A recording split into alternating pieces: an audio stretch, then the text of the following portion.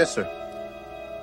I radioed for backup, got out of my patrol vehicle, and approached the defendant's vehicle. Then when did you search for the gun? Objection, absolutely no foundation. Furthermore, the prosecutor, though well meaning, is leading the witness just a trifle. Sustained. Please rephrase your question. What happened that night, officer? Objection now. Counsel is calling for a narrative. Sustained. Rephrase? Did you see anything as you approached the defendant's vehicle? Yes. Located in plain view under the back of the driver's seat was what appeared to be the stock of a rifle or shotgun. I immediately ordered the defendant out of his vehicle and retrieved the weapon. Did you examine the weapon? Yes, I did. It was a 12 gauge shotgun. The barrel was warm and it. Well, Frank, we've been expecting you. When'd you get in? Uh, just now. Uh, how are we doing? We're all doing fine. Courtroom of the future, huh? That's what we hope. First time you've seen it? Actually, yes, I've been over the plans a dozen times, but I wanted to get a look at it before the uh, dedication. Because I really want to see Frank Jr. in action. Now, how does all this video work? Well, the courtroom is configured so that the jury faces the proceedings. Notice the television monitor in front of them. Oh, miss a beat. Huh? If the attention of any one of the jury stray from the proceedings, he can immediately focus on the monitor, which is covering the action. From this room, they record every single thing that goes on in the courtroom. They should get you an assistant. Hey, the way I got this place rigged, nobody can run it but me. Keeps me indispensable. Let's go. The shotgun was located in plain view. Now, you're telling us, Sergeant, that a man who's been painted by the prosecution as having planned his entire crime with military precision speeds from the vicinity of the crime at 90 miles an hour with the alleged murder weapon in plain view? Do you think we are idiots here? Is it not true, sir, that last year in three separate criminal trials, you testified to discovering evidence in plain view, and that subsequent investigation revealed that you had indeed planted such evidence? And weren't you subsequently tried for perjury? Mr. Wellman, you're out of order. I'm not out of order. Answer the question. Yes, I was tried for perjury, but I was acquitted. The jury will disregard this last piece of testimony. You can't instruct the jury to disregard. There's been no objection and no motion to strike. The court makes its own objection and orders the testimony to be stricken. Therefore, the jury will disregard. Satisfied, Mr. Wellman? And where are your objections, Mr. Prosecutor? Hmm? Don't let all this power go to your head, Jeff. I'm through. We'll stand recess until tomorrow.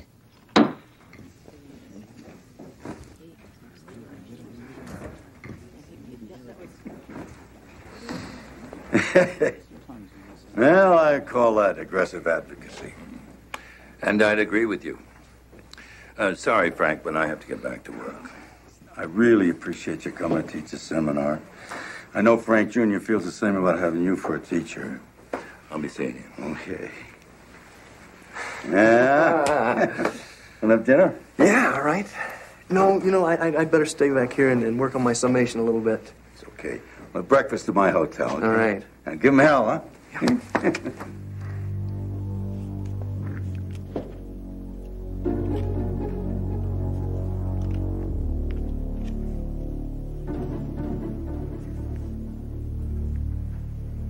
I don't believe what I just saw. It borders on the incomprehensible. Mr. McDonald, you had grounds for objection. Mr. Wellman badgered your witness and extracted inadmissible evidence. Now, where were you? I thought if I gave Frank enough rope, he'd hang himself. That isn't good enough. I expect Scott thought that the judge would have called Frank on it. Miss McDonald, you're his sister, and your loyalty is commendable. But, Mr. McDonald, as a prosecutor, your duty is to prevent defense counsel from misusing the rules of evidence. Don't smile, Frank. Jeff had been doing his job, you'd be cited for contempt. I agree. You're clever and articulate, Mr. Wellman. But a jury is a complex organism, just a group of ordinary people. They haven't studied Aristotelian logic. Their individual honesty may come and go as it does for all of us. When they become a jury, they take on an intelligence that you must never underestimate and an integrity that you must never, never insult.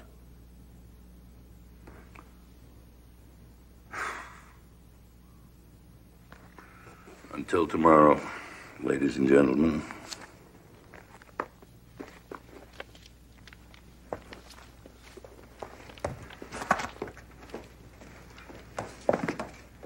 I want to thank you for your comments, Mr. Mason.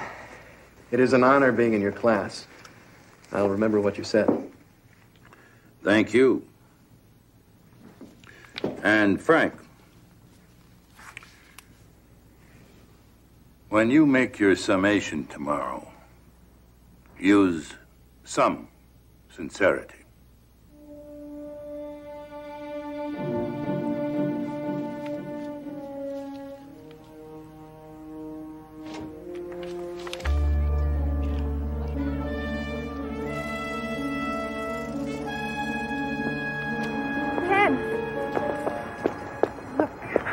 I know I've been remote, but I need to see you. Well, that's quite a change. Don't make it any more difficult. Please. Okay. Okay. How about now? Sorry, I can't. Scott and I have some things to do. Kimberly, what is the matter? Why can't you just come out and tell me? Ken, why don't you give her a break? Scott, please. Just try to understand. I'd like to. Last week you were in love with me. Now I can't get you on the phone. I leave messages in your study, carrel, which you don't return. If it weren't for this damn mock trial, I wouldn't see you at all. Kim,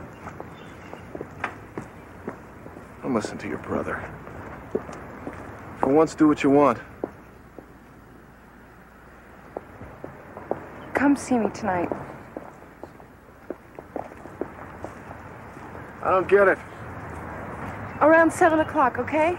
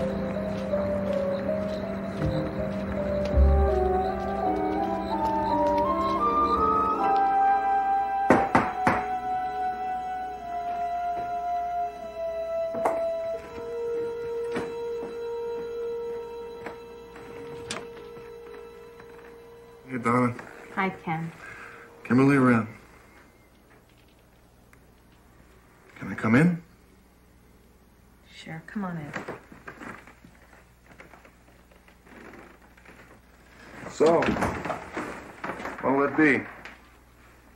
Talk about the last con law exam? Or how about those Broncos? Or maybe, Ken, the reason I've been treating you so bad is because I'm schizo. I'll be in the library. Well, This was a mistake. I'm sorry. I never should have had you come. Kimberly, tell him. Tell him. wait a minute. Just leave her alone. Wait a minute. Just leave her alone. with her? What's going on? It's Frank. He's the reason she's been acting so strange. What's he got to do with it? I probably shouldn't be telling you this. But a couple of nights ago, he came up to her in the library and he wanted to talk to her about some pretrial motions for the uh, moot court. Moot court doesn't have pretrial motions. No kidding. But you know that he's been crazy about her since the first year, right?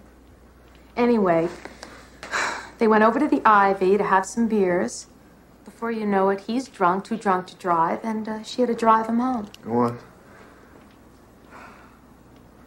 all of a sudden, he, uh, he threw her down on the floor, ripped open her blouse, and tried to rape her. He didn't. No, she fought him off, but he, he really hurt her.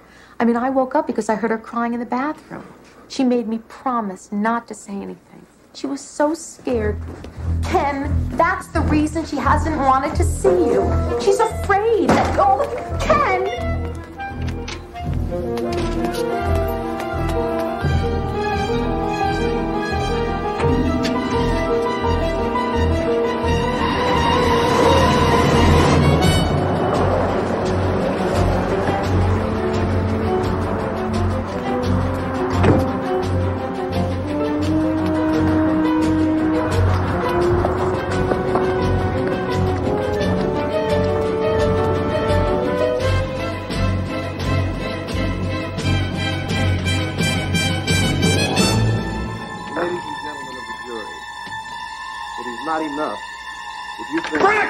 The defendant may be. Let me in, you son of a... Hey! Open up, Frank!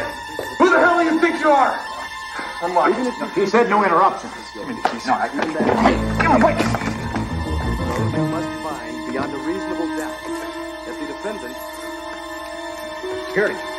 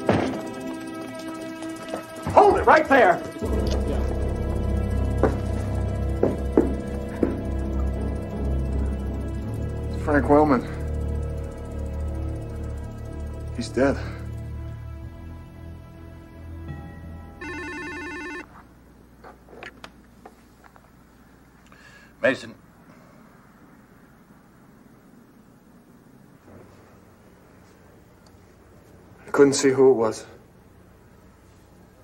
Whether it was a man or a woman. are you aware it was your knife that was used to kill him? My knife. It had your initials on it.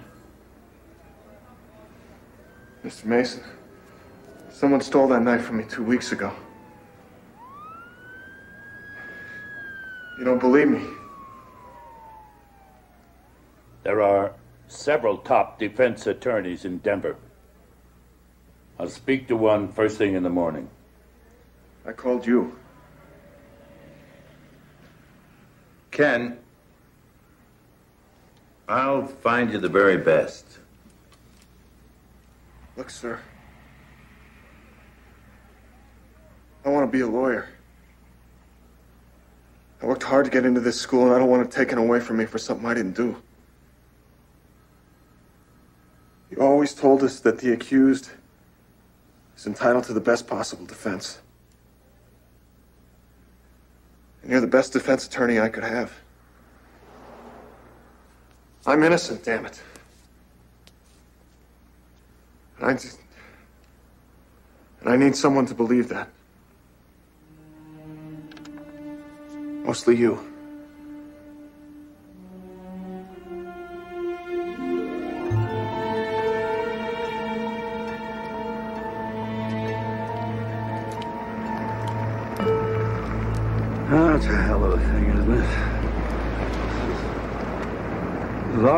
School, Perry, yours and mine.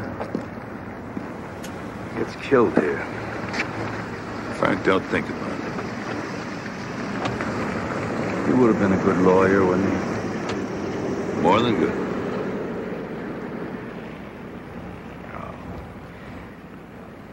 We had our problems. Any kid does today.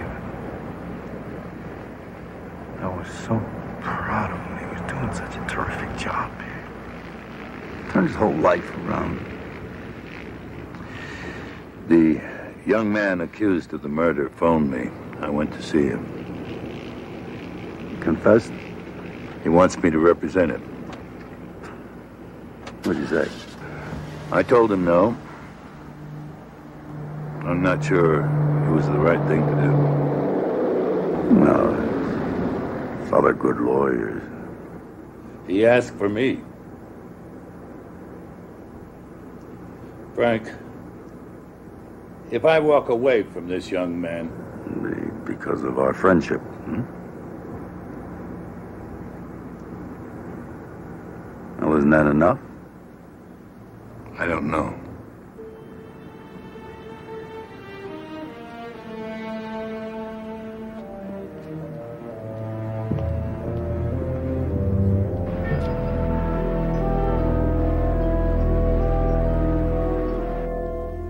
Next in order, People versus Ken Malansky.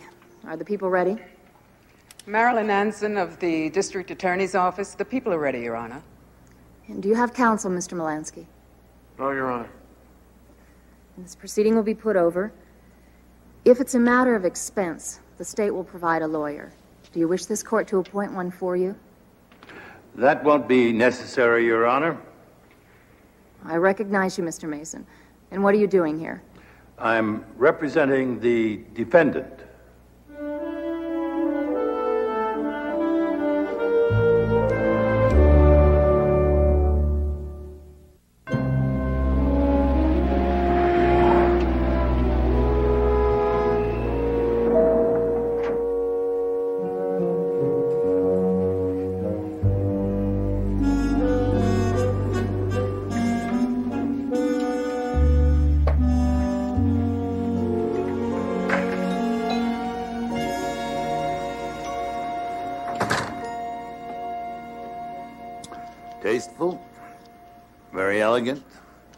Understated, yet beautiful.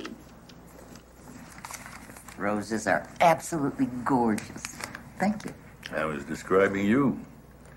The roses are the least I could do for cutting your trip short. Oh, the cruise. Mm-hmm, yes. Starry nights, tropical skies, gourmet food, and the best big band since the immortal Glenn Miller. After four days, I was so bored I could have jumped ship, even without your call. I am more than appreciative. Mhm. How are you? And uh, how's poor Mr. Wellman? Well, Frank's taking taking it very hard. His boy was his whole life. Della, I want you to look into Frank Jr.'s past. See who else might have had a motive. Any idea where to start? Two days before the murder, he allegedly tried to rape Ken Malansky's girlfriend. Allegedly? Her name's Kimberly.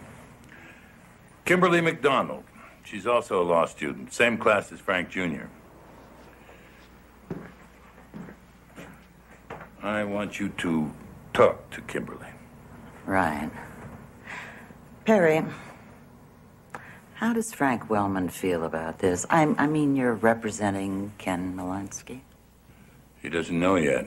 I'm going to need all the background you can get me on the students in my class. hmm Give me ten minutes, I'll be right on it. I want you to rent a car. Meet me at the courthouse. Ken's being arraigned this afternoon. Anything else? Why, yes. There's a list on the desk.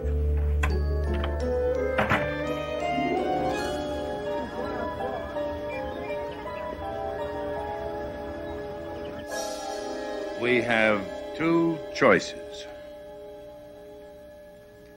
One is to ignore the tragedy that occurred here. The way we've been sitting here pretending that tape isn't there.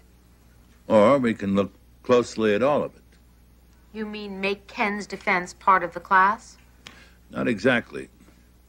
But there's a great deal we can learn from what's happened. But suppose Ken's lying. Suppose he's actually guilty. Every defendant comes into court presumed innocent. Now, what's my first line of attack? Ken said someone was already here when he came in. Besides Frank, I mean. Well, if Ken didn't do it, then that man was the murderer. Or a woman. A good start.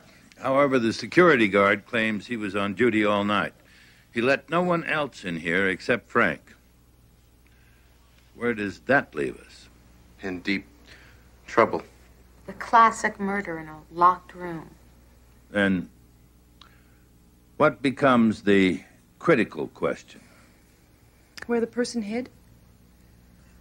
Mr. McDonald? No. Who knew Frank would be here that night? Very good. Who would have known? The only people who'd know for sure would be the people in this class. Who else? You knew. Yes, I did. And Frank's father? And the security guard? All right, let's strike the three of us from the list of suspects. What is your inevitable conclusion? One of us is the killer. But we all left together. Did you? I left with Scott. And then we both saw Ken outside. Did anyone see me leave? I ran into you at the cafeteria. Fine, then we're each other's alibi. Yes. That leaves. Me. I left alone. Actually, I saw you from the window of my office getting into your car in the parking lot. If nobody hidden here, where does that leave us? Miss Lehman. There's got to be another key. Right. So one of us has to be the killer. Right. Now, please consider that until our next meeting. In fact, since I'm now defending Ken Malansky, expect me to intrude on each one of you at any time. That's all, thank you.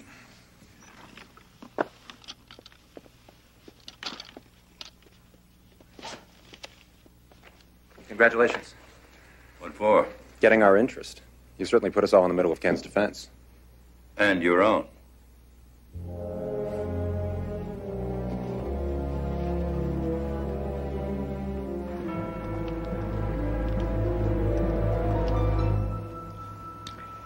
The um, court has reviewed counsel's motion for bail, as well as the people's response. We find the defendant has no ties to this jurisdiction beyond his enrollment in school here. No residence, no job, no family. Therefore, flight is a real possibility. The crime that he's been charged with is a capital offense. Accordingly, the court sets bail at $250,000. Thank you, Your Honor. Why didn't you just say 10 million? Or 20? There's no way. Look, Marshal, I'd like a minute with my client. Take as much time as you want. His bail's made. Are you sure? Bail bondsman came in here before the hearing, guaranteed any amount up to a million. Damnedest thing.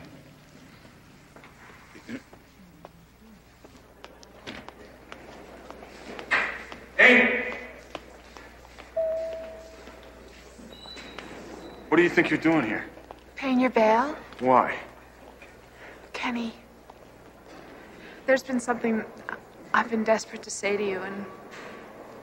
Well, I, I couldn't bear to do it if you were behind bars. There's nothing, absolutely nothing that you have to say to me. Nothing. Except this! Young lady. Who? I'm his fiancée, of course. Of course.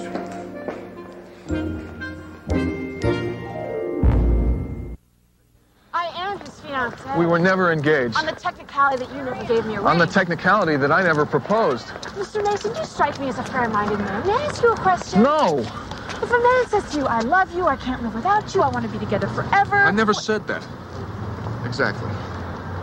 Miss Hastings. First, a quarter of a million dollars bail, then physical assault, then verbal assault. I'd say you were sending Ken a mixed message. You mean, what is it I want? Hmm? For public consumption, after he ran out on me, I told everyone I tossed him out and never wanted to see him again. But privately, honestly, don't tell Ken because he's already too conceited, but I'm still crazy about him. Your secret is safe with me.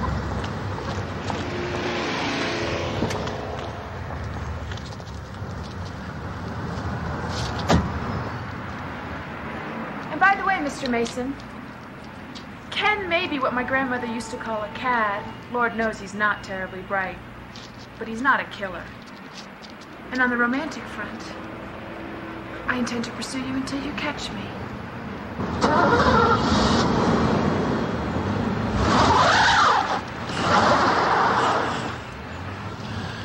Does she always approach life this simply? Today she was a little reserved. Meeting you, I guess. Tell me, you really ran out on her? You may have guessed her family's rich. Not rich like Wellman. We're talking generations. Money with a pedigree. That bothered you? No, I've got nothing against being rich. I'd like to be rich. And I was in love with her, was. Then she started making all these plans about what I do, what we do. So when the scholarship to law school came along, I told her it couldn't work out. Obviously, there's no feeling left. None. None at all. I'm in love with Kimberly. Your first year here, most of your professors called you brilliant. Then all your drive seemed to disappear. You refused law review. Something must have happened. I'd like to know what that was. Lots of people are first year wonders, then they burn out. And some make remarkable progress, like Frank Wellman. I know.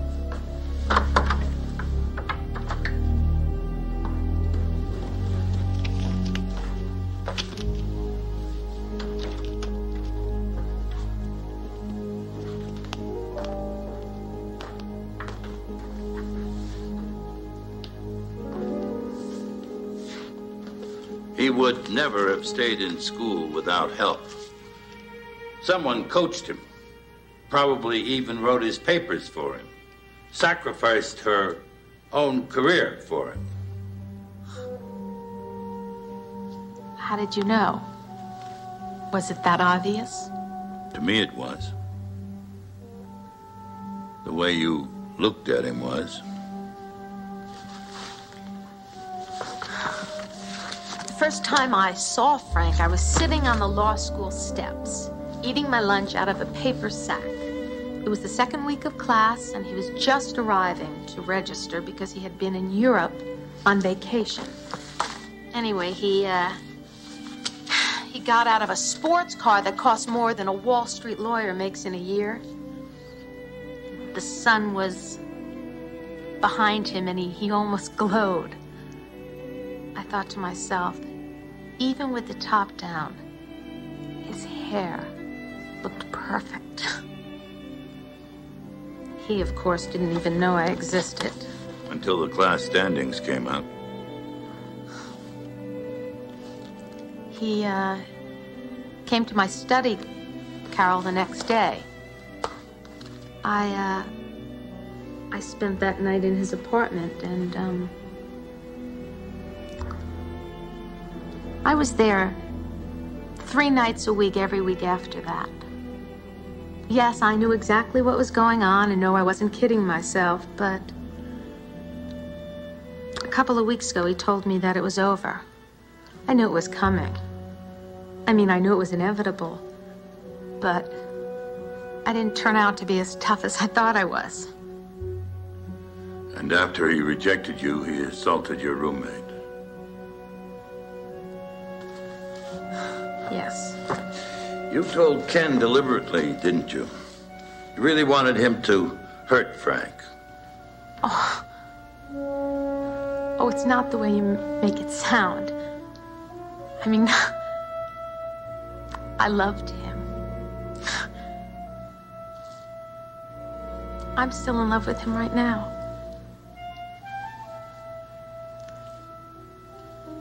I wanted Ken to hurt him. But I never wanted him dead. You've got to believe me.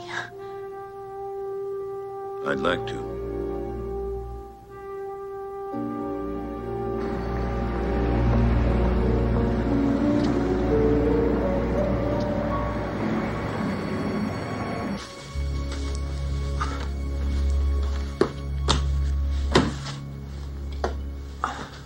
Ken needs me, tell him I'm at the library, okay?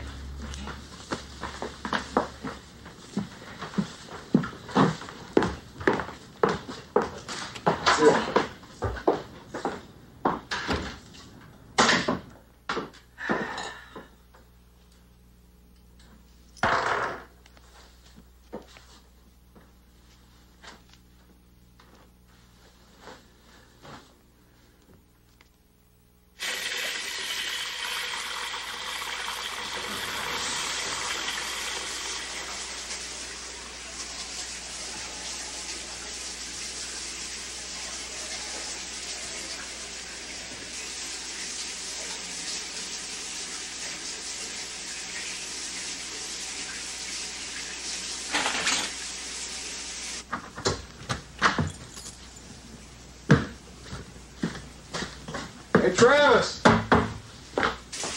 Me. Where you been? Got out on bail yesterday. 250,000 bucks. You'll never guess who paid it. That girl I went out with before Kimberly? The crazy one? Well, she's still crazy.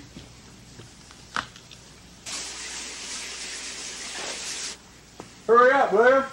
I just got back from the gym.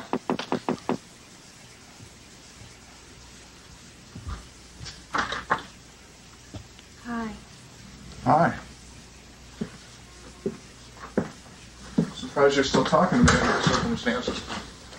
I'm so incredibly sorry about all this. I know what you're going through. I just want you to know that I believe in you.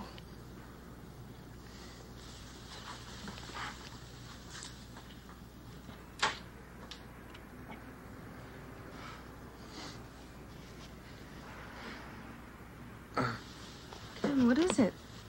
Excuse me. I, I don't mean to interrupt.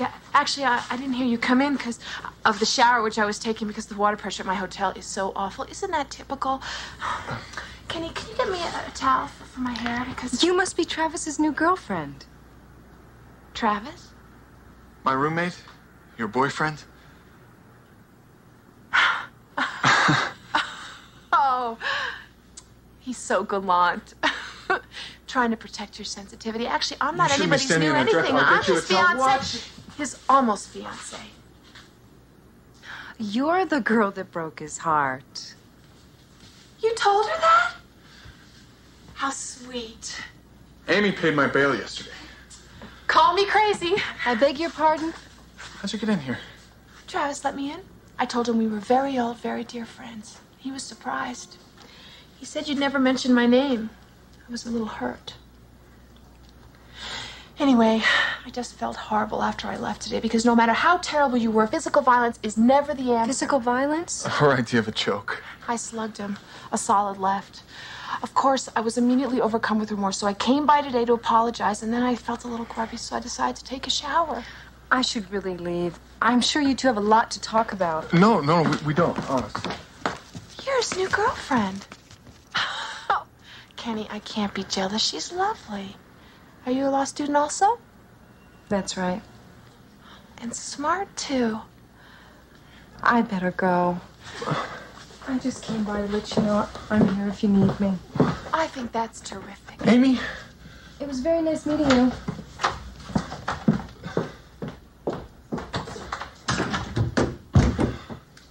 What the? Did you really tell her I broke your heart? I told her you were spoiled, selfish, self centered, irresponsible. Ah, I now remember how relieved I was I didn't actually marry you. From now on, my interest in you is strictly financial. Wait a minute. Wait a minute.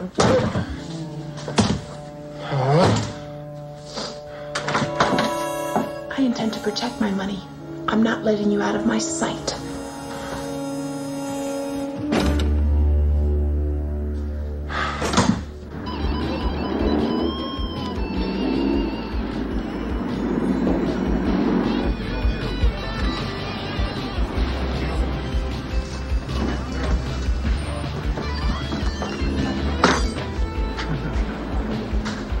Aftermath of murder can be a tedious business, Mr. McDonald. You're not an easy man to find. You make it sound like I'm trying to avoid you. That would make sense if you were the killer. Except I've got no motive. The man tried to rape your sister. I know. But you didn't tell me. How old were the two of you when your parents died? We were only three. Just out of curiosity, who's older? I am. Twelve minutes. Guess that makes me the big brother. You're really inseparable, aren't you? Same undergraduate college. Kimberly even came to the same law school. Yes, that's right. So you want me to believe that she didn't tell you that Wellman assaulted her? If you don't believe me, why don't you ask her? Hello, Mr. Russell. Are you all right? Yes, it's just. I I hope I'm not interrupting, but are you about finished? Just winding up. Why don't you walk me out? He probably wants to ask you some questions alone. You're quite correct. Okay.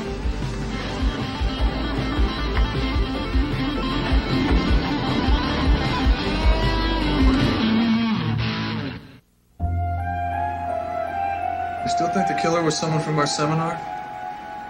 They are the only ones who knew Frank was staying in the courtroom. Mr. Mason, rather than just sitting around, would it be okay if I went back to the courtroom? Checked it out? All right, Ken, I'll arrange it, but I want you to be careful. Right. There's uh, one other thing. It's Kimberly. Actually, it's Kimberly and Amy. You noticed.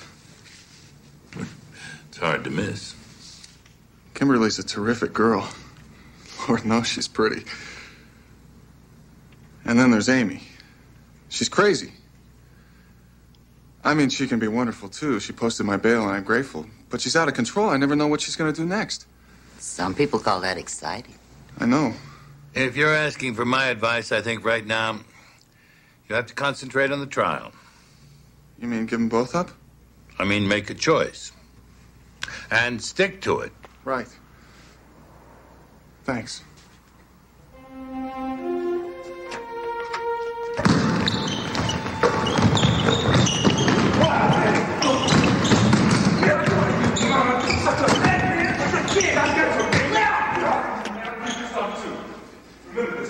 I got your number. I got it. Oh. I didn't know you were such a basketball fan. Right now, the only scouting I'm doing is for a murder suspect. and this will be the shortest interview you ever get. I got no motive. That's not what the law firm of O'Malley and Kern would say. Listen, it's true I wanted the summer job there. That's a very prestigious firm. It's also true I was disappointed, but I got over it. Before or after you beat up Frank Willman? He told them I had a drug problem. That the reason I didn't try for the pros was I test positive. That must have made you very angry. It was a lie. All of it. I didn't try for the pros because. I didn't try for the pros because I knew I wasn't good enough. He knew that. And that big time firm would only take one guy from our class, and even with his dad's pull, he couldn't buy his way in. Unless he got rid of me first. If you had gotten that job, it could have meant a great placement after graduation.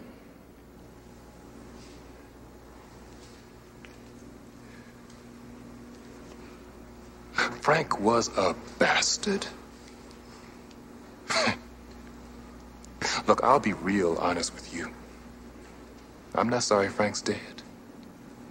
There's something else I'll be straight about. I didn't kill him. Here's something I'll be straight about. You're still angry enough to have killed him.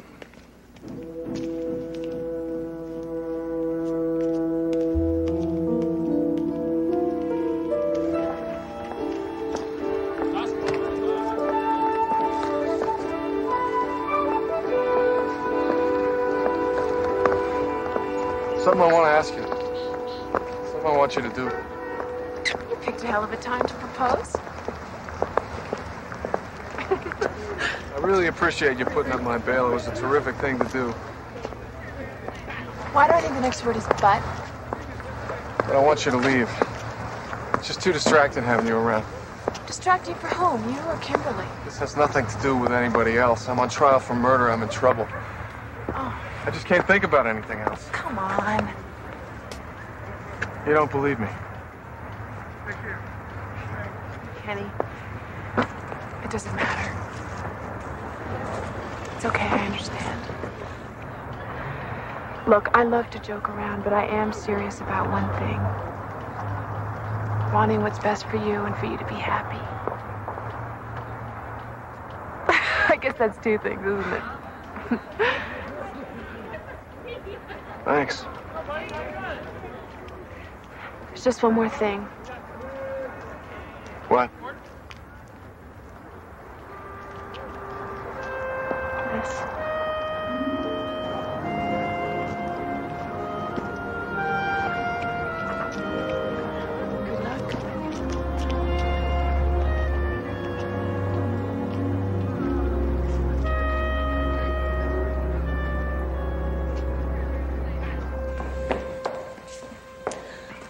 Understand what's keeping Perry. Oh, he was like that even in law school. You know, nobody worked harder. What was he really like in those days? He was a grind. Nose in the book all the time. No time for anything else.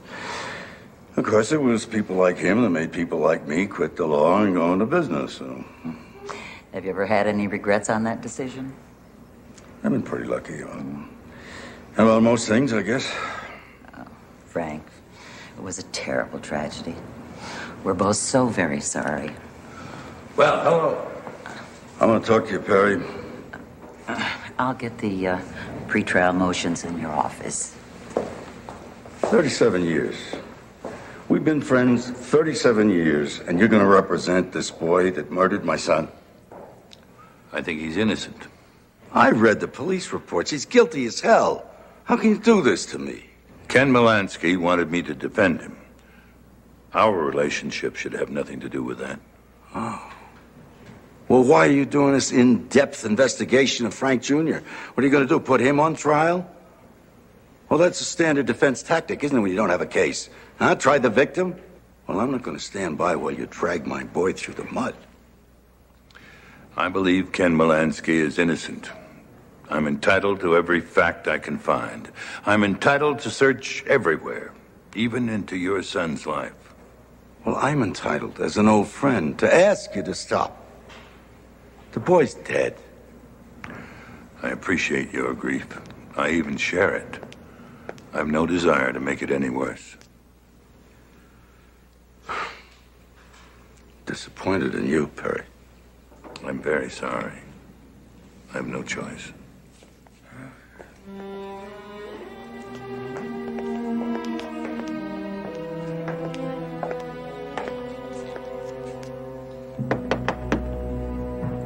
Who's there?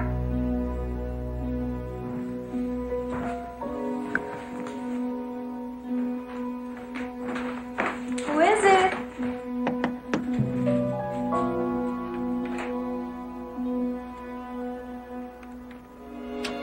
Hello?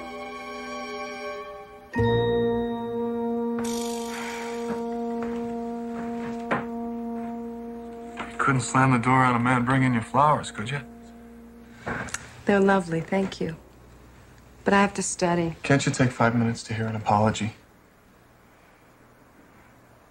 Kimberly, I know how it must have looked when Amy came out of the shower the other day. Looked. Okay. Sounded like. Felt like. But it isn't. What I had with her is over.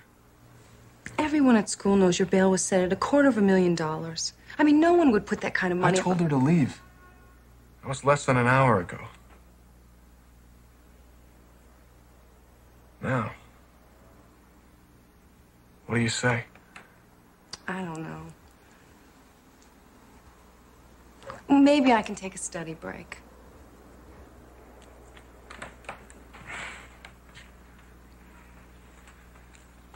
How about an hour? What is your problem? I gotta check something out on the case. I'll be back.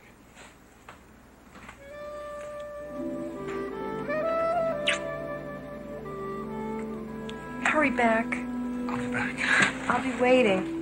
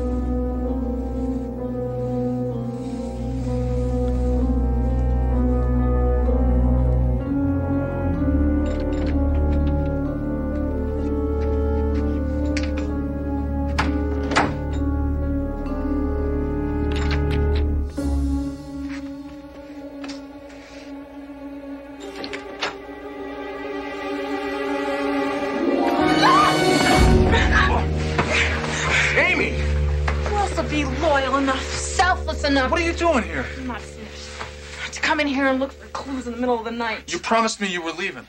I most certainly did not. I told you I wanted what was best for you.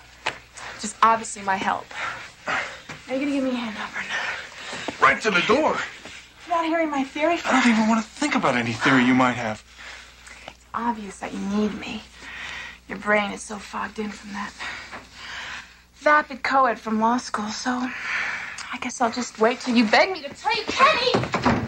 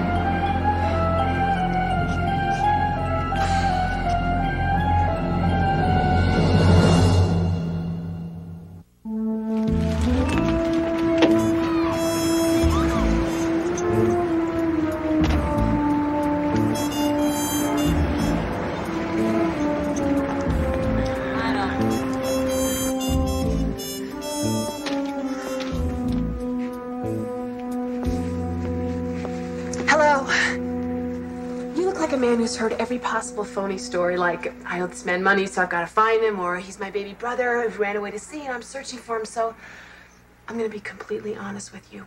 There's this man I absolutely have to locate, and he's wearing the same sweatshirt as you are. Lady, you want information. You pick up the phone and dial 411. I guess the kindest way to describe him would be sort of a badly dressed weasel, mid 20s. Around here, people savor their anonymity. What about a bribe? I know, an ugly word. However, I am willing to lay down on this bar 50. No. No, make that $100. Nah. Okay. Well, then I guess I just have one more question. What are you serving for lunch? Burgers. Oh, I don't eat burgers. I'm a vegetarian. Burgers. You know what my favorite sandwich is? Fried egg. All I got is burgers. You have eggs? I can see them right there. Some guys like to put them in their beer. I realize this, this may seem just a little unorthodox, but I was just. Excuse me, what's your name? Al. Oh. Is that short for Alvin? Or Albert? Maybe Albert? At any rate, could you just help me out with this? Oh, lady, uh, How would it be if I made my own sandwich? I- I'd pay you, of course. are you crazy? No, not seriously crazy.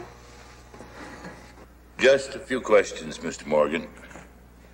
Fire away. Tell me, do you have your key ring on your belt? I sure do. Every key I own's here, even the one to the moot courtroom. Never without it. You never separated from your key ring? No, sir. But you lost your keys the night of the murder, did you not? Well, yeah, he took them from me. He?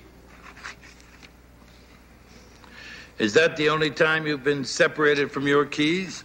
Yes, sir. So, no one, no one could have made a duplicate of the key to the rear door of the building. No, it's absolutely impossible. Tell me, Mr. Morgan, where do you live? Uh, 113 Live Oak Terrace. It's a, a fancy address for a little condo building.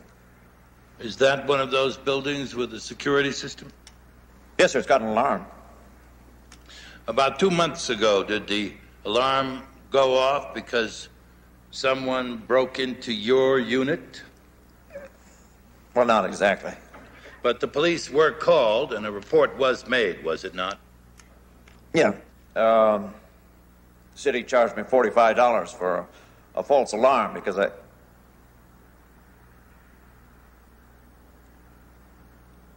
I had to break into my own unit.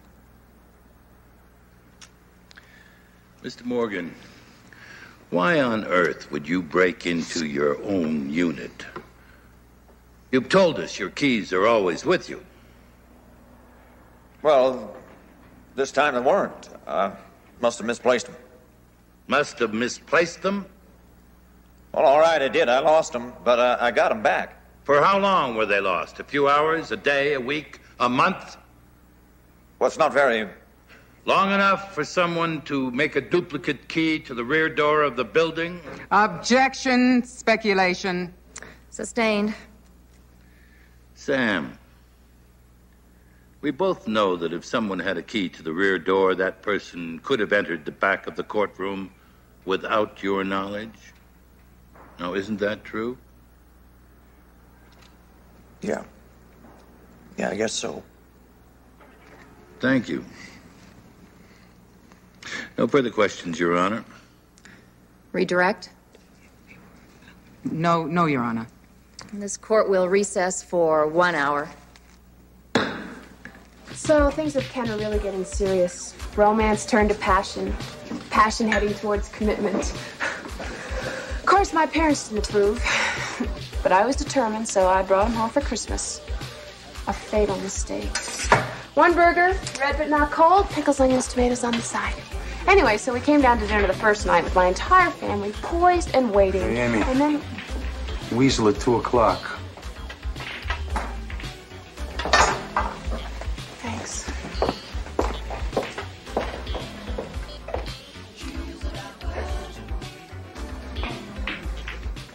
Excuse me. I think this is my game. Yeah, says who? Says Ben Franklin. Don't be so shy. We met last night. I don't know who you are. Well, that's because you ran away. Now, who starts? I'll break.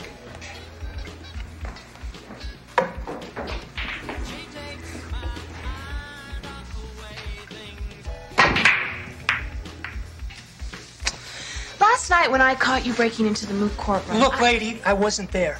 Eugene, my unimpeachable sources tell me that you're in charge of the video room. Now, on the night of the murder, someone was in that room. So I went back there and I found something. But I guess it must not belong to you. Oh, too bad. Is it my shot now? What? Uh, what? What do you think you found? I think I liked it better when you were pretending to be a tough guy, Eugene. Well, what I found was. It's not my own stick. Well, what I found, way in back of one of the files where you hid it, a pirate copy of the hottest movie out right now. Let me have it. I'll cut you in. Oh, you don't have to do that. I'll give it to you. What do you want? A few answers. Don't look so worried. The questions are not that hard. And then I get the tape? Cross my heart. When?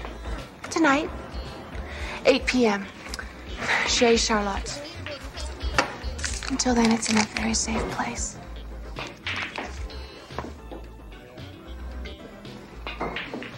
Your Honor, I realize this shouldn't happen. I'm sorry. It's inexcusable calling a surprise witness. Your Honor, the district attorney has had ample time to prepare her case. Did you know this witness existed? Yes, we did. But we had no idea he had information relevant to the case. Mr. Mason, Your Honor, if this witness testifies, I'd like an adjournment immediately following that testimony. I'll need the entire weekend to prepare a cross examination. sounds fair to me. What could he possibly testify to? We'll soon find out. I thought he was your friend. Maybe. That's a big maybe.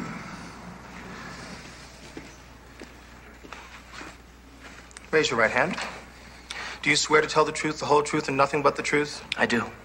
State your name for the record. Tra- Travis Charles Howe.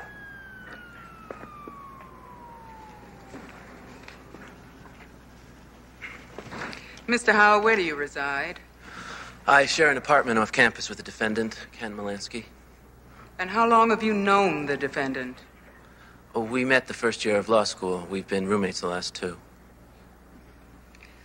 I show you People's Exhibit 7, a knife previously identified as the murder weapon, and ask you if you saw it somewhere on the night of the murder. Yes, in our apartment. And how did you happen to see it? Well, I, I was in the apartment studying, and all of a sudden, Ken blew in like a hurricane. I, I, I've never seen anyone so mad. He was opening drawers and, and going through his closet, and the whole time he was yelling about, uh, about about what Frank had done to Kimberly.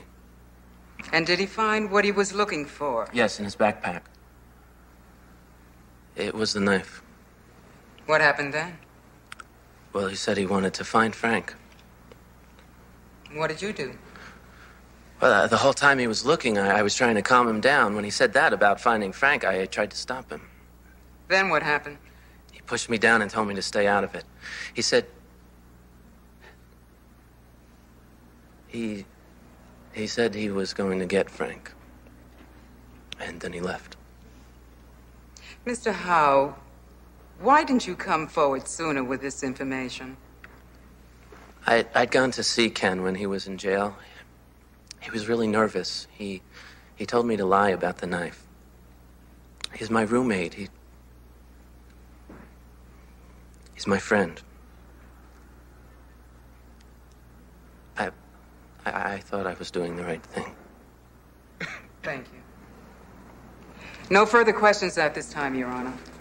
Pursuant to stipulation, this court is now in recess until Monday morning at 10 a.m. Mr. Howe, you're instructed to return to the stand at that time. You may step down. Court is adjourned. Never went back to the apartment.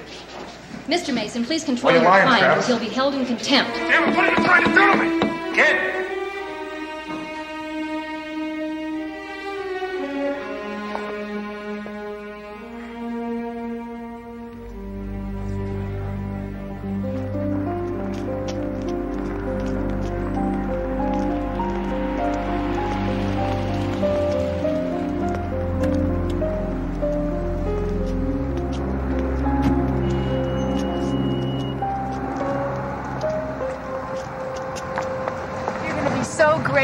Decided to forgive you instead of leaving, because I have wonderful news. I doubt it. I made a major breakthrough in the case. Amy, I had kind of a rough day, okay? I want to hear about it. You can tell me while we're driving.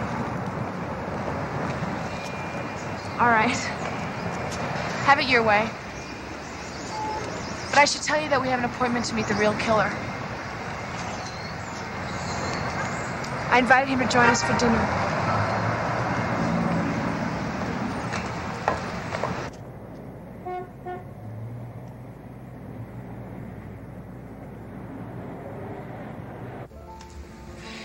Thinks someone at the law school killed Frank for a personal motive. What if it was almost like an accident? You really think it was Eugene? Think about it. He's up there using the tape equipment in a felonious manner, and Frank walks in on him. Things get rowdy, and Eugene nails him. With my knife? Oh. Good point. Well, we'll see. Don't you think we ought to let Mr. Mason in on our little adventure? Ken, please, let's not bother Mr. Mason until we have something tangible.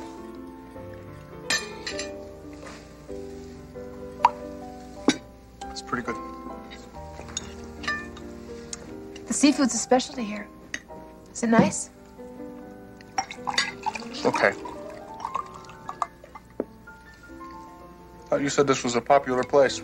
Best in town. And where is everybody? Oh, I bought out the first sitting. First what? Don't worry. This is a secret meeting with a murder suspect. We couldn't have a lot of people around.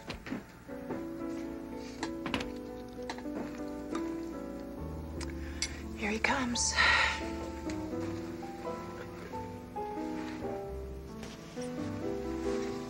Did you bring the tape? What is this, Gene? No hello, how's it going? No drink first just to be social? I believe you've met Ken. And yes, I have brought the tape. Provided you've brought some answers. We know you were in the video room the night of the murder. You're the one who ran out, weren't you? I wasn't. Can you prove that? I was with the guys that want that tape. Where is it? Not so fast, Eugene. We're not finished yet. Did you see anybody else that night? I told you I wasn't there. Now, could I have the tape?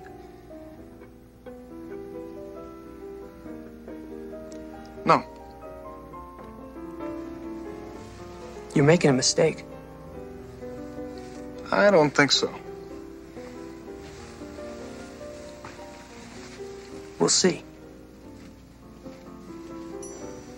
What he means by that? I don't know. What do we do now? Regroup? Check, please. I'll get the car.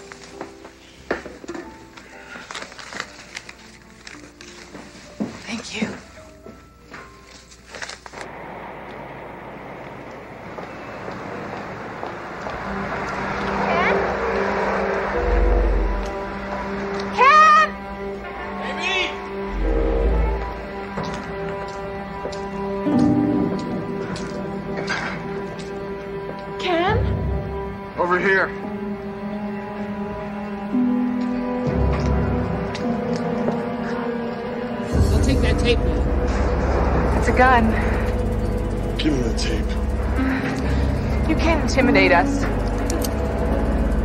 Yes, you can.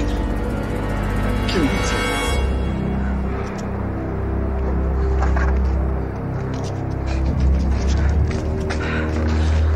I wasn't there. I don't know anything about the murder. But take some good advice. Forget you ever saw me, because the guys I work for are really mean. They'll kill you and enjoy it. Are you all right? I can't wait to hear your next plan. Come all right.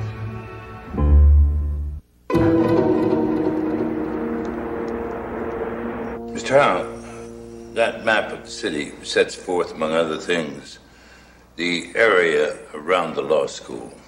That familiar to you? Yes, sir, it is. Now, Kimberly McDonald swore that on the evening of the murder, my client left her apartment at uh, 1162 Long Ridge Road at five minutes after seven. Please mark the map accordingly. Don't forget the time.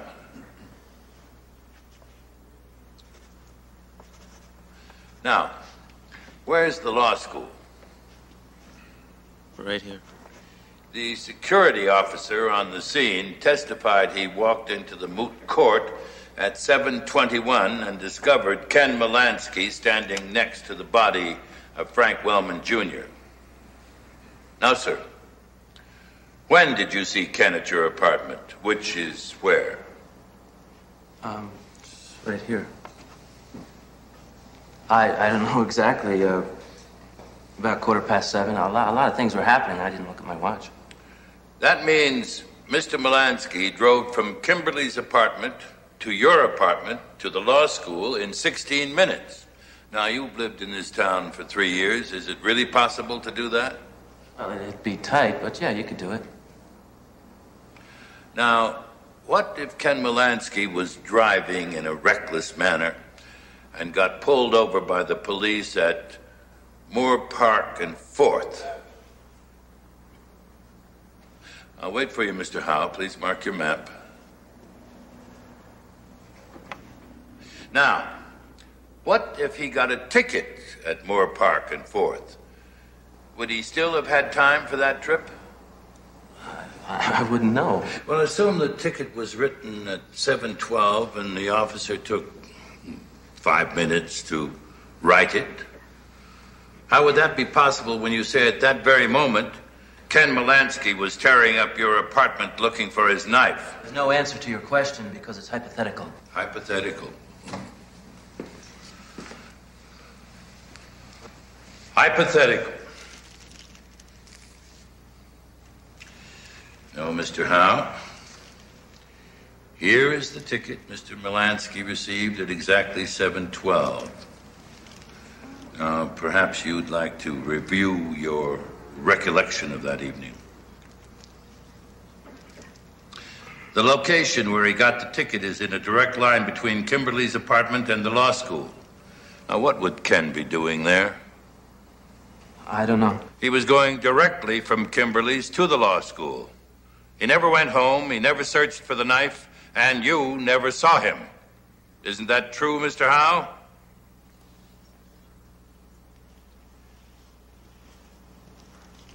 Mr. Howe, you have one last chance to reconsider your testimony. I assume you know the penalties for perjury. Um, maybe I. Maybe I'm, I'm mistaken about what happened that evening. More than mistaken, Mr. Howe. I've no further questions. At this time, Your Honor, the people request a brief recess. We'll reconvene in 15 minutes.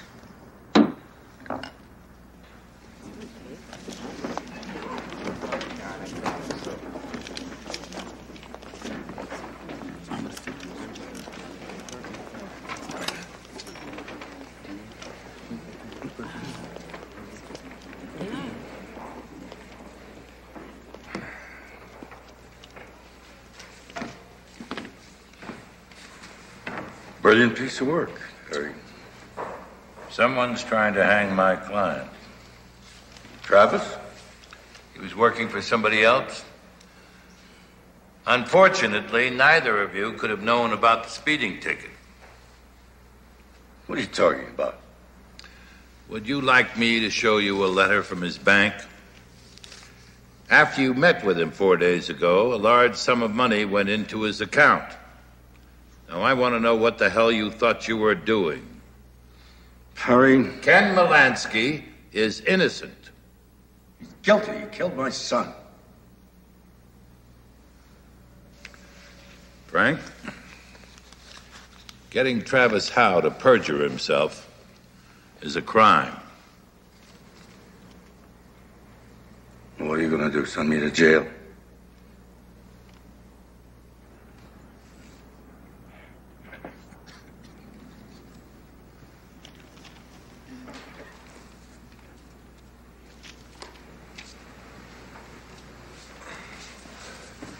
I call Frank Wellman to the stand. You know, sir, that you have my deepest sympathy, but I must ask you some difficult questions. Your son did well at law school. Was that something of a surprise? No. He was a hard worker. But he did have a rather poor undergraduate record, did he not? Well, he wasn't the kind of boy who spends his Saturday nights in the library. He enjoyed people. He liked to party, drank quite a bit, was arrested many times for drunk driving, was he not? He was never convicted for driving under the influence. Never. Why not, Mr. Wellman? Mr. Wellman, why not? I spoke to friends who could understand what a thing like that would mean on his record. I took responsibility. You used your influence to get him off. You might say that. And when he broke a young man's neck in a bar fight, Mr. Wellman? I was settled out of court. Isn't it true that your son was spoiled and violent? That he never had to face up to life because you provided more? My son. My son loved me, and he would have done anything for me. I would have done anything for him as well. Your Honor, the state fails to see the relevancy of this whole line of questioning. The people will stipulate that the decedent came from a rich family, if that's what Mr. Mason is after. It is not, Your Honor. I'm exploring the character of the decedent to show that someone other than my client may have had motive. The court will allow this on the representation that counsel will connect it up.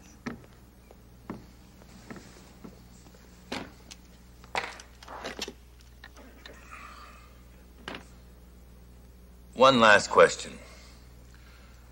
Did you buy your son's way into law school? No, I did not. You did make several large contributions while his application was pending, did you not? One for more than a million dollars for the moot courtroom? I did what any father would have done for his son. The difference being that I had the money to do it with. No further questions, Your Honor. I thank the witness for his honesty. We'll take our lunch recess at this time. Court will be adjourned until 1 o'clock. Ken, wait for me outside.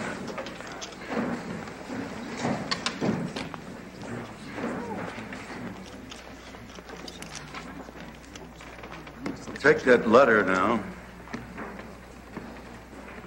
I paid for it. Yes, I believe you did.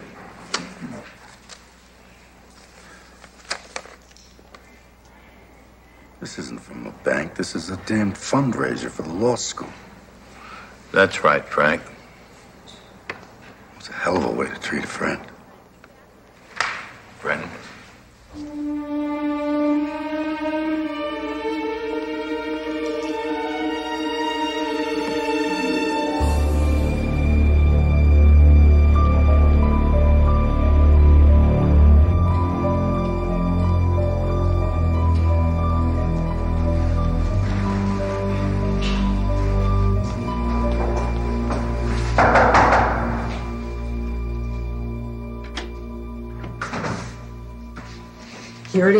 Just like I promised.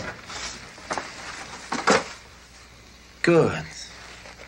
And it's not that I don't trust you, but No, it wasn't easy to get it, but when I make a promise to you, Vic, you can count on me to follow through with it. Are you crazy? What the hell are you trying to do? There's some mistake. She promised me that it. Mistake? Oh, there's definitely been a mistake. My mistake. I could have got some pros to pirate for me, but no, I trust you. I even send you to video school. And why? Because you're from the neighborhood, and I like you. But that's just the kind of guy that I am. Vic, let me see. In a moment, Eugene. There's something you have to understand. You swore to me that you could break the transfer codes and give me the three-quarter inch master. Will you turn the damn thing off? It's giving me a headache. The three-quarter inch master's for the guy in Rio who's gonna pay me $100,000 for every master tape from that movie. And now, you're forcing me to... I know where it is. Give me one more chance. All right. You got 12 hours. And after that, we'll make a different kind of movie. A snuff film.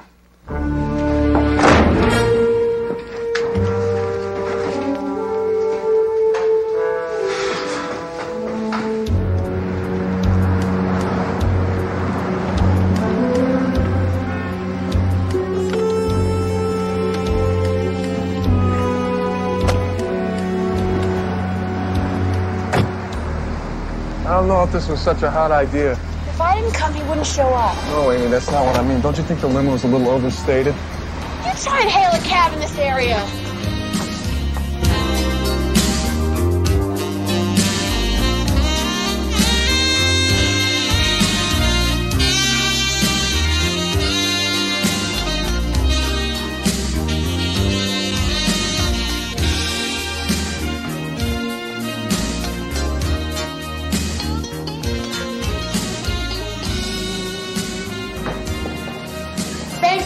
Thanks, made me a rich woman. I bet Ken you'd really be here. Hey up. Put it on my tab. That makes $250,005 I owe you. You gave me the wrong tape. Are you trying to get me killed? Those guys want to take my head off. You didn't tell us what we want to know. Tough. Give me the tape. Eugene, where are your manners? Ken, make him say please. Yeah, say please. This time I decided not to take any chances. Let's step outside. Let me give you some free legal advice. Right now, all we got on you is pirating video cassettes. Make us go someplace we don't want to go. And we're talking major felony territory. I'll take it under advisement. Now move. Last chance. This place is full of cops. Encourage her to shut up. Police! Three! Hold it!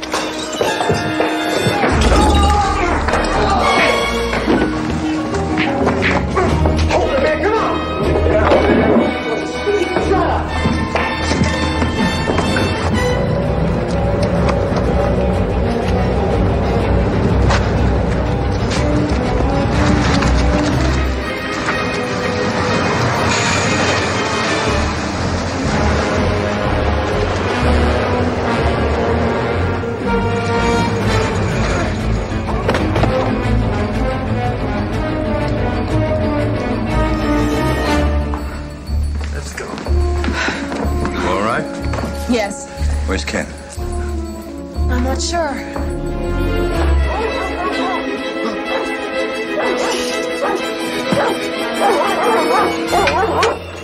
Damn you! So we're in the courtroom the night of the murder. Who was? How do I know? Thank you, Gene! Now, someone from the class must have been there. I don't know! They're getting closer. It would be a shame if you were to fall. Wait, wait, uh, this kid paid me to show him how to use the equipment. Maybe it was him. What's his name?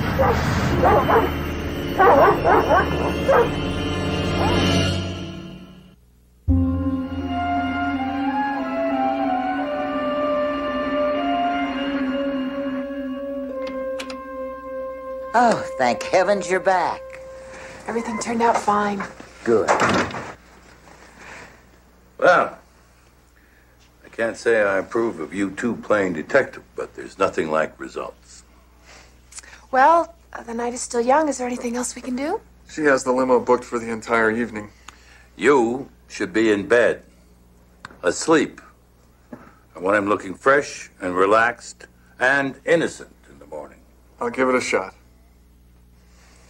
On our way. bye bye.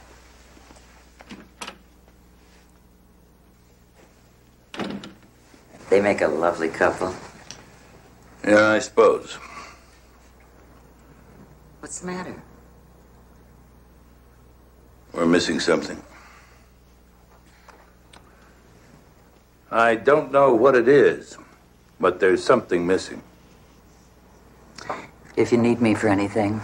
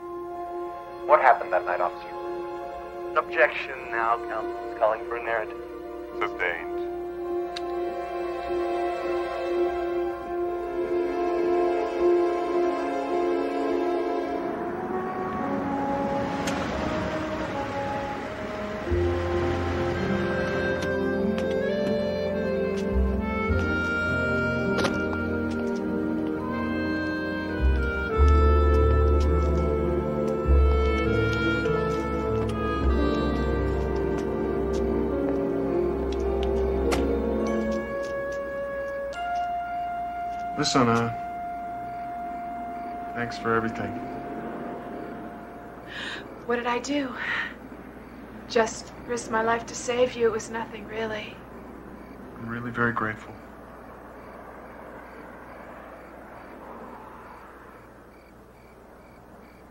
That's why I did it. For a little simple gratitude.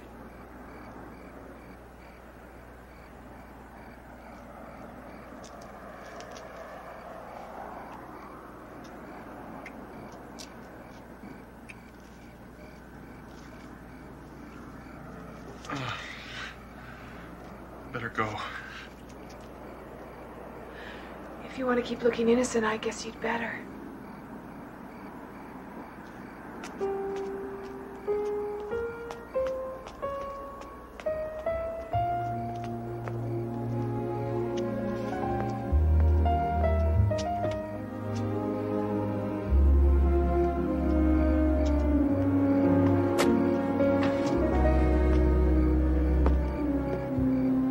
We call Scott McDonald to the stand.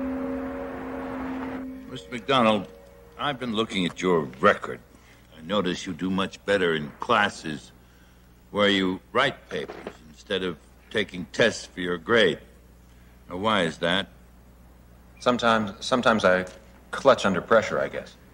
The paper in your hand is one on which you received an A. It's on constitutional law. Do you mind reading aloud? Page three, paragraph two.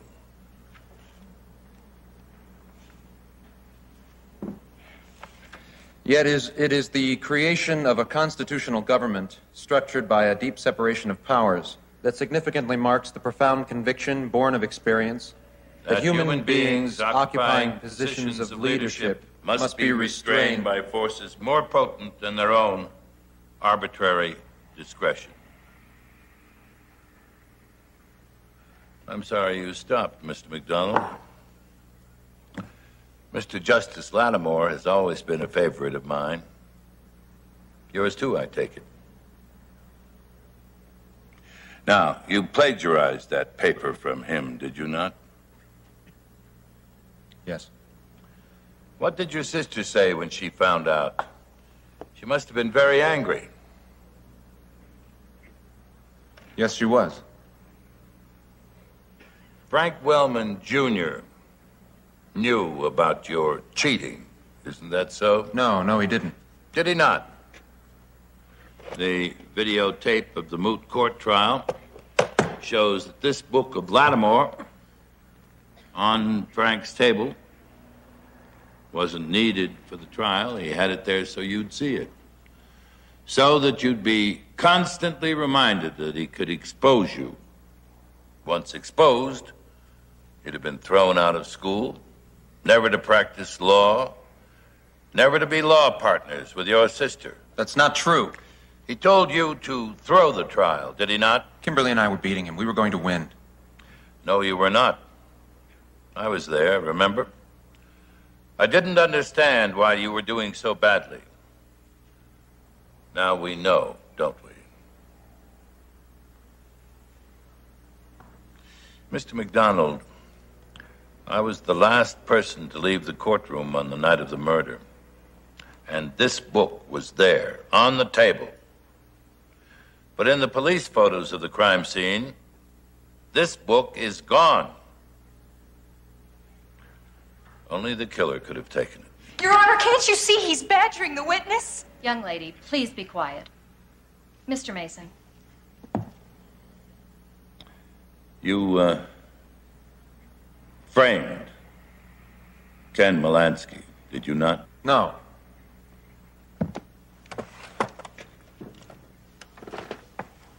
Mr. McDonald, this is a preliminary hearing. Let's suppose it were a full jury trial. This jury box would have 12 people in it. 12 people, all looking at you, listening to you, staring at you. 12 people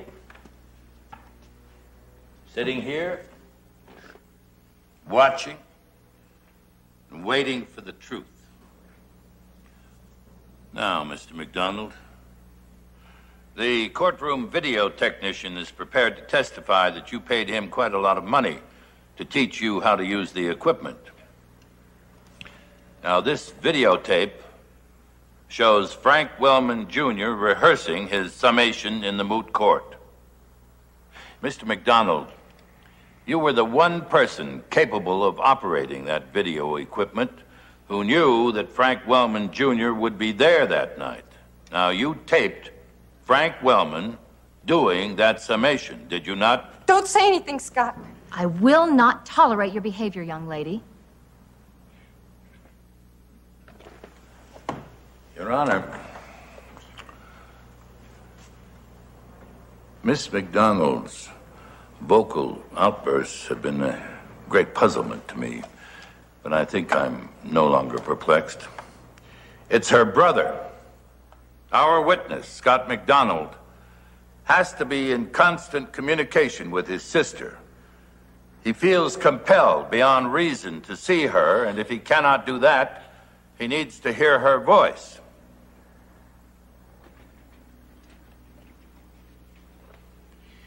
Here is a copy of the tape. I give it to you. Mr. McDonald, it took two people to commit this crime. Your sister manipulated her roommate, Donna Lehman, making sure Ken would come to the courtroom. You made sure it would appear that Frank Wellman was still alive by playing that tape. Everyone has thought you dominated your sister. But that's not true, is it, Scott? She's the reason you're here today. She wanted revenge for the assault by Frank Wellman, and you were willing because of the blackmail. Isn't that true, Scott? Isn't it?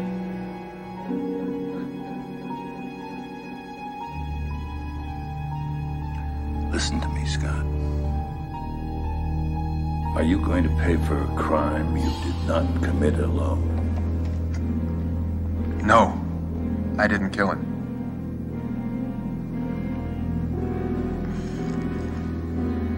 She did.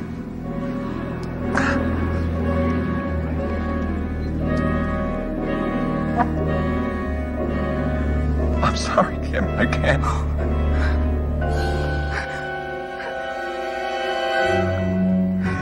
I just can't. I've no more, Your Honor. Your Honor, the people move to dismiss the charges against Kenneth Malansky. Case dismissed.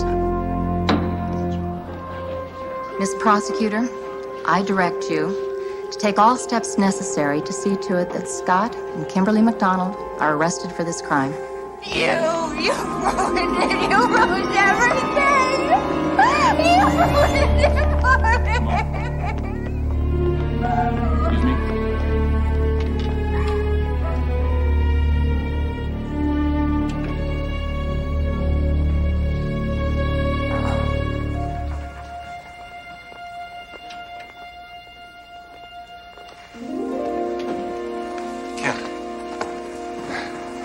Hey, buddy. Congratulations. Thanks, Jeff. Good job, man. Congratulations. Thanks, Paul. Take care. Yeah. Ken, I'm really sorry. Get it, Bella. I'll see you in class.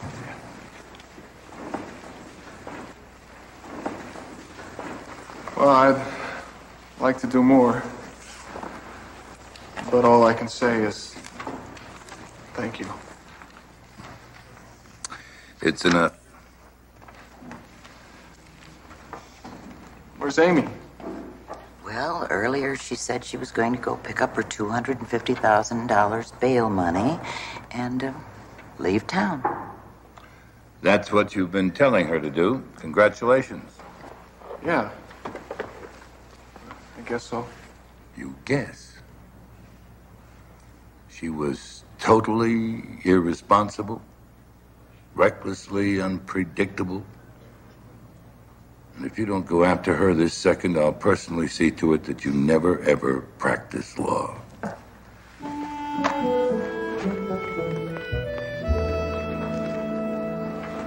Not one word.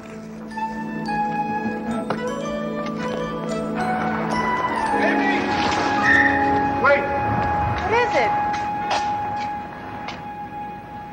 I know. You just want to make sure that I'm absolutely leaving town. That I'm gone, out of your life forever.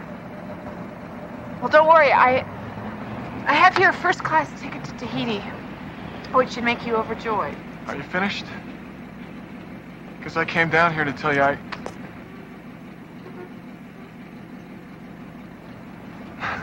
Thank you. You're welcome. Wait. And also that What? what? That running away from me was the biggest mistake you ever made, and that you'll do anything, anything to get me back. yes, yes. Now, are you happy? Of course. It's just that a woman likes to hear these things from the man she adores. Then why are you driving away from me?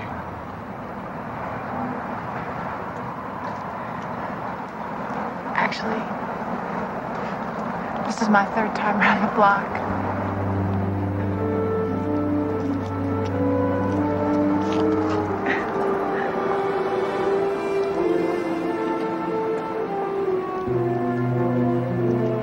Get in. You got it. That's what I call a happy ending. I knew they were perfect for each other the moment I saw her. So perceptive. You want me to get the car? I'll get the luggage. Oh, uh, would you like for me to drive around the block three times? No. As always, I'll get you the first time around.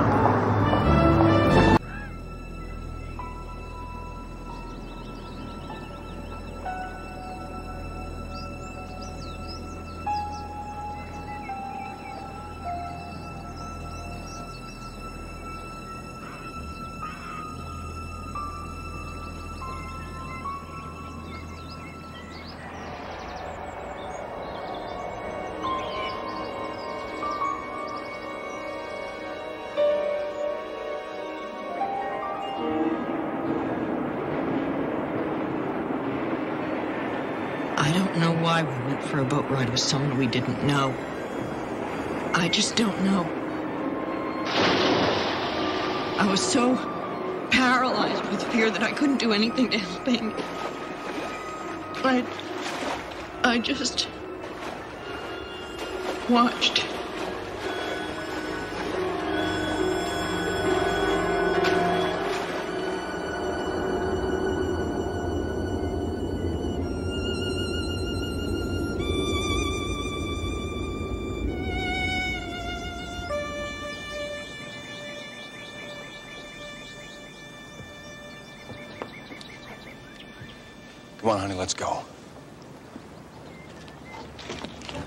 Billy, please, I can't. Sure you can.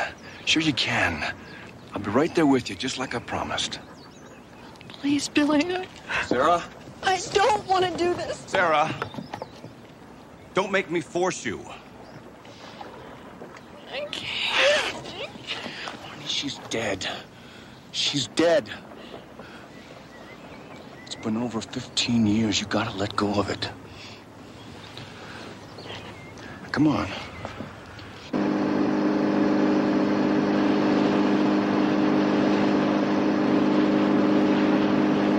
All right. Was it around here that it happened? Okay. Now I want you to take the wheel, just like you did then. No, Billy. Come on, Sarah. No, take I it. can't. Sarah, take the wheel. I can't. Okay. Can you see what I'm doing here? All right. See that? It's up to you. You take the wheel we're both dead. It's up to you.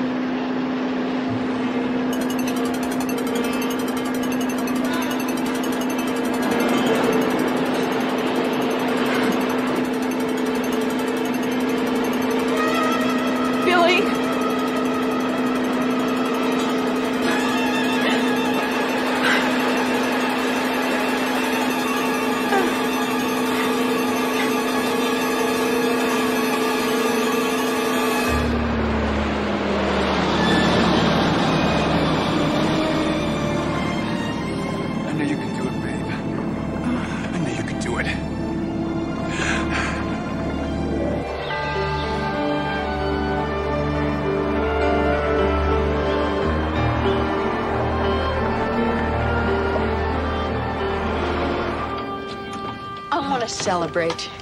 I want champagne. Lots of champagne. You want to go? Uh, you want to go down to the city, or you want to go to the lodge? The lodge. That way we'll be closer to home after dinner and we can build the fire in our Yeah. room. That sounds great. Oh, Billy. I've never been so happy. When they said it wouldn't last. Ah, hey, come to think of it, even you aren't too sure. Ah, I was just afraid you'd miss the limelight, all those groupies on the circuit. Well, those groupies, they were kind of nice. Oh. Okay, nice. No, they weren't nice. They weren't nice. I'm a has-been. I'm an official tennis bum. My groupie days are long gone. You better be. Because I ain't ever letting go of you. Atta boy, Billy! It's like you made a real woman out of her. What are you doing home so early? I thought you were at work. Oh, I'm resigning. I'm not cut out to be a mining executive. But if you and Billy swing that deal to start a ski resort, you let me know. I think that's more my speed. It could be a long time from now, Skip. Hey, I'm in no hurry. I'm not going anywhere. Yes, you are, Skip. I thought we agreed if you work for the company, you'll be paid a regular salary. You can even stay here until you can find a place of your own. But you just can't live here with us indefinitely. Is that any way to treat family? There's not that many of us left, Cousin Sarah. Lay off. I suppose I have you to thank for these new regulations, huh, Billy boy? It's Sarah's decision. Right.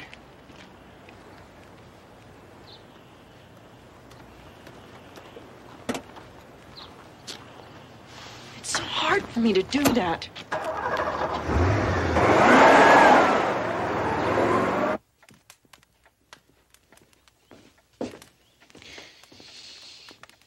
You sure you want to do this? Positive. Okay. Hey, looks like the hooks are still on the wall. Should make it a snap. Yeah?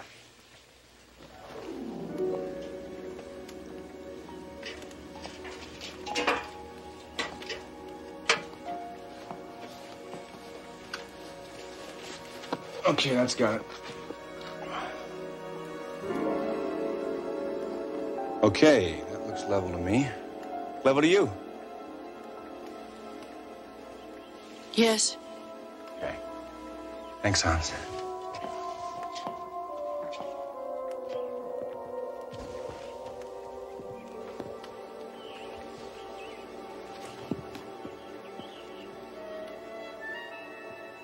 You sure you're all right?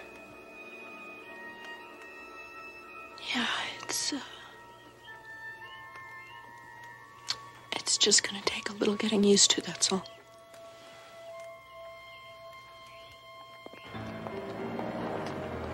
How are you feeling now, Walter?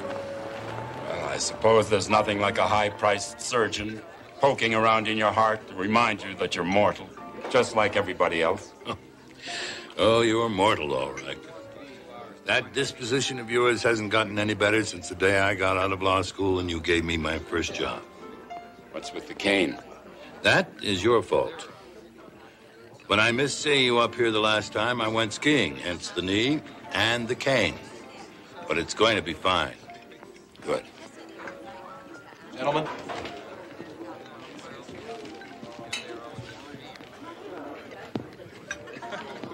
Uncle Walter. I am not your uncle, young lady. I let you try my patience out of choice, not family tie. Perry Mason, I'd like you to meet my ward, Sarah Wingate Travis. Mr. Mason, I heard you were coming to Uncle Walter's retirement party this weekend. I wouldn't have missed it for the world. I'd like you to meet my husband, Billy Travis. Yes, hello. Hello. I remember seeing you a couple of years back at Forest Hills. Did I win or did I lose? You won. Must have been an early round. Never made it past the quarterfinals there. Nice to meet you. Well, Billy's given up tennis for resort development. You look lovely tonight, Sarah. Thank you. You're a lucky man, Billy. I know. Very nice meeting you both. Thank you. Thank you. Hey, take your cane. Yes, thank you. Dinner has already been ordered. Perry, you remember Sarah Wingate? That girl has been through a lot. For a time, most of us wondered if she'd ever recover. Indeed, there were certain people who wanted to have her institutionalized. She seems fine now. Quite happy. Thanks to Billy. Though everybody else around here thinks he only married her for the Wingate money. Oh, that's the first thing you ever taught me. Don't go with the crowd. Form your opinion based on fact. I haven't changed. The duck is perfect here, so I ordered fish, and that is a fact. Ah! Oh. You want another one? Yeah. Let's have another one. Yes, sir. Okay. What are we celebrating now? How about each other?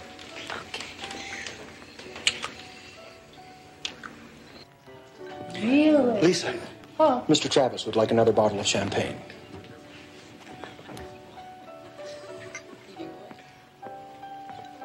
Hal, cover for me, huh? This one's special delivery.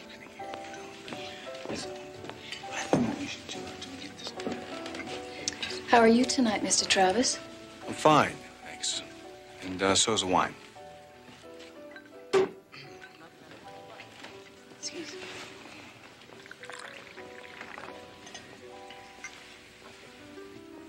Aren't you going to try it? I, uh, I already have. Look, why don't you just leave the bottle? I'll pour it myself. Sure.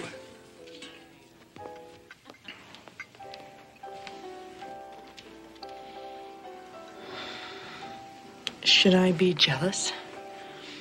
Of Lisa, that was a long, long time ago. You don't have to be jealous of anybody. Okay? Okay.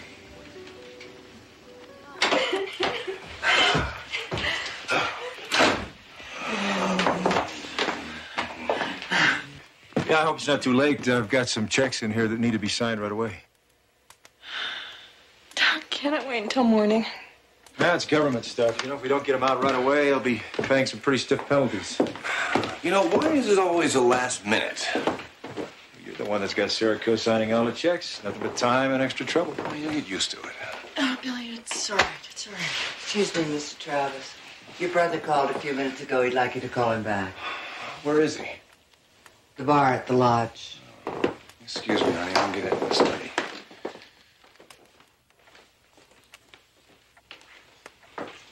How are you, Sarah? I've never been happier, Doug. I thought you said something about needing some signatures. Yeah.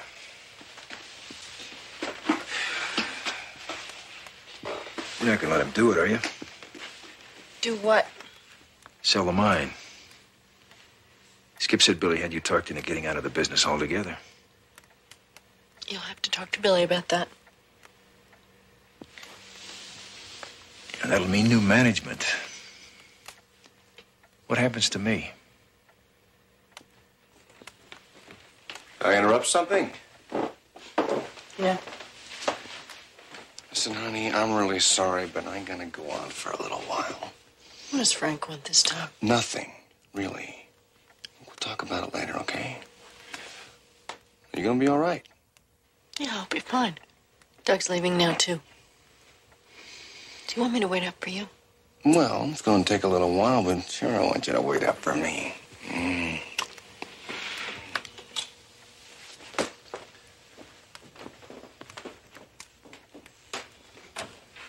I never would have gone out and left you here alone like that.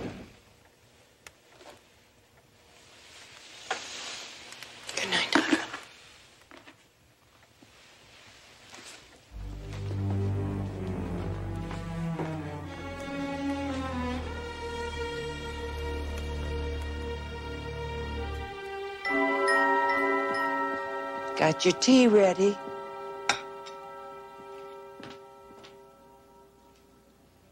That woman bartender at the lodge, Lisa Blake. What's the gossip in the village about her? Oh, I don't pay any attention to gossip. Yes, you do. What are they saying? Oh, nothing much, really. It's about her and Mr. Travis, isn't it? Now, you know it's all a lie, Sarah. Please. What are they saying about her and Billy?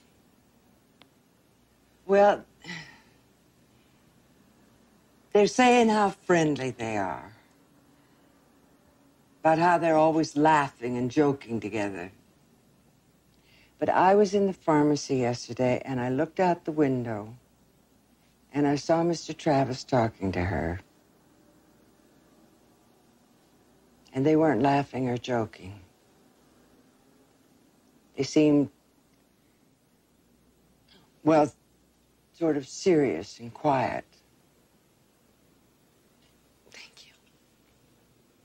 Shall I wait up for Mr. Travis? No. That's all right. You go to bed.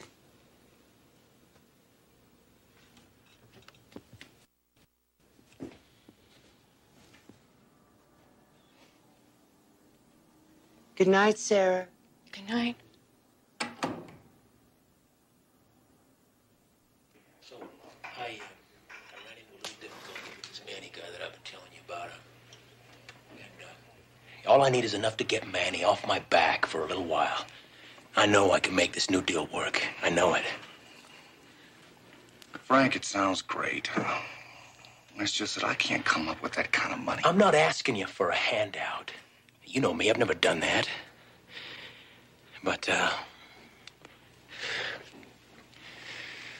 Look. You're my brother. I got no one else I can go to on this thing. I'm sorry, Frank. I just can't do it. All right, look, I can come up with a couple thousand cash, but you're into Manny and those gamblers for big bucks. Now, I just can't get it from Sarah again. You could if you wanted to. I put the best part of my life into teaching you how to handle yourself, showing you the ropes, managing your tennis career. Doesn't that count for anything now? No, I never told you this before, but you put the best part of your life in a shot glass. Or the poker games. Or the ponies. Frank, man, I'm, I'm sorry, but things are different now, you know? I'm married. Sarah's got to come first.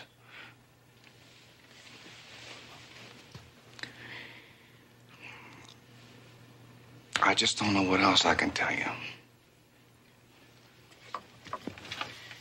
How about goodbye?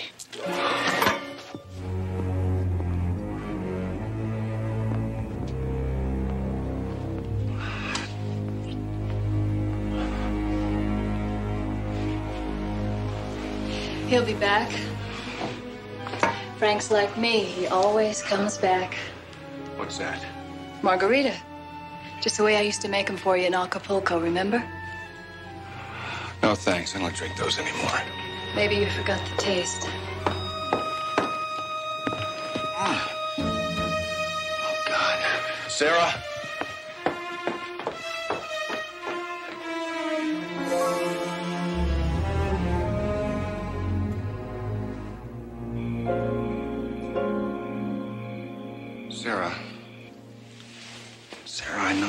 You're feeling.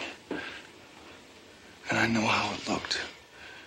But you gotta believe me, it was her play, not mine. I'm really very tired, Billy. Can we please just go to sleep?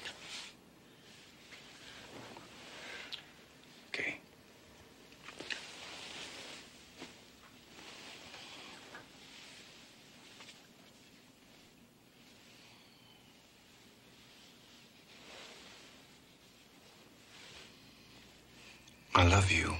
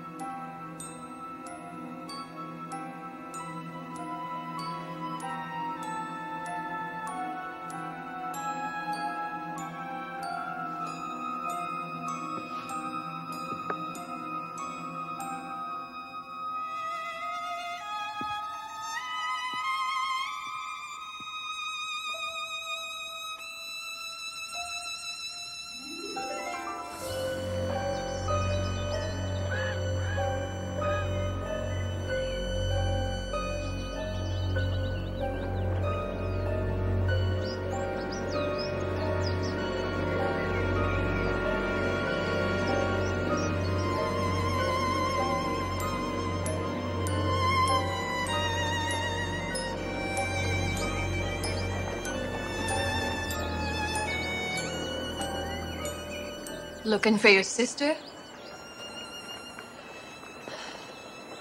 This is where it all happened, isn't it? I know all about it. Now it's your turn.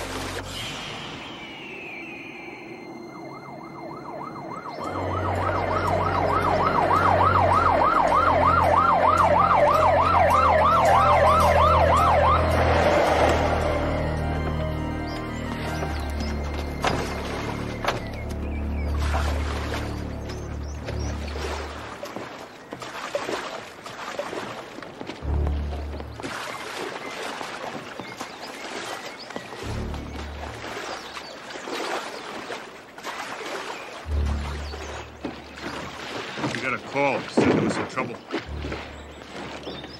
Sheriff, it's my wife.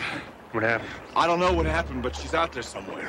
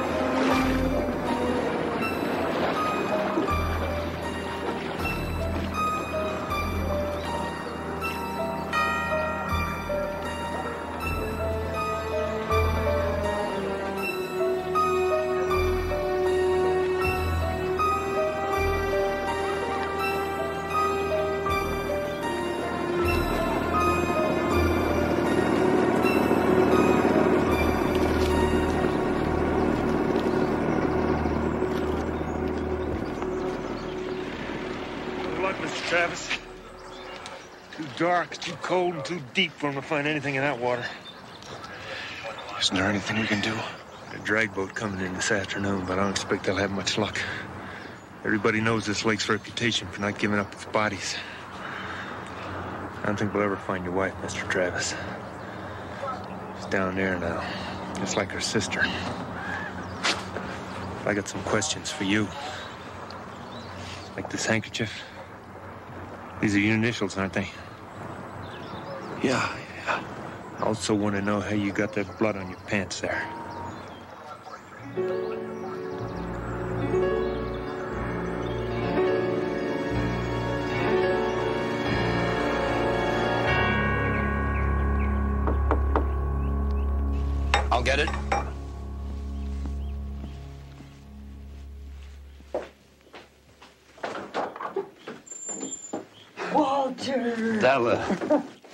To see you.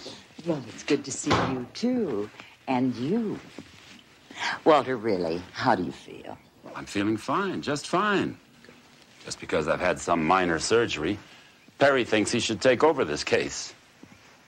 Since when does a triple bypass qualify as minor surgery? Doing them every day. They're becoming as common as, uh, as root canal. Walter, you know Perry's right. You're in no condition to take over a murder case. I figured you'd be taking his side. Seriously, Della, I'm glad you're here. If Perry's going to try to fill in for me, he'll need all the help he can get. So if you need me, I'll be in the intensive care ward. We'll be in touch with you. Paul's downstairs checking us in. Did you call Billy Travis yet? I wanted to get all the background I could from Walter. How does it look? Uh, what about Billy? Could be better. A lot better. Good Morning. Nice place. Should have brought my ski stuff. They already got snow on the higher elevations. Paul, you might not have time to go skiing for a while. Why's that? This ought to be simple. First thing you have to do is call an old schoolmate friend of yours who lives near here. She says if you leave town without seeing her, she'll never forgive you. Then you can start checking these names. Skip Wingate, Douglas Vickers, Mrs. Constance Cheney, Frank Travis. Are, are they suspects? According to Walter, all of them had motive. All of them knew that Sarah was in the habit of going to the lake when she was troubled. All right, let's go talk to Billy. Perry, Walter is convinced that Billy couldn't have done it, isn't he? He is, as am I. For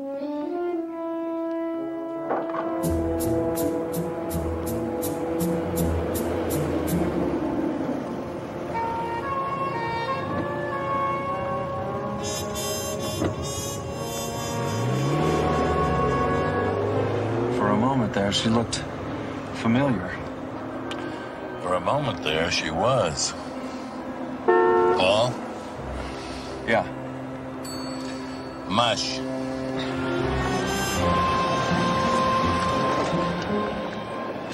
Did you recognize the caller's voice? No, I was still half asleep. I can't even tell you if it was a man or a woman. All I know is that they whispered words. You'll find Sarah in the lake. So you went to the lake? Yeah. Yeah, I didn't know what to think. When I got there, I found her car was empty and her her shoe her scarf floating in the water. I didn't know. I, I didn't know. I thought maybe she. Suicide? Yeah.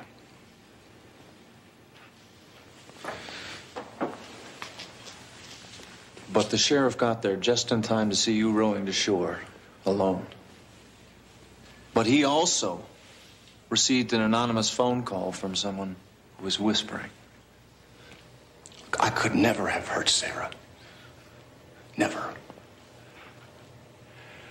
But somebody sure went out of their way to make it look like I did. Somebody, Billy. Now we're going to find that somebody.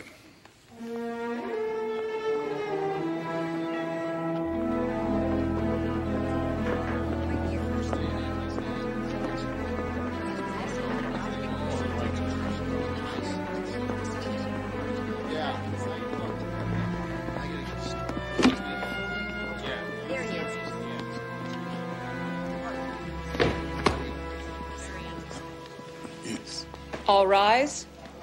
Division Two of the Superior Court of Buckner County is now in session. The Honorable Howard J. McGraw presiding. Be seated and come to order.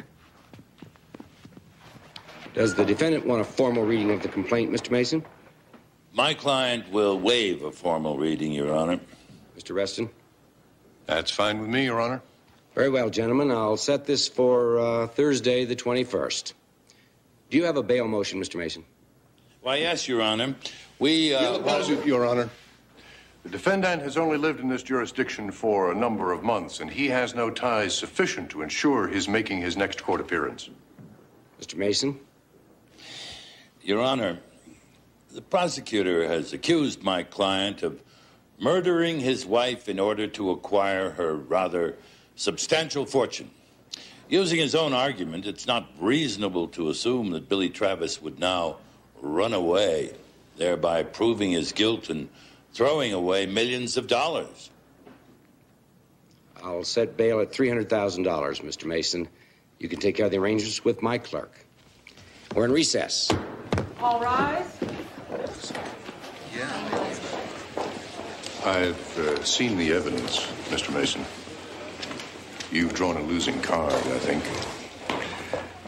Game's not over yet, Counsel. Not yet.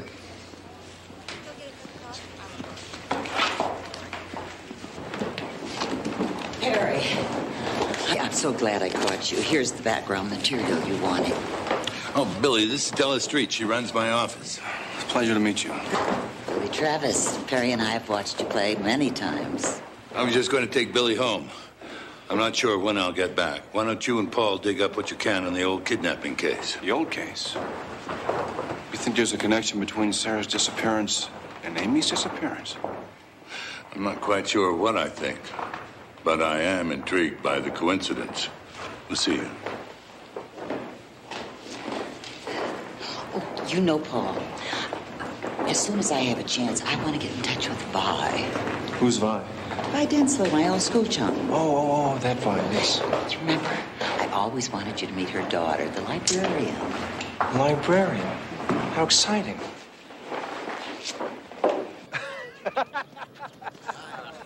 Stupid. Hey, look, this is empty. Better get us some beers. Don't go away. Oh. Look who's back. How was jail? How can you be partying at a time like this? Man, how can you show your face after what you did? You must be Mr. Wingate. My name's Mason. Oh, yeah. I heard you took the case from old man Hazlitt. I can't understand why. I'd be happy to explain it, if you have the time. I'm sorry. As you can see, I'm uh, wrapped up.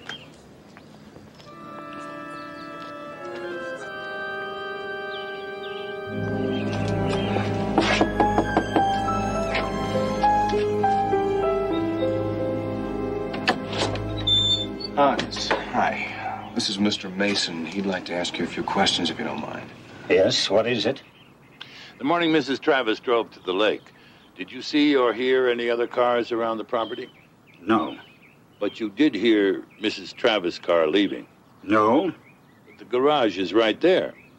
Surely the sound of a car Mrs. started- Travis came back from the village that night and left the car out in front. I'm sorry, Mr. Travis. I was already in bed. I didn't go out to put it away. Hans, Yes? your phone is ringing.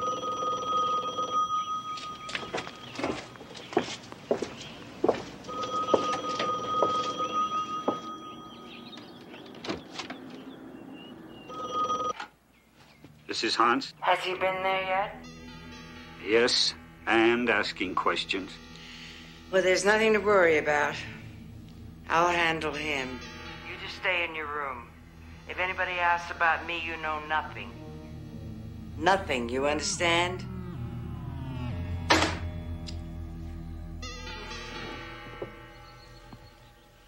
Sorry to intrude, Mrs. Cheney. I'm. You're Perry Mason, of course. So, what can I do for you? I understand you manage all the affairs pertaining to the estate. You pay the help, order the groceries. Yes, for the last ten years, ever since Mr. Wingate died. And Billy quoted Sarah as saying you've been in charge of everything since she and Amy were little girls. Well, little girls tend to exaggerate. Sarah said that just two weeks ago. What's your point, Mr. Mason? Well, Sarah recently took over those duties, didn't she? Mr. Mason, I've been with this family for 25 years. I raised those two little girls. They're the children I never had. Suddenly, I was no longer needed. Sarah didn't need me anymore. That was after she married Mr. Travis. Yes. Everything changed after he moved in with us. Those the financial records of the household accounts? Yes, just general maintenance, repairs, utilities, that sort of thing. I've been trying my best to make some sense out of it since Sarah. If you need help, you can call on me, Mrs. Cheney. There's going to be a general audit, you understand. Yes, of course. And now you'll have to excuse me, Mr. Mason. I have to see about dinner.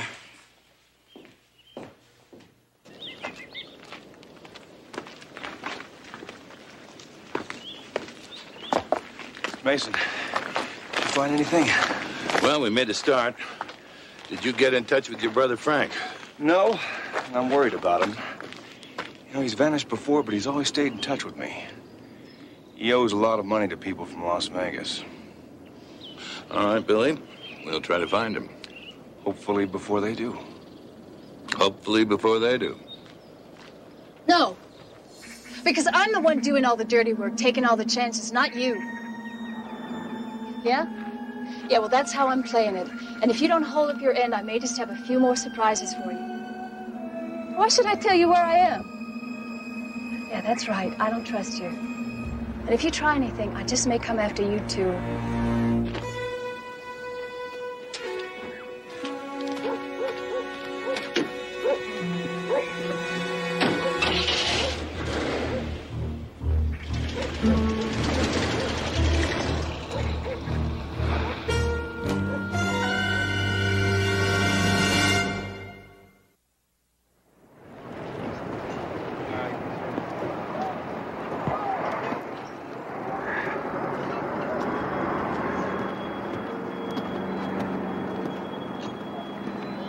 To keep you waiting so long, but it couldn't be avoided.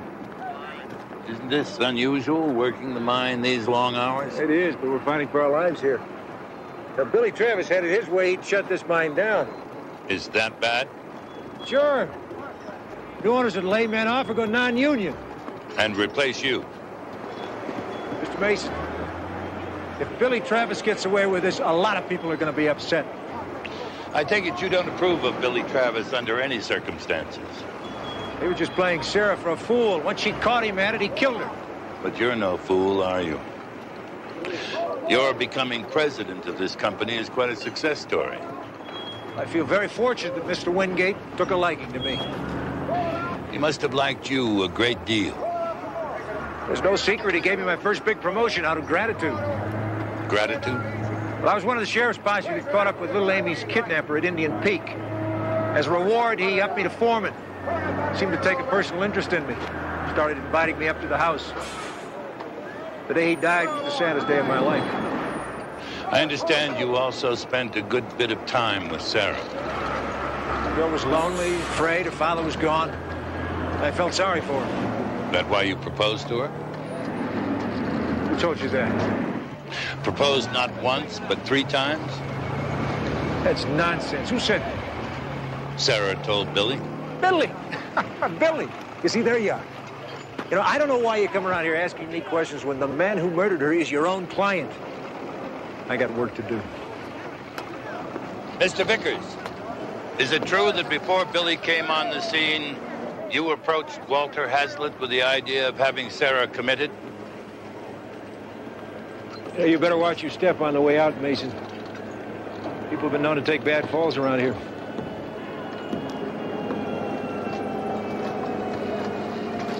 I wouldn't worry about Frank Travis, Drake.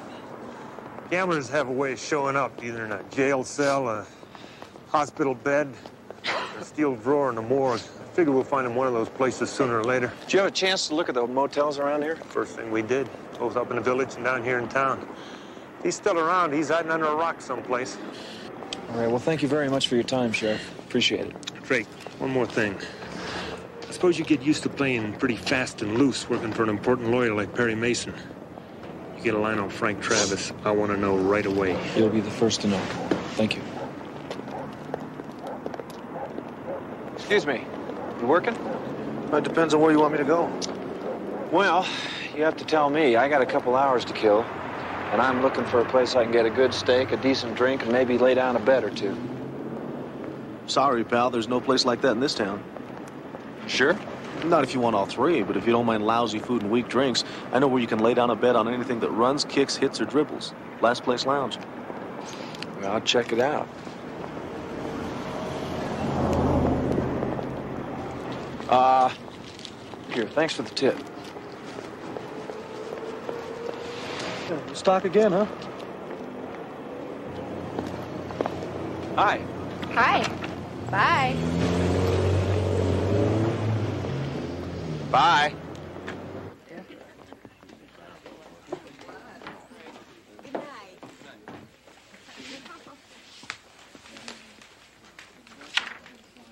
What's this? Copies of newspaper clippings on the kidnapping case.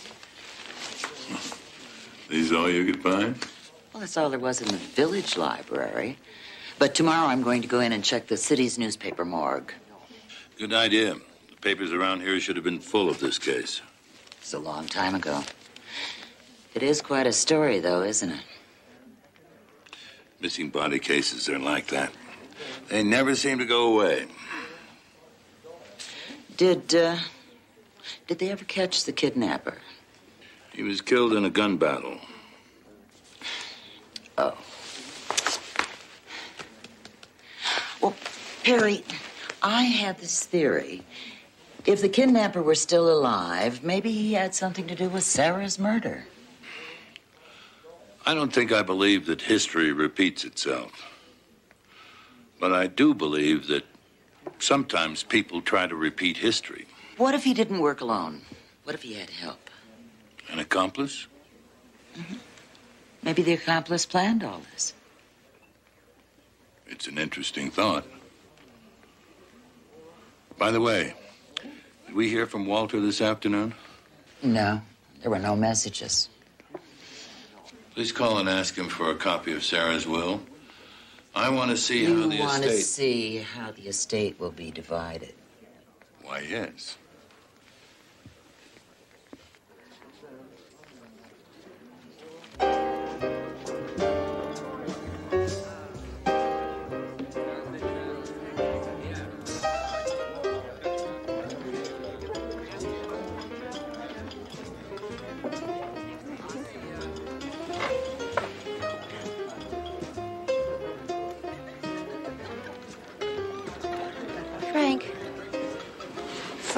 What? that guy. He's watching you. Who? Him. Is that Manny the guy who's after you? No. Haven't you got something you gotta go do? Frank, I just got here. Go fix your face, okay? Okay. It's a good idea, Frank.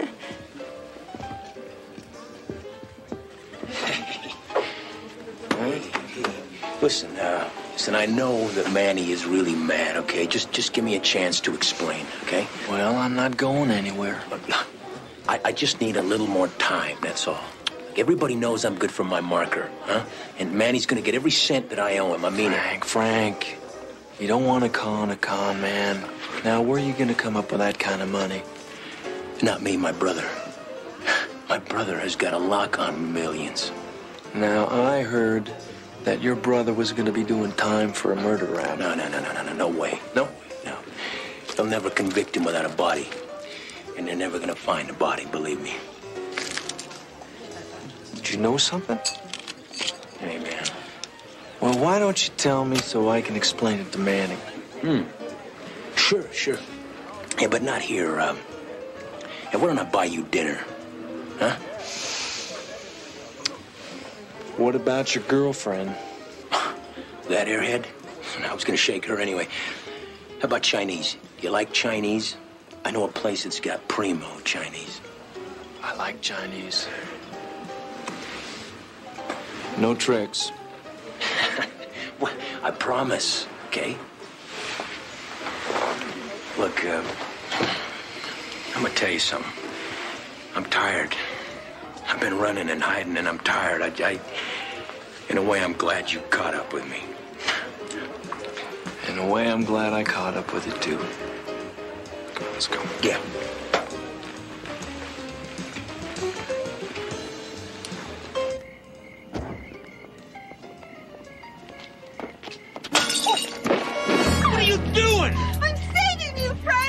From what? I had this guy eating out of my hand. Come on.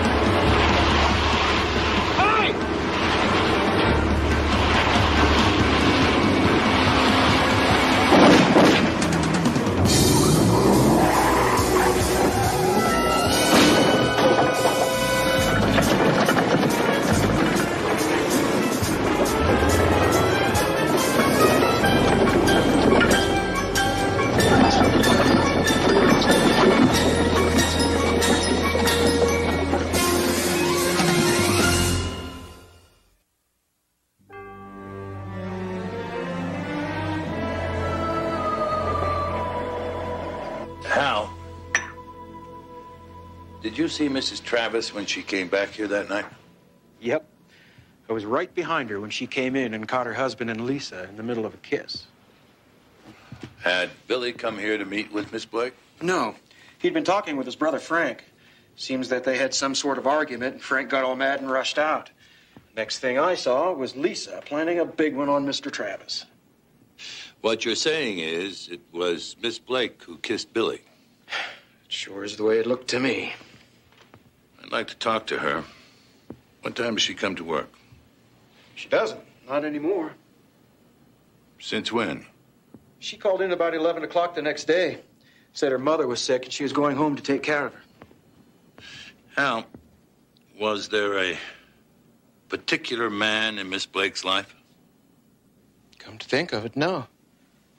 Lisa liked to work all the fellas that came in here. A lot of them tried to date her, but I never saw her go out with any of them.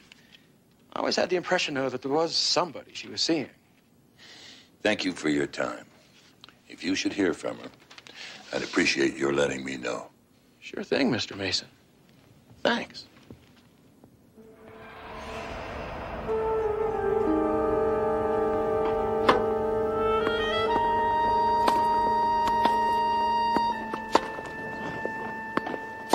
You miss it? You know, sometimes I play old matches over and over again in my head when I'm sleeping. Guess it'll always be a part of me. Have you given up playing? Had to. Two operations on the shoulder. It was worse than when I first wrecked it. I'm sorry to hear that. Della said you were looking for me. Mr. Mason, I got a call from Frank this morning. Well, did he say where he was? No, he wouldn't tell me. All I could get from him was that some leg breaker from Las Vegas almost caught up with him last night. This guy must have scared Frank pretty bad. He said he was going to get lost for a little while. Did Frank ever spend any time with Lisa Blake? Frank and Lisa? Why? What are you thinking? Well, she seems to have left town just about the time Frank dropped out of sight. How long has Frank known Lisa? We both met Lisa in Acapulco when I was there for a tournament. It was uh, five or six years ago. She'd show up around the circuit every now and then after that. But I always figured it was me she came to see, not Frank. All right. What about you and Lisa? Wait a minute, Mr. Mason. I gave up Lisa and that whole world when I met Sarah. As far as I was concerned, Sarah and I. As far as I was concerned, Sarah and I were going to be married forever. I gotta get going. Billy.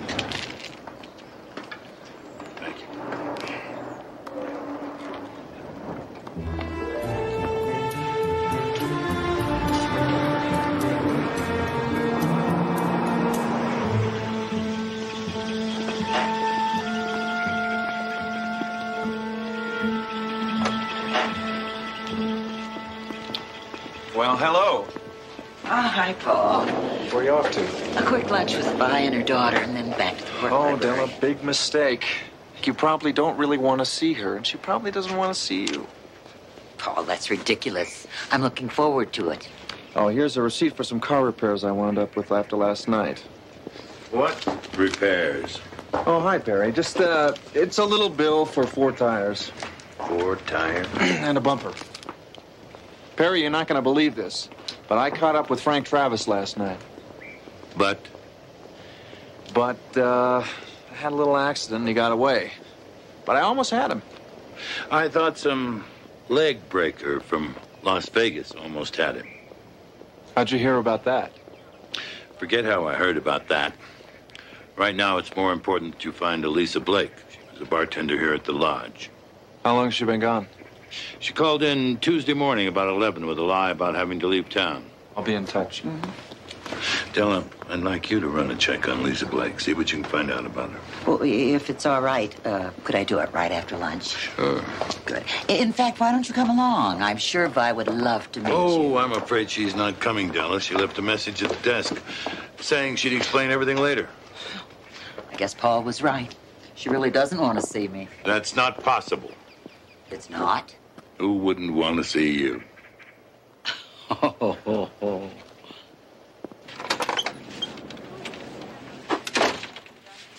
there. Can I help you? I certainly hope so, Mrs. Niff. Oh, call me Polly. Polly. I bet you're with that Mr. Mason down at the lodge, aren't you? How do you know that? You must be Paul Drake, right? you got it. You've heard of small town gossip? Well, we're no different here than any place else. All right, well, I feel good about coming in then. Why don't you stop soft soaping me, Paul, and tell me what it is you need. All right. I am trying to trace a call that came into the bar over at the lodge about 10 days ago.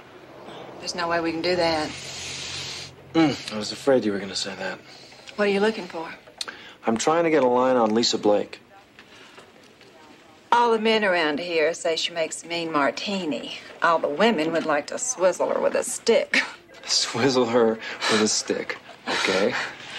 Wait a minute. When did you say that call came in? A week ago Tuesday, What time on Tuesday? 11 a.m.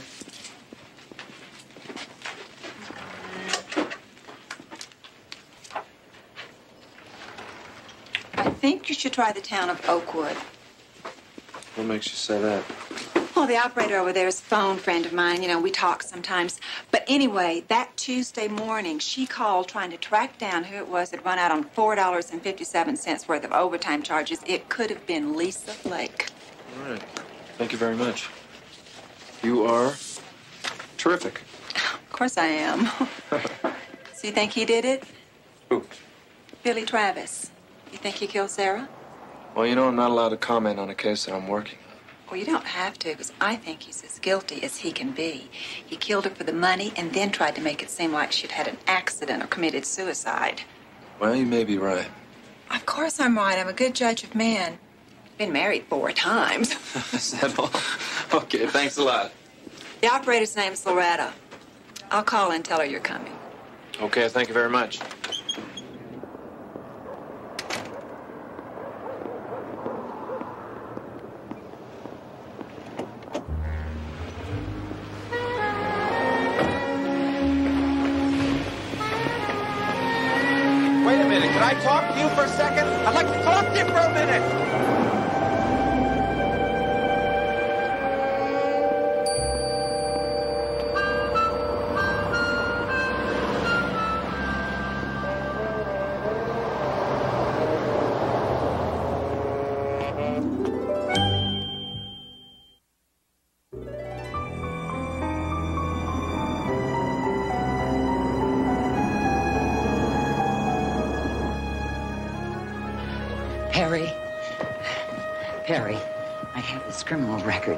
Lisa Blake, take a look at the second page.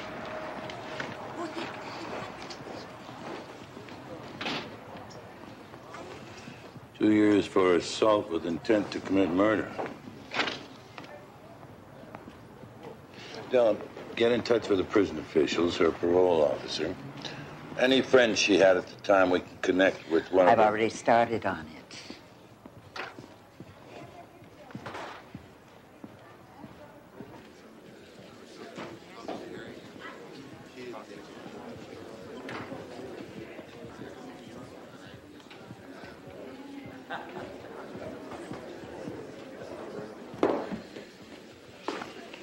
thought Frank would show up for this.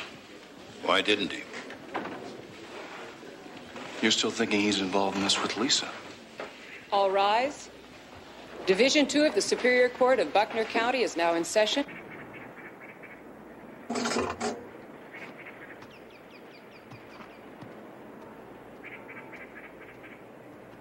Hey there. You own this place? That's right. You want to buy it? Make you a good price. Oh, well, I have to think about that. It's lovely, though. Pretty view. Bet you see about everything that goes on up here, don't you? Well, what little there is. Say, you wouldn't happen to be from the highway department uh, about the new interstate, would you? No, actually, I'm a, a representative for the phone company. See this booth over here? We're losing a lot of money on it, and I'm trying to find out who's responsible. Lots of people use that phone. Well, I'm looking for someone in particular. Made a phone call about a week ago, Tuesday, about 11 a.m. Hard to say. Well, you wouldn't be able to miss this person. Pretty girl, about five foot six. Wild red hair, drives a beat-up Land Cruiser, I believe. Yeah, I think I know the one you mean. Not exactly the type you find hanging around a oil spot in a road like this. She's still around here? Well, at least she was a couple hours ago. Came in and bought a few things. Huh? She alone? Yes. But I've been noticing she's buying two of most things, you know, TV dinners. Wouldn't happen to know where I could find her, would you? Well, I'd try one of those places down the highway if I was you. Uh, there's three or four of them. All right. I'll do that. Thank you very much Ever for your in the market for a grocery store, let me know. Could be a lot of action around here once the new interstate comes through. I'll keep that in mind. Now, Sheriff, I show you People's Exhibit number five, man's handkerchief. Have you seen it before? Yes, sir. One of my deputies found it hidden under a pile of leaves just back of where the defendant was parked at the lake. Were you able to establish ownership of this handkerchief? I was. There's a monogram on it with the defendant's initials. We traced it to the store in the village where he bought it. Your Honor, for the record, this handkerchief is covered with dried bloodstains. The record will so reflect, Mr. Reston. Thank you. Sheriff, were you able to determine the source of the bloodstains? Yes, sir. Laboratory analysis showed it to be human blood type B negative. The same blood type as the victim, Sarah Travis?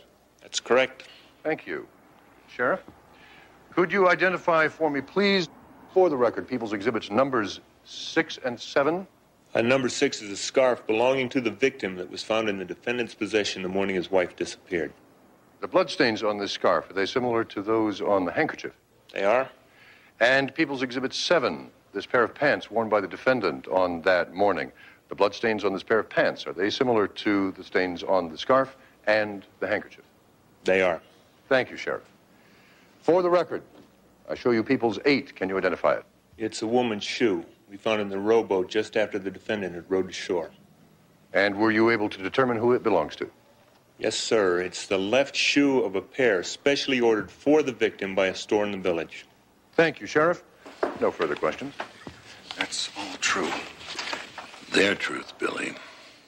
But we also have your truth. Sheriff Prine, you watched Mr. Travis as he rode back to shore, did you not? Yes, sir. Could you describe for us his style or uh, manner of rowing? Well, I'd kind of call it uh, kind of crab like. Crab like? Meaning what? Well, as I recollect, he was rowing mostly with one arm, the, the left one, I believe, uh, while with his right, he was sort of stabbing at the water. Far from being rhythmic or smooth, his technique was unusual, to say the least. Yes, it was. Thank you, Sheriff Prine. No further questions.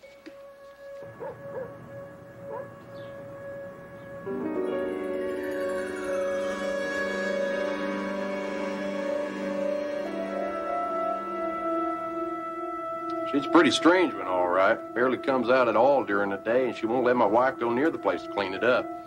She's number 10 there. I'm about ready to throw her out. She's way behind her rent. Is she alone? She's got some fella in there with her. Wouldn't happen to be Frank Travis, would it? I don't know.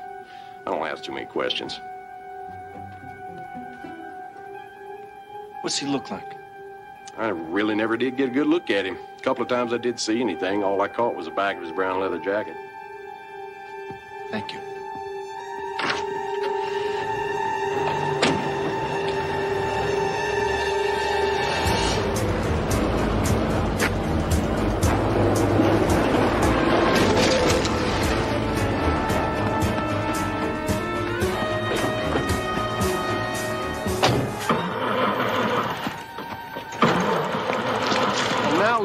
Look done. You run her off, and I'm out a whole week's rent.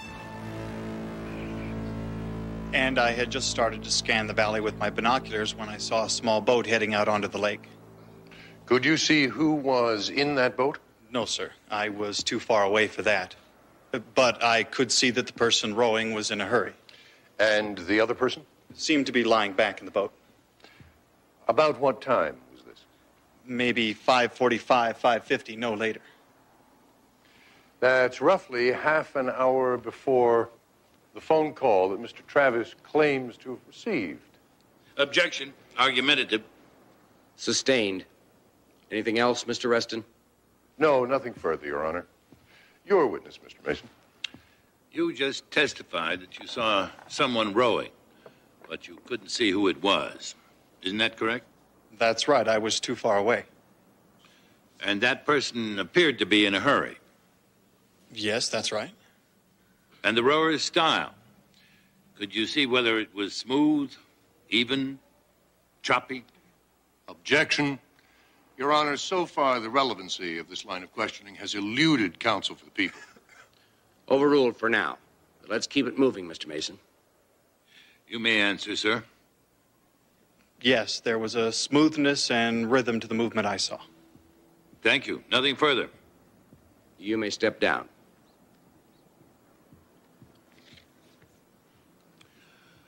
With the court's indulgence, a defense witness is in the hallway. And because of his surgical schedule, he's only able to testify today. I ask that he be permitted to testify out of order, Your Honor. Mr. Reston? People are always interested in variety, Your Honor. No objection. Call your witness, Mr. Mason. What is your present position, Dr. Everett? I am chief of orthopedic surgery at Valley Central Hospital. The defendant, Mr. Travis, is a patient of yours, is he not? He is. Doctor, please tell us when you first saw Mr. Travis and why you saw him. Approximately three years ago, he came to me for treatment of a severely damaged rotator cuff. That injury nearly ended his tennis career, did it not? Absolutely. His shoulder is one of the worst I've ever seen. After several therapies, two surgeries, we could see no improvement whatsoever. And his condition for the past, say, six months? A substantial nerve damage, deterioration. Uh, his range of motion in his right arm is less than 30%. In your experience as an orthopedist, and with your knowledge of the condition of Mr. Travis' right shoulder, do you have an opinion on his ability to have smoothly and forcefully rowed a small boat during the past six months, or at the time of this alleged murder? Yes, I do. What is that opinion? He could not. Absolutely not? Absolutely not. Absolutely not. Thank you, Doctor. That's all.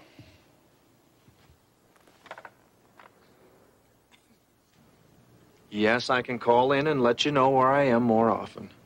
Right now, I'm down in Oakwood. Perry, you're not going to believe this, but I caught up with Lisa Blake. And the car? I don't think you'd call it damage. I just lost the distributor cap, but I'm having a new one sent over. What else? Lisa's been checked into a motel here since the day of Sarah's death. And there seems to be someone with her. A guy in a brown leather jacket. And that is who? I don't know, I'm guessing it's Frank Travis, but I'm not sure now. Why not?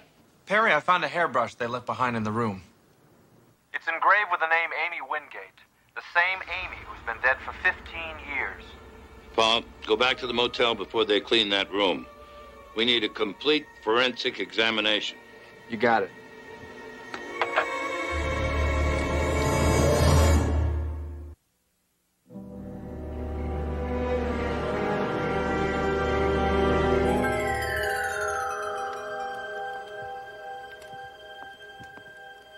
Mrs. Cheney said you want to see me, Mr. Mason? What's it about? Lisa Blake? You and Lisa Blake. Me? you got the wrong guy.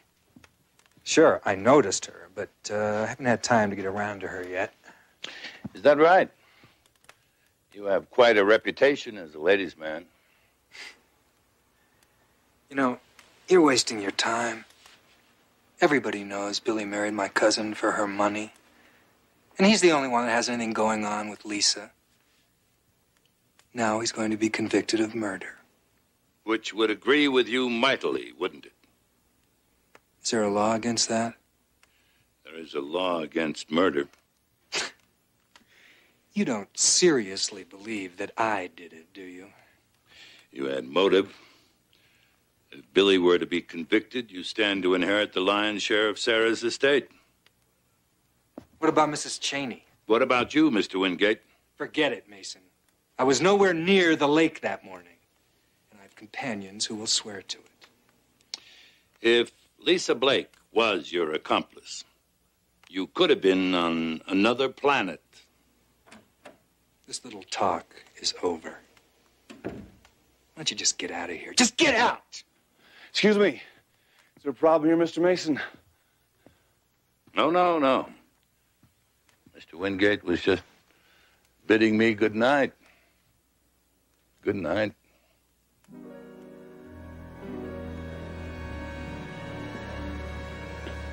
On that Tuesday, the morning of the 12th, the morning that Sarah Travis disappeared, were you at the Wingate house?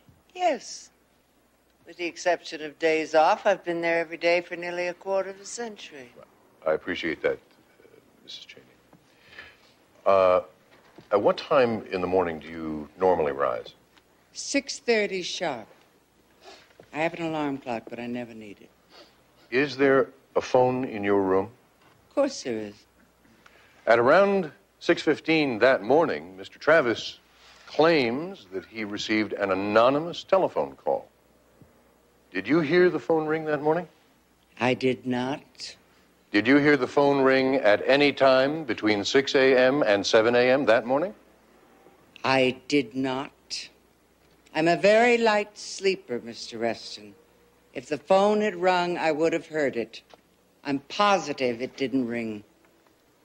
Thank you, Mrs. Cheney. No further questions. Mrs. Cheney, is the telephone in your bedroom an extension of the estate's main phone line? It is.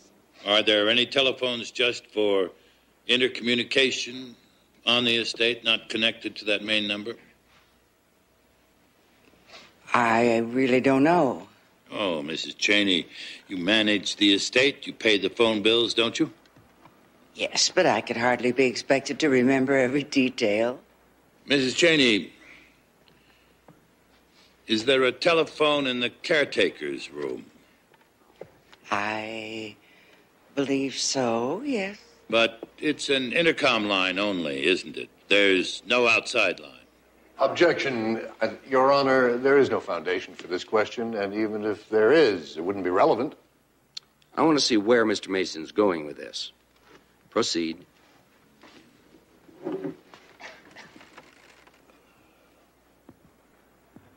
You weren't in your own room that morning, were you, Miss Cheney? Well, of course I was. Isn't it true that you have an established pattern in your life? You leave your room at night after everyone's asleep? Leave my. Well, certainly not. Isn't it true that having left your room, you spend the remainder of the night in the caretaker's room? Order. Order. No. Isn't it true that you could not have heard the phone ring?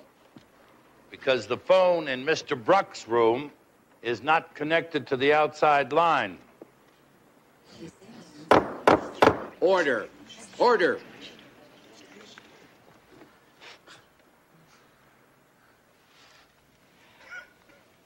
All right.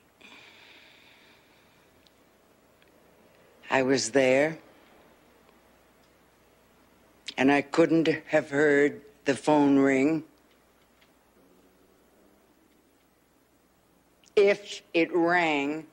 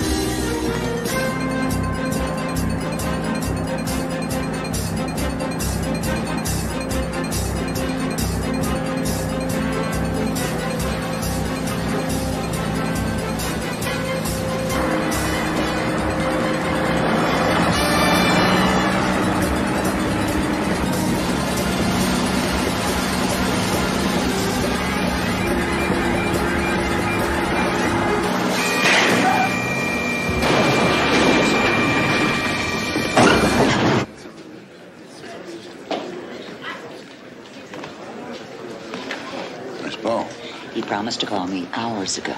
where was he when you last heard from him? Well, he was headed north. All rise.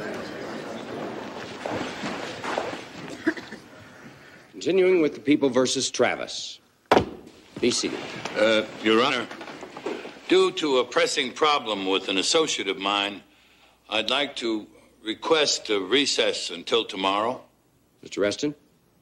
Uh, the prosecution has no objection, Your Honor.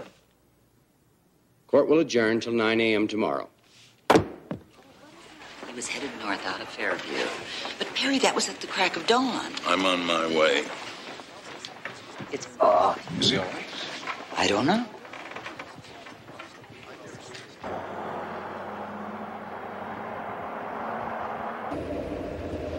Go a little slower, will you please? The man at the gas station was positive Paul took this road.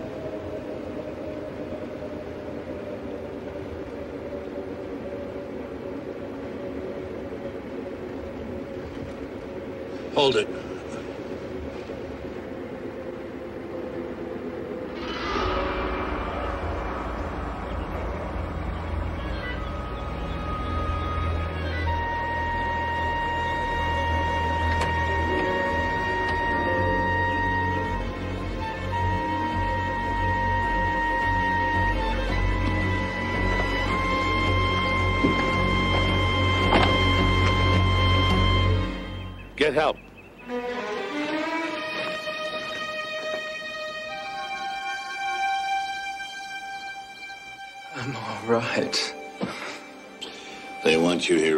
Here just as a precaution. Perry, I was that close. Oh. So.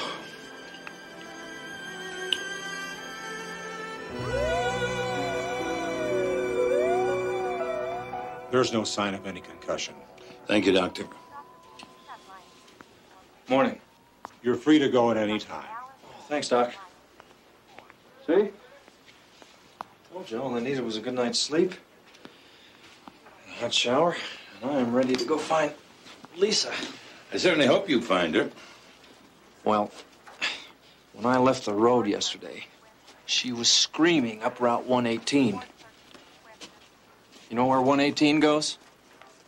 It dead ends up in the foothills. I have a very strong suspicion that Lisa is hiding out up there.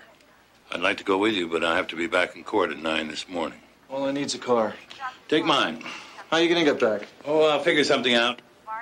Better get back faster if you're gonna make it by nine. I got the forensic report on the items you found in the motel room. Let me tell you something. You better get back fast. Can't be too many places they'd be staying. Just a couple of line shacks.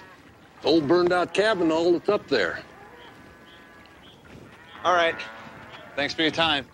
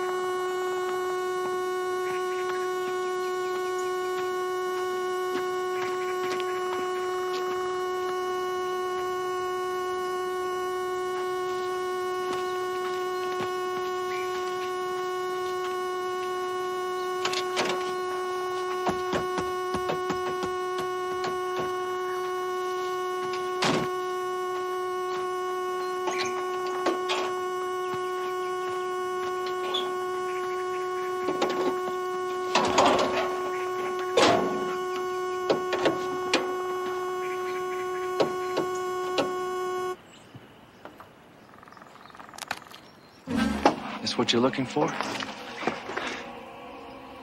What do you want? I brought you a gift. Subpoena. I'm even gonna give you a lift to court.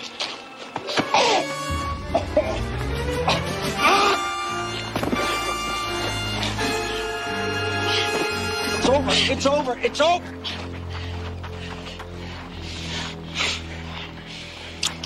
Come on. Let's go talk to your friend.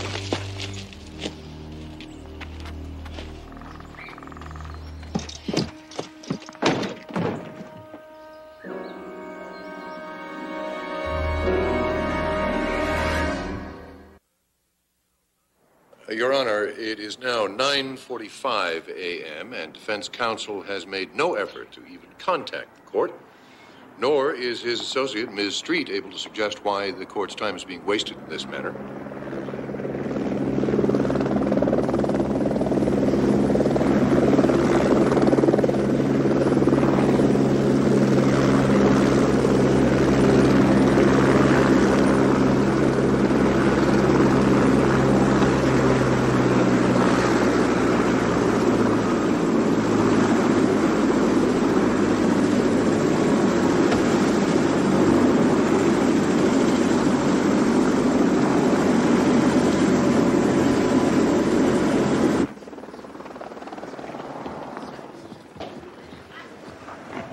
I'd nearly given up on you. I did that years ago.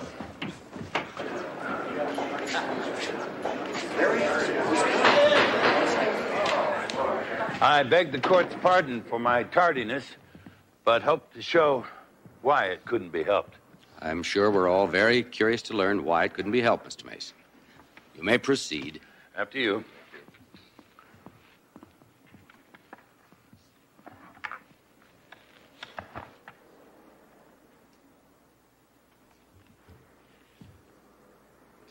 I call Skip Wingate.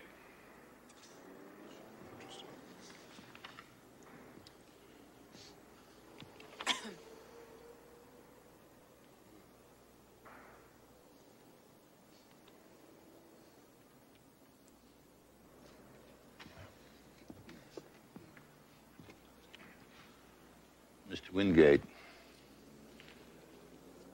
how old were you when your cousin Amy disappeared in the lake? I was about 19. You informed the authorities that the kidnapper, James Maisley, had been lurking around the estate earlier, isn't that right? Yes, I guess so. In one of the first newspaper stories, you're quoted as saying there were two men, that Maisley had an accomplice. Come on, it was a long time ago. Would you like to look at that to refresh your memory? No. No, I. I was just confused. In all the excitement, I thought there were two guys. I was wrong. You're positive of that now, even retrospectively. Yeah, I'm positive. Your Honor, I object. I fail to see any hint of relevance in the past crime to the one before us now. Your Honor,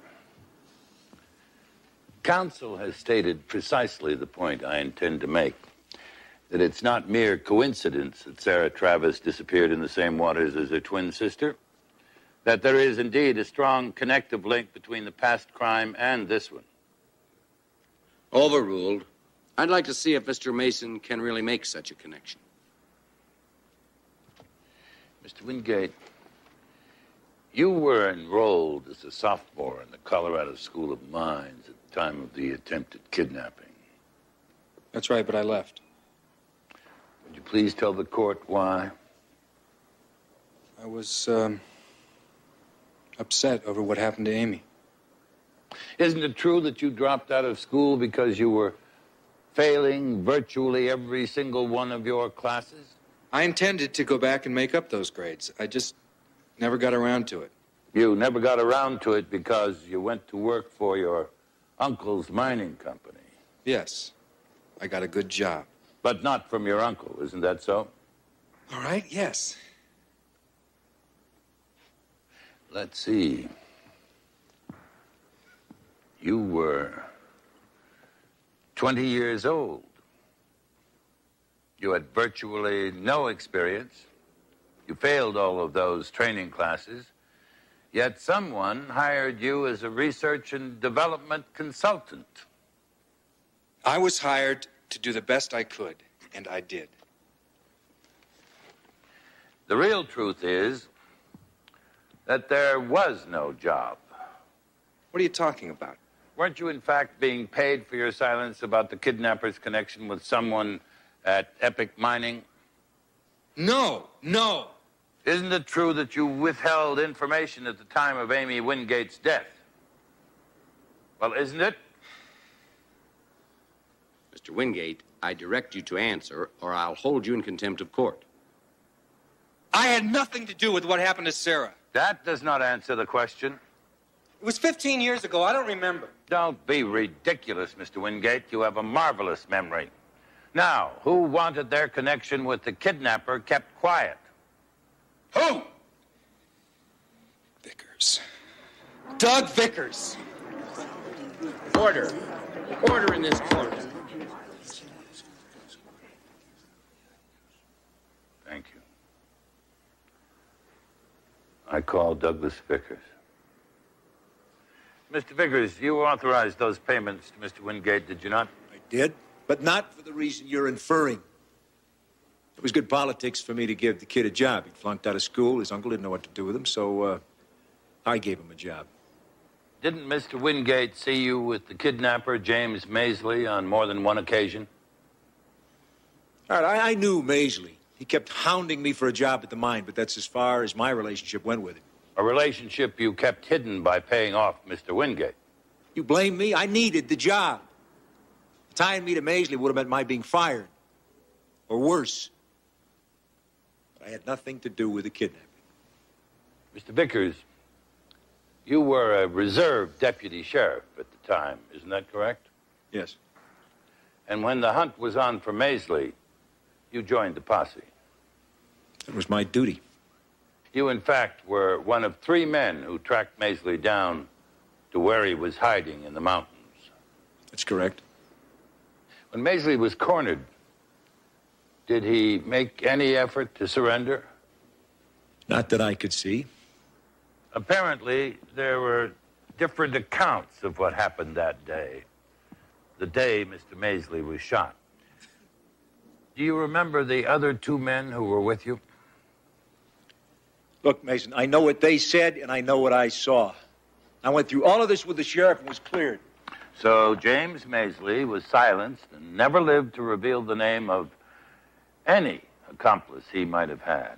Your Honor, the court knows I have been patient, but I see no reason that this clearly irrelevant line of questioning should continue. I agree. The court is sustaining the objection. Let's move on, Mr. Mason. Yes, Your Honor. Uh, may I have a moment? Very well.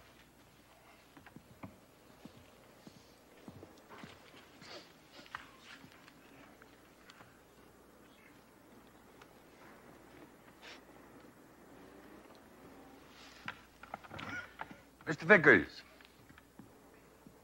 as president of the Epic Mining Company, to what would you attribute the company's declining fortunes? A number of uh, economic factors. We're no different from any other mine in the state. Business is just plain bad. Bad? Does the word bad accurately describe large financial discrepancies and misappropriation of company funds? I don't know what you're talking about. The accounting firm of Harriman and Greenleaf would know, wouldn't they? They were the firm hired by Sarah Travis to prepare a financial statement for the company's possible sale. I haven't seen the statement. I'm sure you will in due time. As would the mine's owner, Sarah Travis, if she were here today.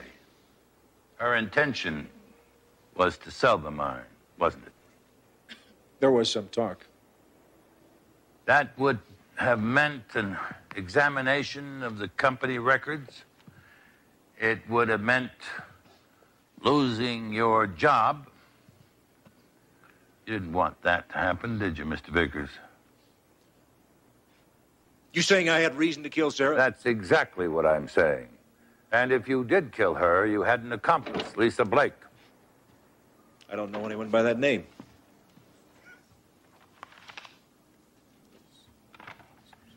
Isn't it true Billy Travis arranged a job interview at your office last October for Lisa Blake? Mr. Mason, I interview a lot of people. Maybe. But this one was a little different. Mr. Vickers, didn't you arrange for her to get a job at the lodge? No. Isn't it true that you and Lisa plotted to murder Sarah Travis and frame her husband because they intended to close down the mine? That's not true. Isn't it true that on the night before her disappearance, Sarah and Billy Travis had a quarrel brought on by the actions of Lisa Blake?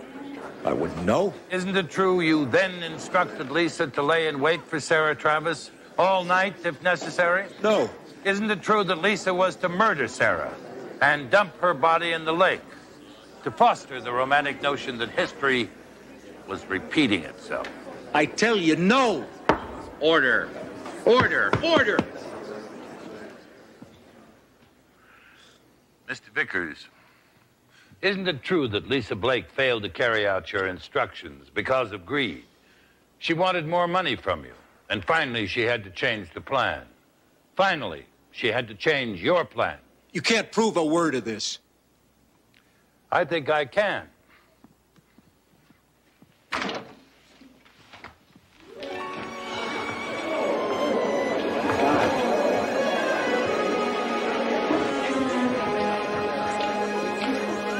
Sarah.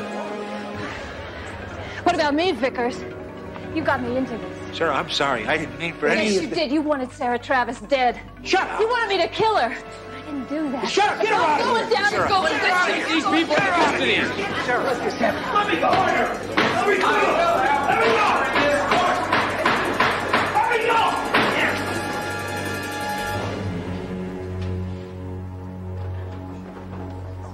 I believe the Honorable District Attorney should end this by moving for a dismissal of all the charges against Mr. Travis.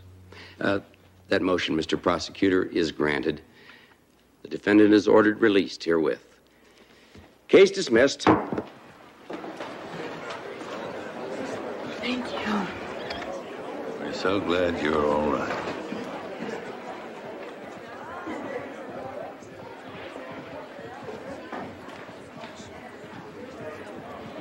Look who's here. Bye. Oh, it's been so long. Paul, I'd like for you to meet my good friend, Vi Denslow. Hello. How do you do? And this is her daughter, Melissa. Can we have dinner tonight? I'd love it. I'll call you as soon as I get back from taking Melissa to the airport. Airport? Back to work in Boston. Boston? I'll call. I'll call too. Well, I guess that just leaves us. What would be nice? Oh, oh, I almost forgot. Ski Lodge will be open in a couple months. You're invited. Ah, ski. oh, no. Perry's given up skiing.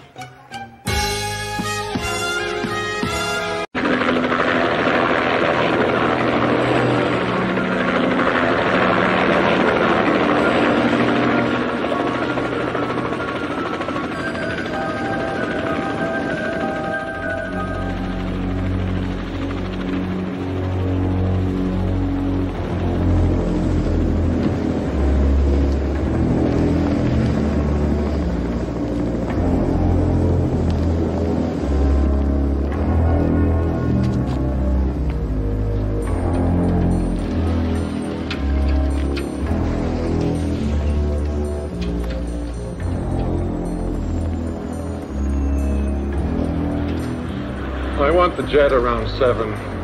Where are you going? New York. Is there anything I can help you with? I don't think so.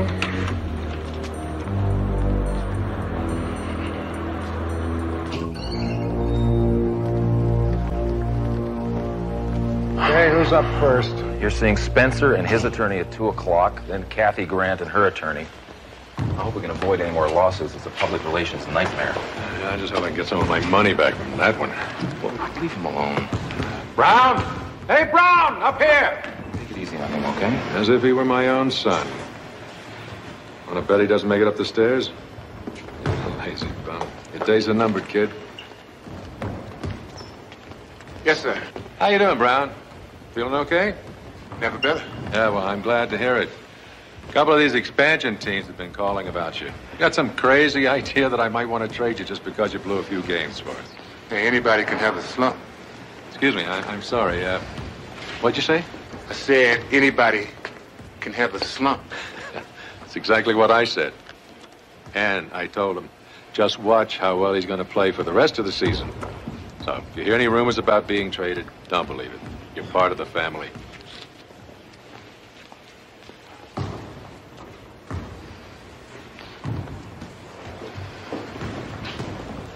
Very so. Yeah, like you, I suppose, huh? Well, let me tell you something, kiddo. It's about time you learned how to handle people, okay? That subtle enough for you?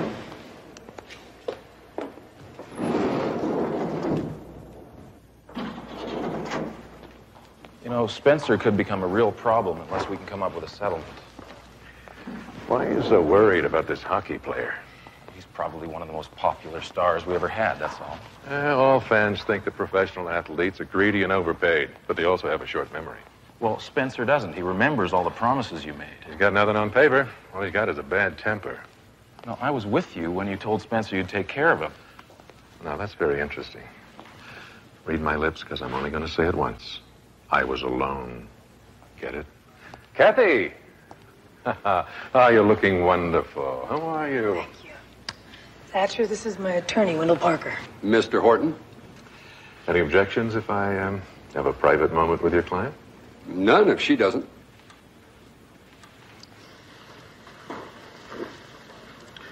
What the hell do you think you're doing? Just asking for what's coming to me.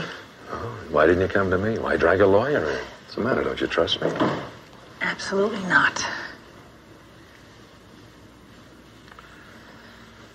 I see. Well, my dear, if my memory serves me correctly, I think it was you who deceived me. That's low, Thatcher. Yes, but is it low enough?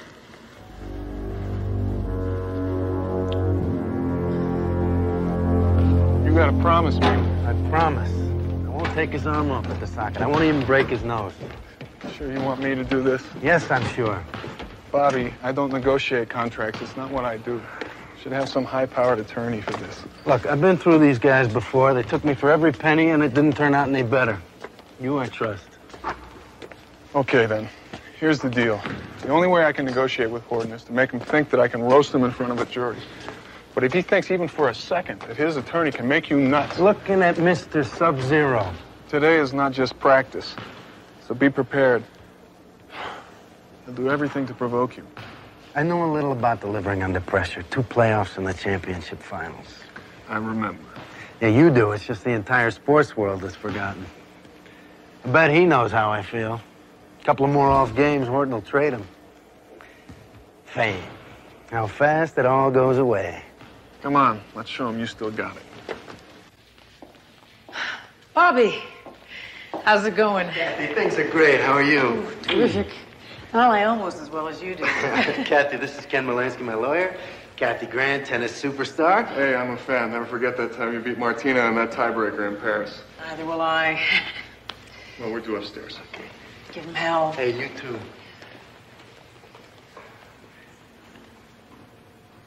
Now, Mr. Horton, let me go over a few things about depositions so we won't have any misunderstandings. Young man, I have been deposed more times than you're likely to do the job in your entire career. Uh, I know I'm under oath, so why don't you just go at me best you can?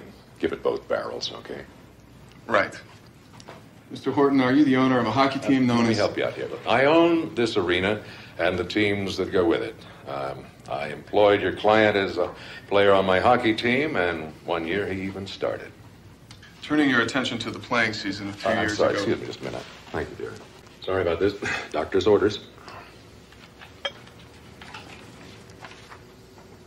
Oh. Okay, now, um, where were we? Was that the year that my client not only started but was team captain? Two seasons ago, uh, yes, he was. And did he injure his right knee in the last game of the regular season before the playoffs? Yes, he did. Terrible thing. And did the doctor tell you he ran the risk of permanent injury if he played again before having surgery on the knee? Well, now, I believe there were several medical opinions. That could have been one of them. Lord knows I paid enough doctor bills for your boy there. Sir, just answer my questions. Sorry. Didn't you come to my client and ask him to lead the team in the playoffs? I did not.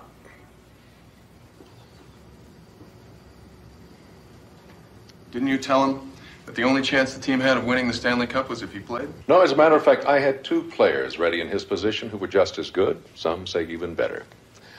Now, don't give me that look, Bobby. You know as well as I do. You started the year hot as a pistol, but the last third you kind of fell apart. Who are you going to replace me with, huh? Rogers? At my worst, I'll skate him off the ice. Isn't it a fact that you promised my client that if he played and was injured, you'd take care of him? It is not. Isn't it a fact that you promised him a job in management that would be equal to the balance of his contract? No way. Come on, counselor. My entire front office doesn't make as much as I was paying him. Isn't it a fact that you Son, even... the fact is, you're a boy here, and I mean no disrespect to somebody who has been a good player. The truth is, your boy here has some big expenses. I mean, he got a little greedy. Women, fast cars, some say cocaine. Hey, that is a lie. Let's go off the record, please. I did not personally believe it, but like I said, he had a lot of expenses. Sure, he wanted to play. Hell, he needed money. Hey, what I wanted was a championship. Stop it, Bobby. Took a chance, and he lost. Too bad. I'm sorry, but that's the way it goes. Got in the fast lane, you couldn't handle it. You got greedy, kid. That's pathetic, but you're washed Kill up. you, you son of Bobby! Get off! Fine! That's enough for today. We'll reschedule this deposition at a Wrong, time when... counselor. This deposition is finished now. So is your client, so why don't you just leave? hmm?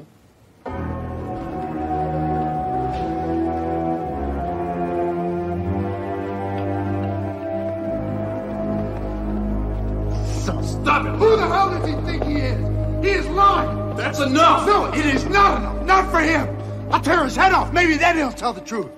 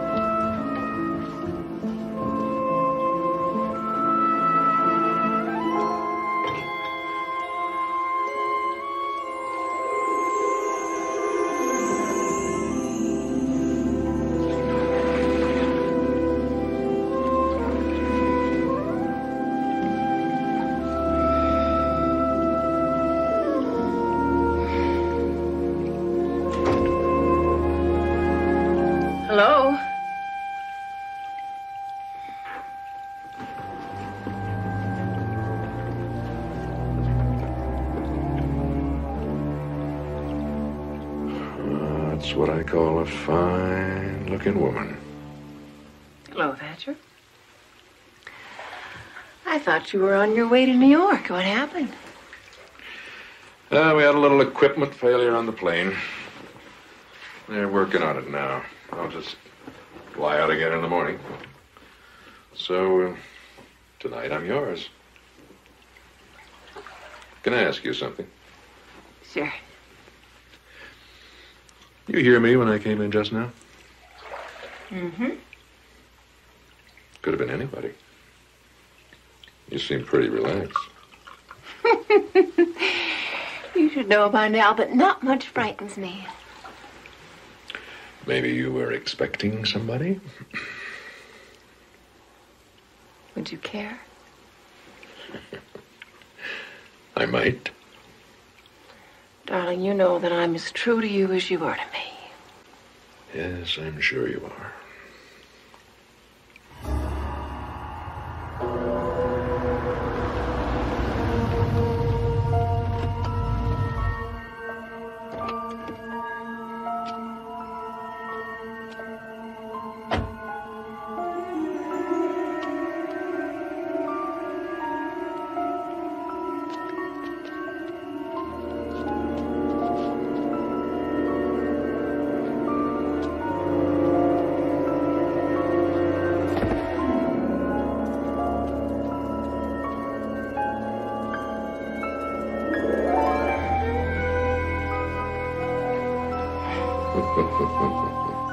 What's so funny? I don't know. I was just thinking how easy I could break your neck.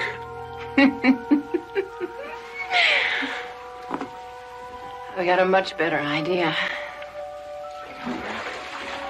Why don't you join me?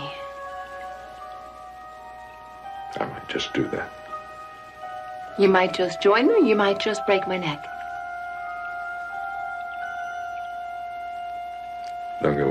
Back.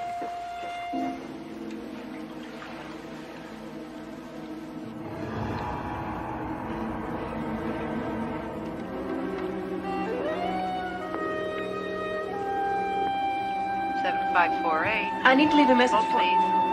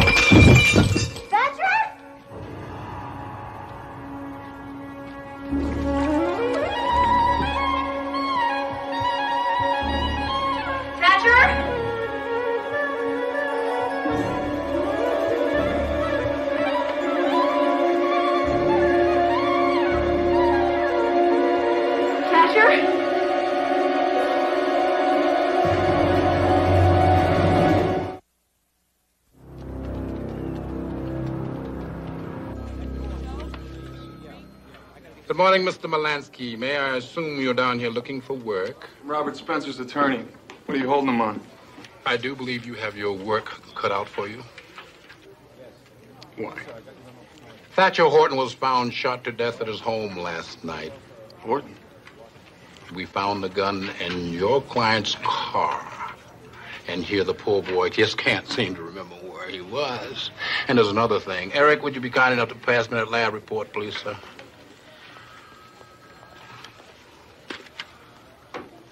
The lab confirms that gun was the same gun that was used to kill Thatcher Horton. We are now charging your client with the crime of murder.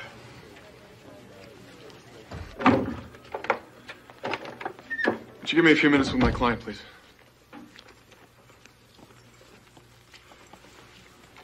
Ken, I didn't kill anyone. What happened? I don't remember. But the last thing I remember, I was in this bar. Don't ask me which one. I wake up this morning, the cops are pounding on my Did they door. have a warrant? I don't know. I mean, they're all over the place. And then one of them comes in and says he found a gun that had recently been fired. Was it your gun? I don't have a gun. What I have is a splitting headache. Can you get me out of here? Harry? Yes.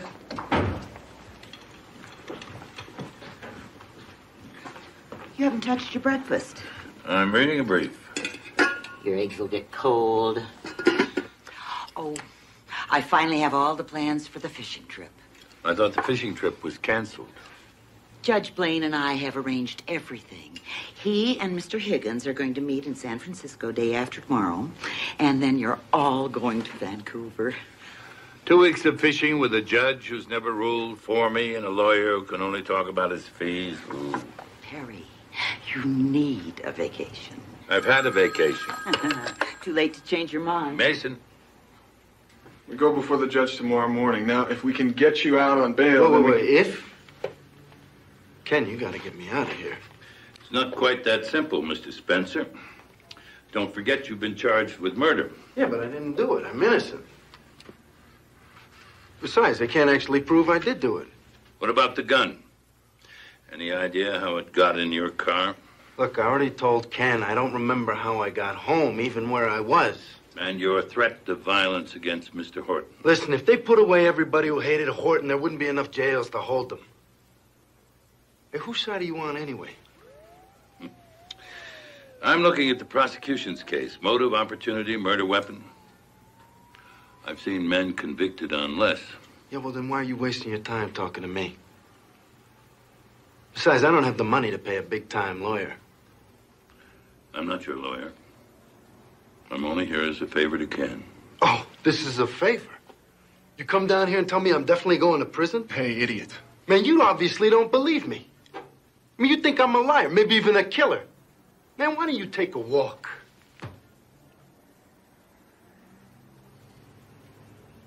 Good idea.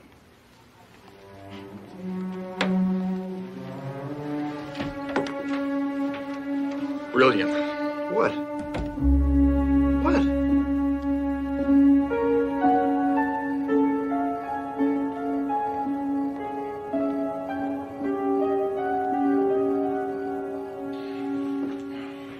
You're really worried about Bobby's chances, aren't you? The evidence against him substantial. He has you. I wish I felt better about that, too. Poor Ken. He can't be in better hands. I don't know, Amy. Besides, you have me. And I'm not referring to the fact that we've now been engaged five months, three weeks, and two days. I meant that professionally. What's that supposed to mean? Well, I'm sure you've noticed that it's been weeks. Well, months, actually, since I've asked to be involved in your work. I have noticed and been grateful. But why do I think that's about to end? Before you develop an unfortunate attitude, well, there are a few things I think you should be aware of. Like what? Well, like for the past few months, I've been enrolled in the university's police science program. You what? Investigative techniques, criminalistics, procedures. I think I'm really ready to help you, Uh, Ken. Amy. Ken, I don't want to be a dilettante all my life. I want to do something constructive.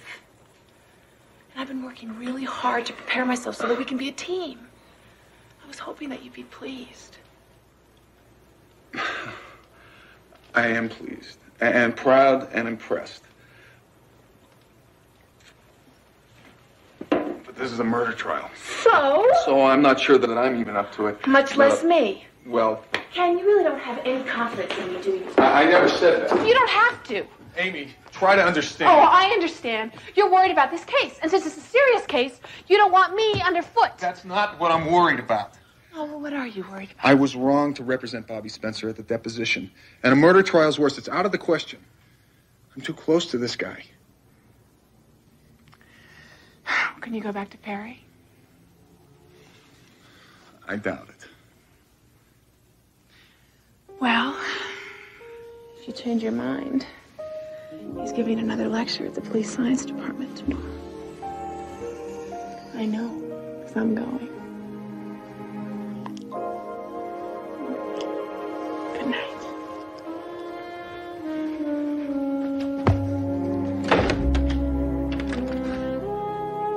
Amy, the door's locked.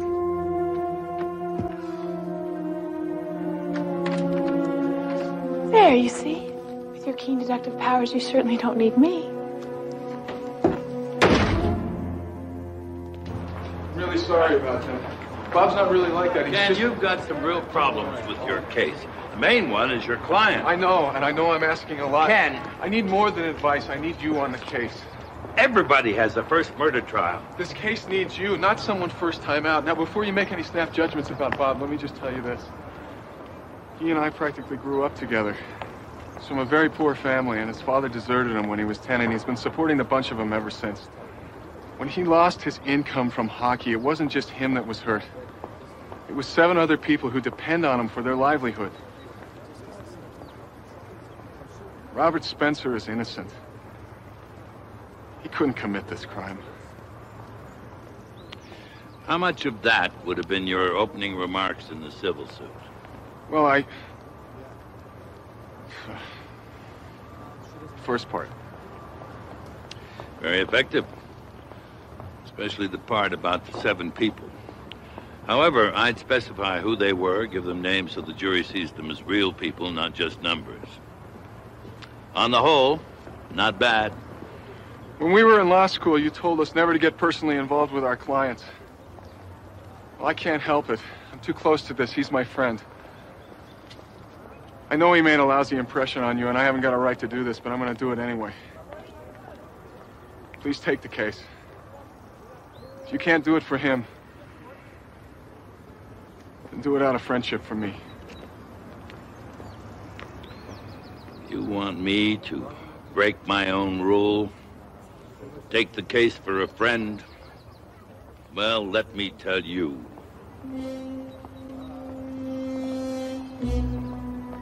When we get to court, if there's a summation, it's all yours.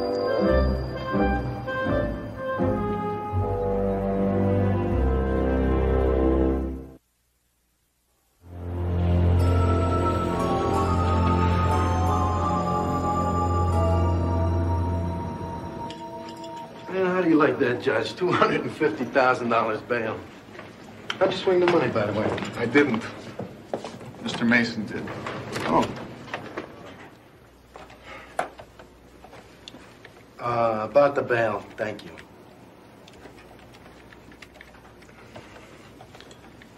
Listen, uh, I may have been a little rough on you yesterday. I just want you to know that it wasn't personal.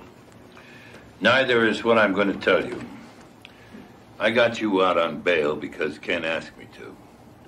I also like having my clients looking healthy and fit and confident when they walk into court. So I booked you into a room here. I don't want you to leave this hotel. There's a great health club downstairs, and I hope you use it. Under no circumstances are you to have alcohol, visitors, or talk to the press. Is that clear? Well, maybe I should just go back to jail. Maybe you should. Any questions? Yeah. Who's paying your fee? No fee. Every decade or so, I take on a client like you just for the hell of it. There's his key.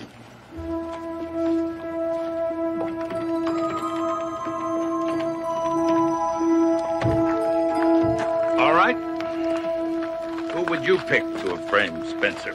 Probably someone who saw him threaten Horton earlier in the day. And who might that be? People in the waiting room. Kathy Grant, The tennis star? Horton's son, Stuart, and somebody else, Temple Brown. The basketball player? You really think one of them could have been the murderer? Well, it's certainly possible. But which of them had a motive? All right, I'm going to check around inside. And you? And I'll check around outside. Well, Mrs. Horton, outside of a bit of black, very few mortals would realize the depth of your grief.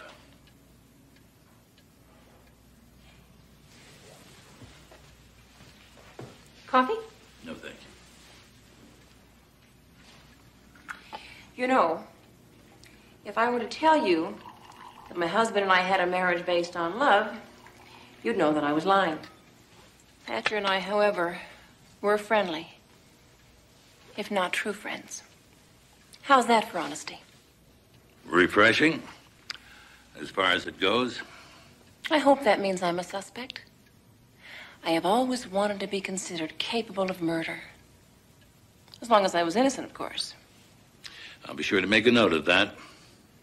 Now, just before you married your late husband, there were great rumors about a prenuptial agreement. I'm sure you'll find out they were more than just rumors.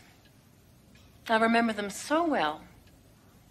The agreement provided that I get half a million dollars a year for three years if my husband divorced me. Nothing if I divorced him. And they say they repealed the Fugitive Slave Act. They also say he had a new girlfriend.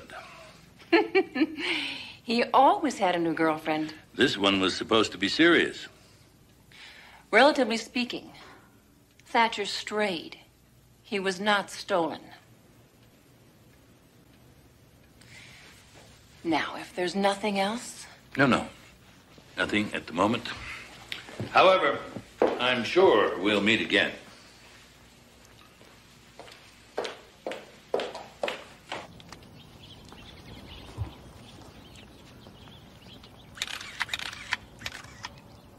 Amy, Of course. What are you doing here? what am I doing here? What, what are you doing here?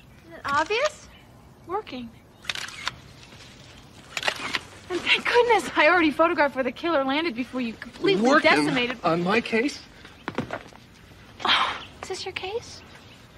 When I was hired as Della's assistant, all I knew was that some young green lawyer was going to help me. Amy, you went to Perry Mason behind my back. To be more precise, I went to Della Street and proposed an entry-level position for myself. You know looked for- I needed exactly what I mean. speak Amy. You finished? Quite. Ah, I see you've met Della's new assistant. Yeah. Let's uh, take a look at all of this. Ken, would you go to where the killer was? So You can stay on this side of the wall. Now, I'm in the spot the police marked as the place Horton was standing when he was shot. Ken, how far apart are we? About 20 feet? At least 20 yards. All's forgiven. You can come back now. Horton had just gotten himself a drink. He was probably moving around. Like that. He was shot three times in a pattern no larger than two inches by a killer 20 yards away, shooting through curtains. The killer was a hired gun. Yeah, the average person about to commit a crime of passion would have their heart pounding, their hands shaky, and they. Well, according to everything I've read, anyway. Expertly planned and executed. Only a professional could have done it. Any of our suspects could have hired the killer. Even if they had an alibi at the time of the murder, they could still be guilty. Top marks to both of you. As long as that first row of seats is 30 feet from the baseline, it should be okay. Let's go look. Hello again.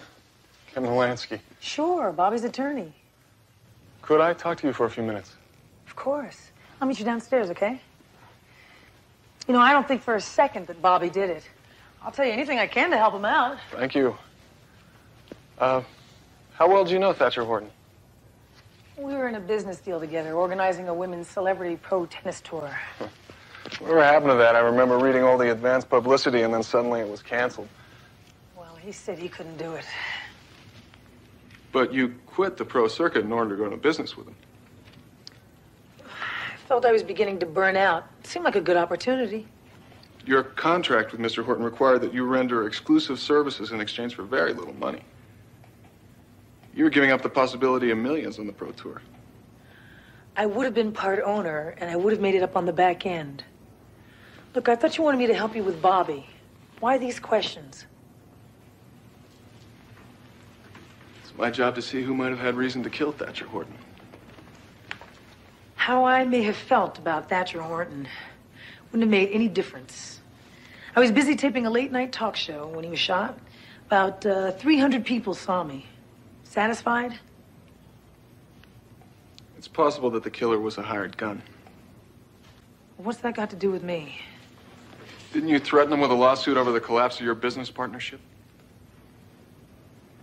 He was going to settle with me. What made you think he'd treat you any differently than anybody else? He would have settled with me.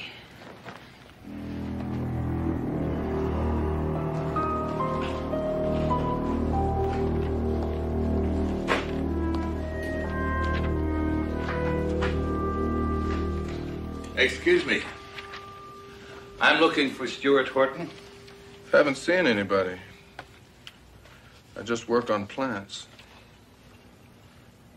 Well, that's certainly a healthy bromeliad. What's your secret? No secret. I changed the soil. That's interesting. This particular orchid doesn't grow in soil. Oh, really? Well, I'll keep that in mind. Yes. Keep that in mind. Mr. Mason, Yes? Mr. Horton's running a little late. I'll wait.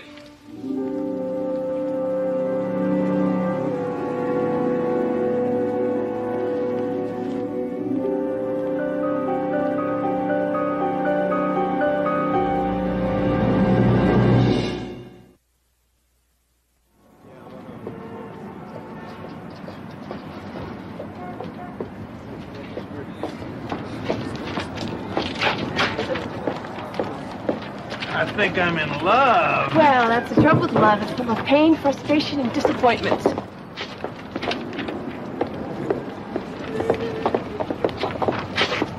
It's not religion or politics, it's money.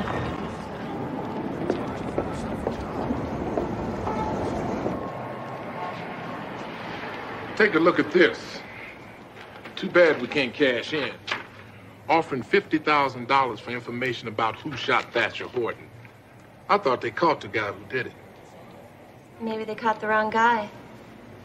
You know anyone selling hot guns? Charlie, you're not doing a little business on the side, are you?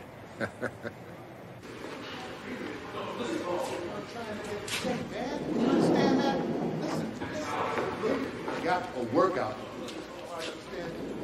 I don't want to talk about it no more. Looks like a moment to divide and conquer. You take Temple Brown. Right.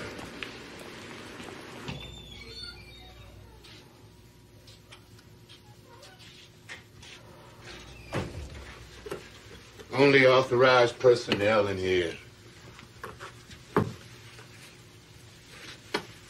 I'm Robert Spencer's attorney. Yeah? So?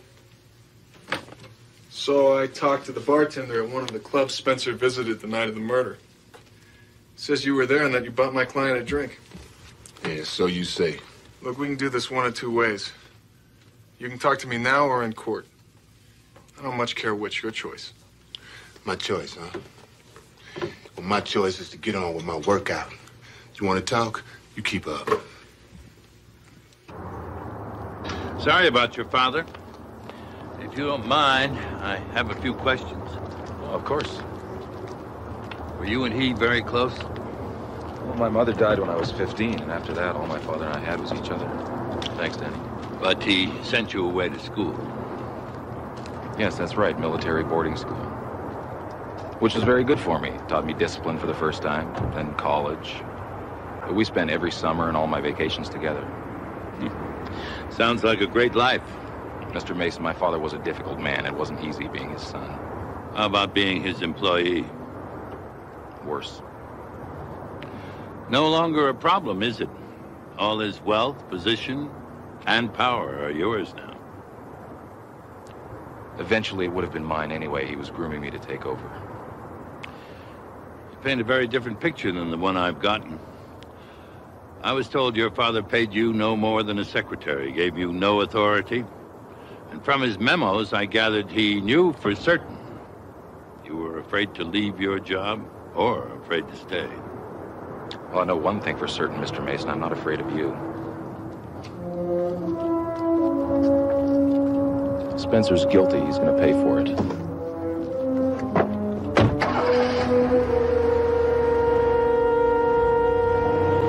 Sure, I saw him at the club. I even bought him a drink. Felt sorry for the fool. Fool, trusting Horton. Even if he says what he claims he did, the man's word wasn't worth spit. What time did you see my client that night? More or less. It's hard to say. I was with a lot of people. Last thing I wanted to talk about was that old man. Sounds like you didn't like Horton much. My father was a real hard dude, but smart. You almost had to respect him. What about the son? Saw you with him today. What was that all about? Son's stupid. Thinks the way to get me to play better is to threaten to trade me to an expansion team. Hadn't been your best year. Well, cold in the clutch a couple of times. That happens to everybody. It's not what the sports writers are saying. They're really sticking it to you. Yeah? I'd like to see one of them put it in. 17,000 people screaming at you. 22 feet out. One second on the clock.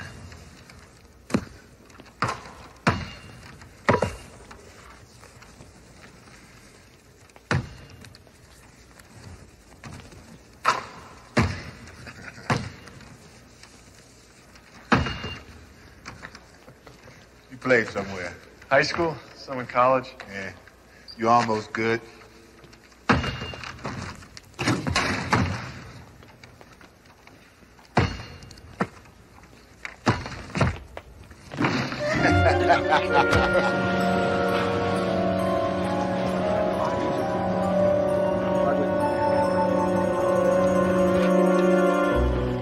These are plastered all over the arena. Oh, oh. The bailiff at court had one. I've been passing them out. I have six high school kids helping. $50,000 reward for information revealing seller or purchaser of Thatcher Horton murder gun. 357 Desert Eagle automatic. Serial numbers filed. Cracked handle and silencer. Straightforward, not too dramatic. Also, $100,000 for information leading to the identity of the true killer. An incentive program. I wanted to appeal to the truly greedy as well as the borderline weasel. It's incredible. Thank you. I don't think that's what Ken had in mind. Honey, what you've done is. Extremely dangerous. You could be hurt. But it's so practical. Amy. A lot of people will read this. You even left your home phone number. Of course. I didn't want Della bothered with all those calls. I didn't leave my home address. Besides, who would hurt me? The killer. Oh. So, what are we going to do? Well, she'll have to stay close to you. I'm afraid you'll have to put aside whatever disagreements you have, at least for the moment. I'll stay close, but I'd rather not. I'll stay close to her. But I'd rather not either. So, would you wait a minute, Amy? Charlie left here about an hour ago. Just ran out the door. Where? Not a clue. Except that she was real excited. Like winning the lottery or something. Money. Lots of money. Like falling from the sky. I mean, one minute she was reading that flyer, the next minute she was gone. You know, she must know something about that Thatcher Horton murder.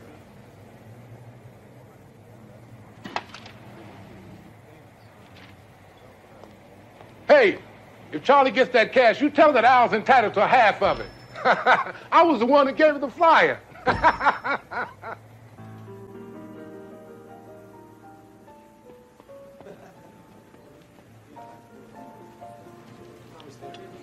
Mr. Mason. Uh, oh, Mr. Spencer, Della Street. We've spoken on the phone. I can't get so much as a beer in this hotel. I told you no alcohol. I don't like being treated like a child. If, when this is over, you are a free man, you can have a thousand drinks of anything you like. Until then, try iced tea.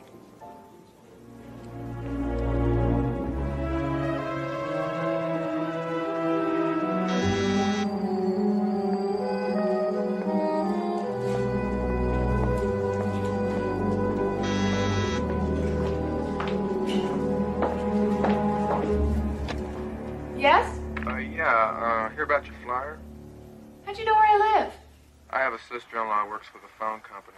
May I come in? Uh, look, the, look, the phone just started ringing. Wait there a minute, okay?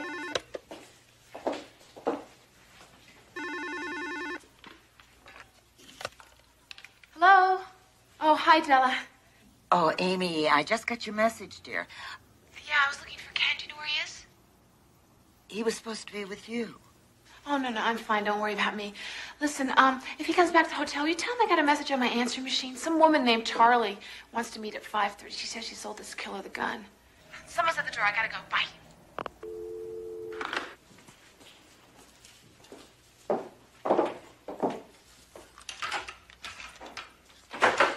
Sorry. Nice watch. Listen, what I'm interested in is a 357 Desert Eagle with filed off serial numbers and a cracked handle. Sold one like that last week. How about letting me in? Uh, no, we can talk here. Uh, can you tell me about it? People don't give their names. Well, can you describe them? Not really. Look, what I expected was the name or at least a description of the buyer. That's why there's a reward. Listen, why don't we go out for a drink, some dinner? Maybe my memory will come back.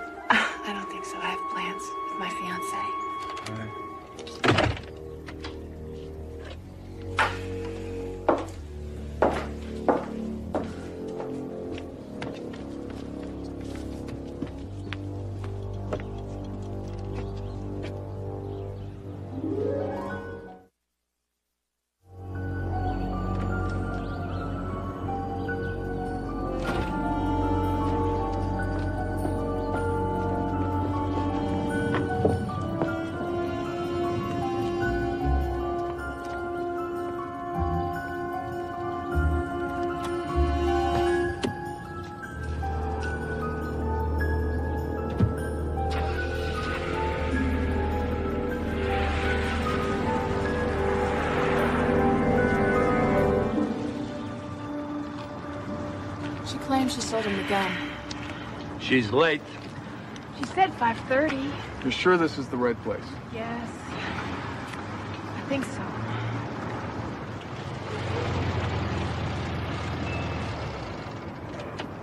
Who's that? Charlie? Are you Amy? We were worried you wouldn't show.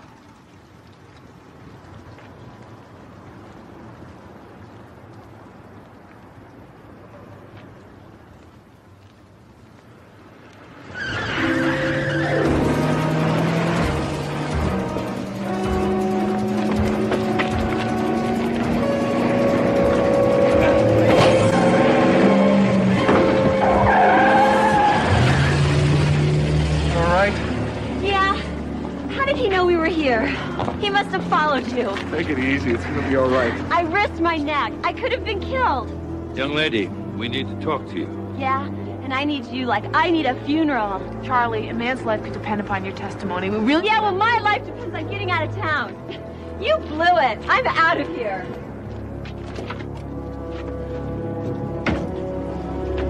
Well, we did blow it.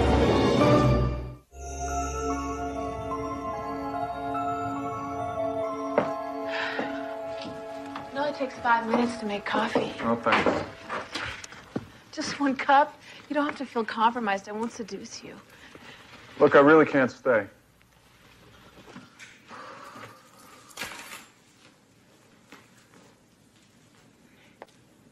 Ken? Someone took the tape from my answering machine. That's how the man knew about the meeting with Charlie. Who was in the house? No one. I didn't let anyone in. Amy, that means somebody broke in. Oh, God. The man who came to see me today. Maybe he's the killer. And I let him get away. Oh, Ken. I made such a mess of this. I'm a failure as a detective. No, you're not. Yes, I am. Come here. Look, we, we wouldn't have gotten this close without you. And don't forget, you can identify him if we see him again. That could be very important. You Think so? Absolutely. Okay. Yes. Thank you. I mean it.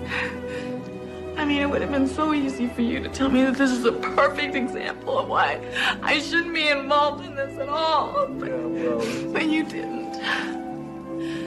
You stood by me when I needed you. Ken. You've given me the strength to go on. I have? Definitely. All I need is a good night's rest, and, well, tomorrow's another day. You don't learn, do you? What do you mean? Well, what I mean is you almost got the three of us killed today, and you're ready to start up again tomorrow, so nothing happened. I think I liked you better when I was weak and vulnerable. Well, I don't think we should discuss this tonight. Yes, if I were you, I'd leave while I was ahead. Come on. What are you doing? You're not staying here. A man broke into this house. It's not safe. You're staying with me. Now, come on. Well, when you put it like that, what can I say?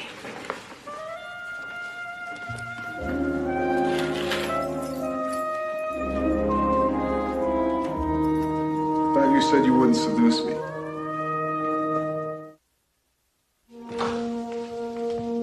I have to pick up some of Dad's papers from his study.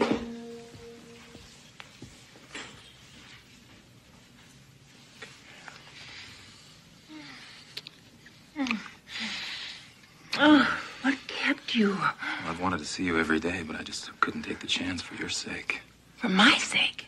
Sweetheart, I don't blame you, but if people found Wait out a about minute, it, wait a minute. You think that I killed him? honey, I can't blame you. I should hope not. I assume that you did it. Me? Oh, oh my, look at your face. I can't believe how well you lie. I'm going to have to reconsider a couple of things you have told me with so much conviction. I hope I'm not interrupting family business. Actually, we were just talking about the murder. Anything new on the investigation? Yes, that's uh, why I'm here. More questions, Mr. Horton. I'll be in my father's office if you need me.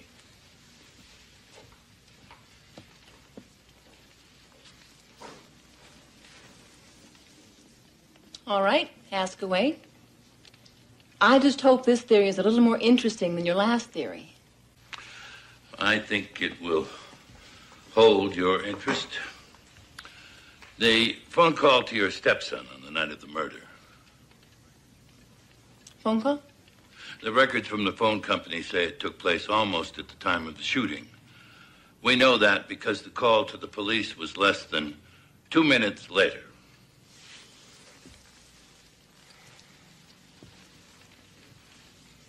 Is this leading somewhere? Yes? You're telling me who placed the call?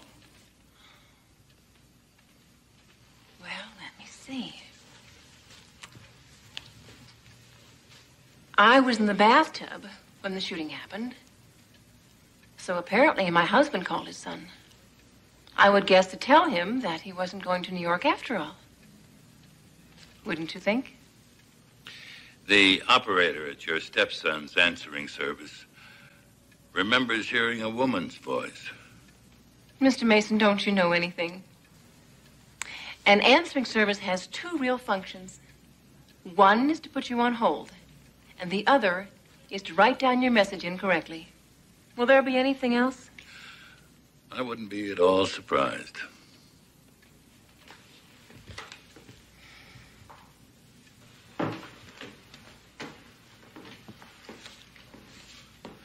You look very comfortable in your father's chair. I am. What can I do for you, Mr. Mason? I was wondering why your stepmother called you the night of the murder. Well, you already asked Linda that question, didn't you? Now I'm asking you. Why? To see if we say the same thing? That's part of it. Well, why would you care what Linda and I discussed? I want to know who hired the killer that murdered your father, that's all. I'd suggest you and Linda get your stories straight before the trial.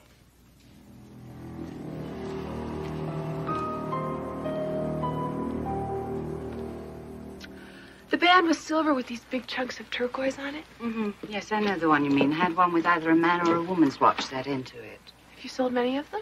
Mm, well, four, five. Four or five in the last couple of months. By any chance, did you sell one to a man about 35, receding hairline, long sideburns, and really piercing blue eyes, about mm, this tall? Blue eyes. Yes, you know, I think I do remember selling one to someone like that. Why? He lost it in the bar where I work. He seemed like a good guy, and the watch looked like it cost a fortune. It did. Do you have it? No, no, my boss has it, and he won't return it until somebody claims it. Hmm. If you could just give me the guy's name. Oh, no, I don't think I should do that. Miss, this is the fourth store I've tried. I'm tired and I'm not going to argue with you. If you don't give me the name, as far as I'm concerned, my boss can just keep the Okay, watch and. okay, okay, okay. Let me see if I've got the credit card slip.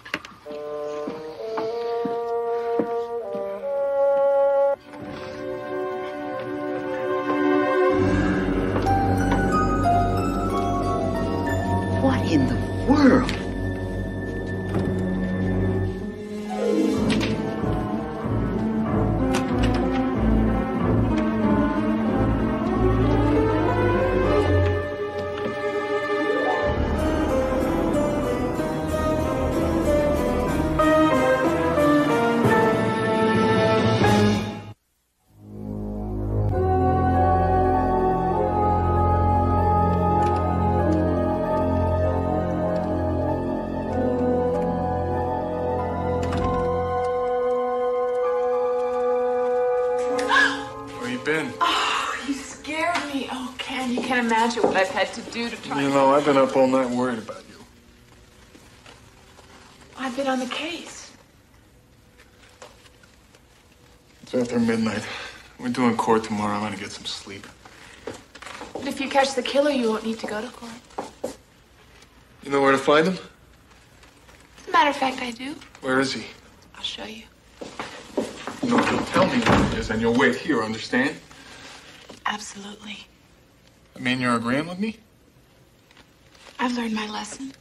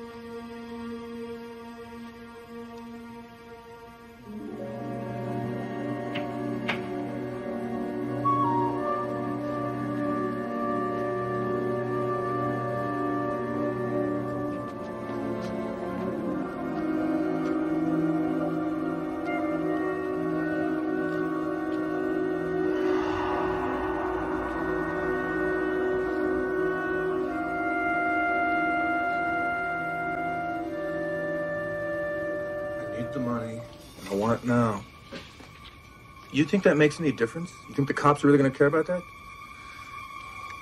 Terrific.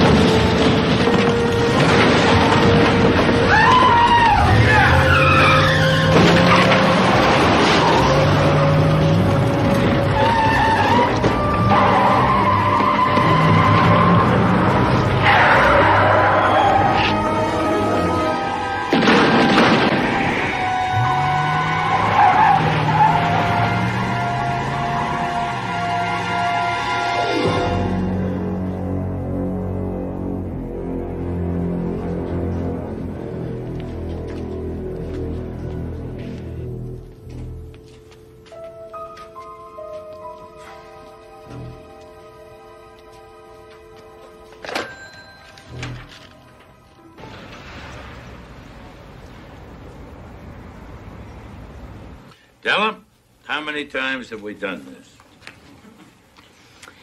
Every time is like the first time for me. Well, Hi, Della. Mr. Mason. Don't you look handsome? We're doing court in a half an hour. I doubt they'll start without us. There's something I want to say before we start. Just so it's not a confession. Well, it is sort of. Sort of an apology. I know I've been kind of a jerk. I'll sort of accept your apology. Look, I've I've always had a temper. I, maybe maybe that's why I was so good at hockey in the beginning. You? I mean, sure it wasn't brains. Hell, I'd never even gotten through college on my own. Ken pulled me through. He's a good friend. Probably better than I deserve. Look, the only thing I've ever been able to do really well is hockey. When I got hurt, and all of a sudden I lost that, I hated everybody because I, uh, well, I felt like I didn't have anything left. That's that's why I acted the way I did. I see. I mean, at first I, I didn't even care whether I won or lost the case. No? Now I, well, I appreciate all you've done. All you're doing. Just wanted you to know that before we start. And I want to win. Well, let's do exactly that.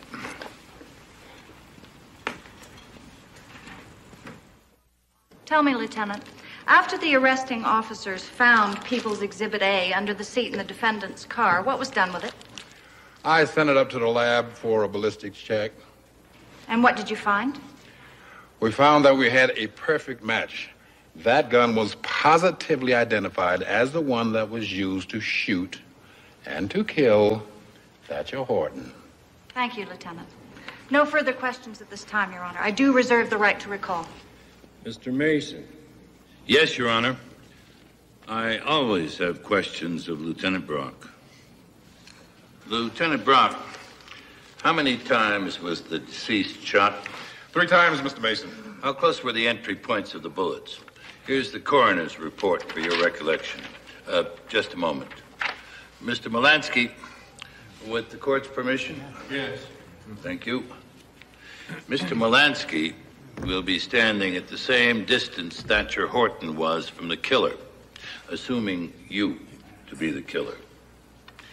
Now, Lieutenant, I ask you once again how close were the three entry points?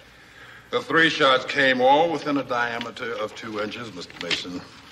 About the size of a silver dollar. quite a shot. You're a trained marksman, Lieutenant. Could you do that?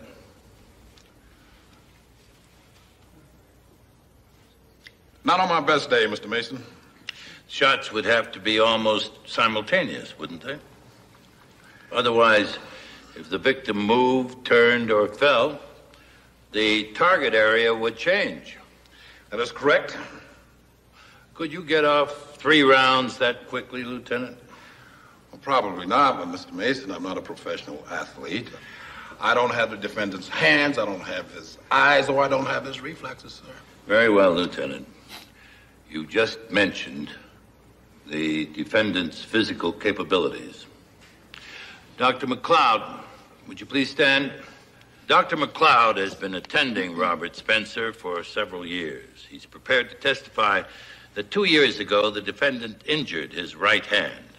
It then became arthritic, leaving his trigger finger with limited mobility. Uh, thank you, Doctor. If that is true, how could Robert Spencer fire quickly enough to hit that target as it moved? Objection. Speculation. Your Honor, the lieutenant has investigated, what, dozens of shootings? Well, no, I'd say more closer to a hundred, Mr. Mason. I suggest he more than qualifies as an expert. I'll allow it. Thank you. Now, Lieutenant, in your expert opinion, could a marksman with an arthritic condition and impaired mobility to his trigger finger have fired those three shots quickly enough to have hit that target as it moved? Probably not, Mr. Mason. Well, Lieutenant, if he couldn't hit the target, couldn't kill the target. No further questions. Redirect? Yes, Your Honor. Lieutenant, is there any reason the accused couldn't have fired with his left hand? Objection calls for speculation. I'll allow it. Fair is fair, Mr. Mason. He could have, the defendant could have used his left hand. What about accuracy?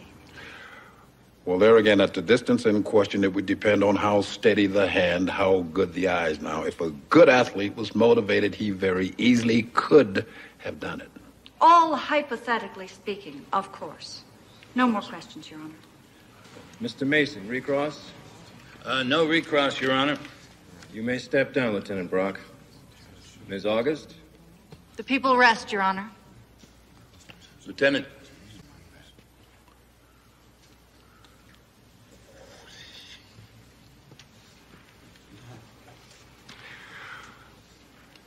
Nice dollar. Mr. Mason, is the defense prepared to call as first witness?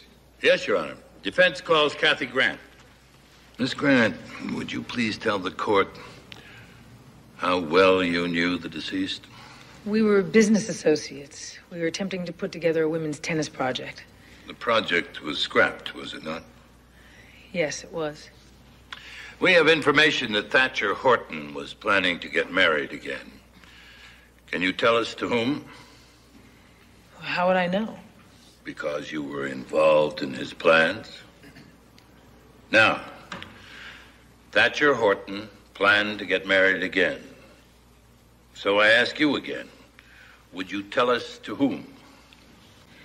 All right, well, he did ask me to marry him, but I didn't take him seriously.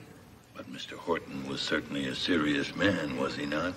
He spoke to his lawyers about divorcing his wife, did he not? Yes, well, he told me he did. He also mentioned naming me in a new will. A new will?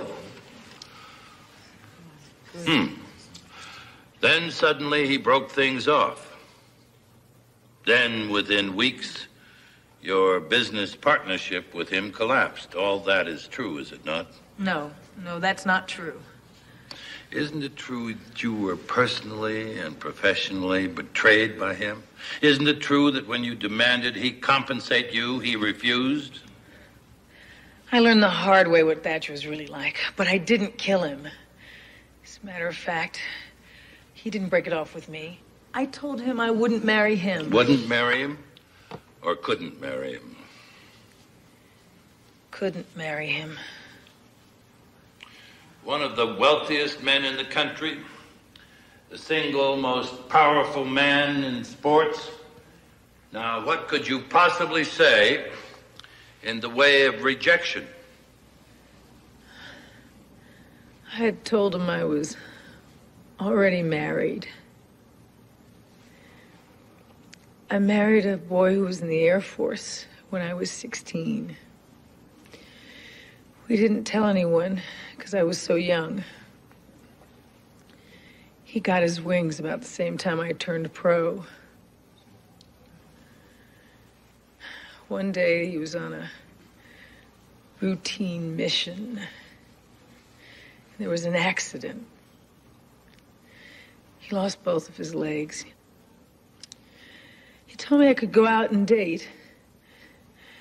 We could get a divorce. When Thatcher asked me to marry him, I thought about it, but I couldn't go through with it. I couldn't get a divorce. I knew it would kill him. I couldn't do that. I'm very sorry. No further questions. The witness is excused. This being the hour for our lunch recess, court will adjourn until one o'clock.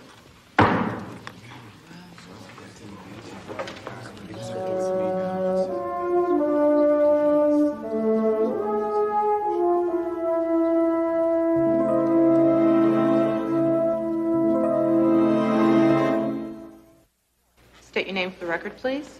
Linda Horton.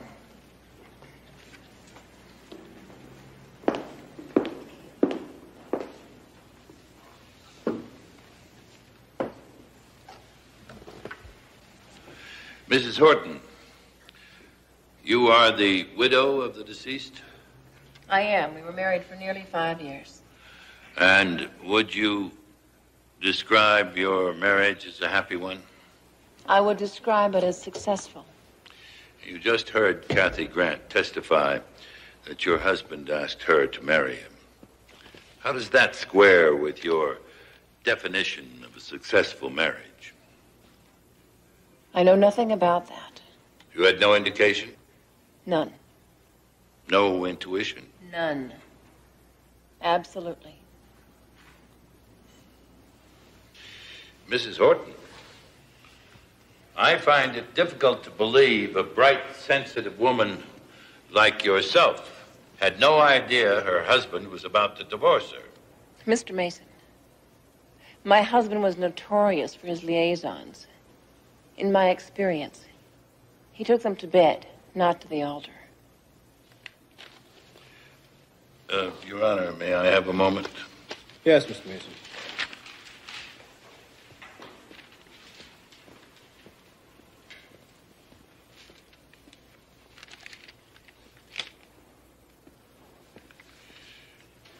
Now, you say you didn't know your husband was about to divorce you. But you do know about your husband's will. I have a copy of it right here. Just obtained from the clerk's office. I'd like to have it marked as defendant's next in order. Without objection, so ordered. This document makes you equal with your husband's son, doesn't it? Yes, it does. Approximately, what would that share be worth? I couldn't say. Come now, in round numbers, in excess of a $100 million. I suppose so. But if your husband left you, if not for Kathy Grant, then for another woman, your prenuptial agreement would provide you with $500,000 a year for three years, but you would inherit nothing. I suppose. Wouldn't you also suppose that you're much better off with your husband dead than alive? At least a hundred million dollars better off? Objection. Speculation, argumentative, and harassing the witness. I really would like to answer that, if you don't mind. The court will allow it. I had an intuition you might bring this up. So, I came prepared. This is a copy of the most recent will that my husband drew. His lawyer will file that for probate today. He gave me that several weeks ago. You'll notice that his son Stuart gets everything. I inherit nothing.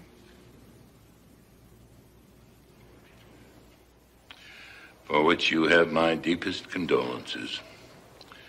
I would imagine your grief would only be eased by another marriage. This one, perhaps to your stepson. Objection. Sustained. I've no more questions of this witness.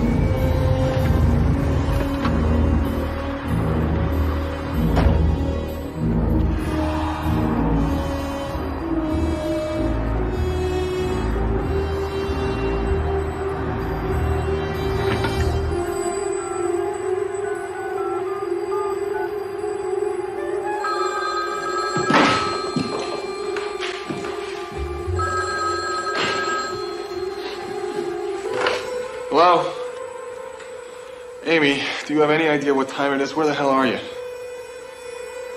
What?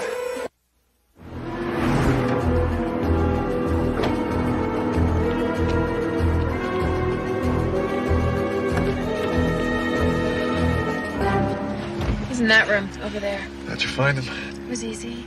How easy? Well, first of all, I assumed he was still in town since you'd heard him demanding a payoff. I didn't think he'd leave until he got it, which could take some time. So far, I'm with you. The only thing I knew for certain was that he wouldn't go back to the warehouse. So I deduced that since he was in hiding, he wouldn't have access to his own phone. So you decided to stake out every payphone in town? I staked out the phone he was using. That one. How'd you find it? Through the phone company. I thought he might be using a credit card. Turns out I was right. A motherly type at the local branch helped me out after I sort of explained to her that. There he is. Let's go, Sherlock. You say the sweetest things. Don't tell anybody.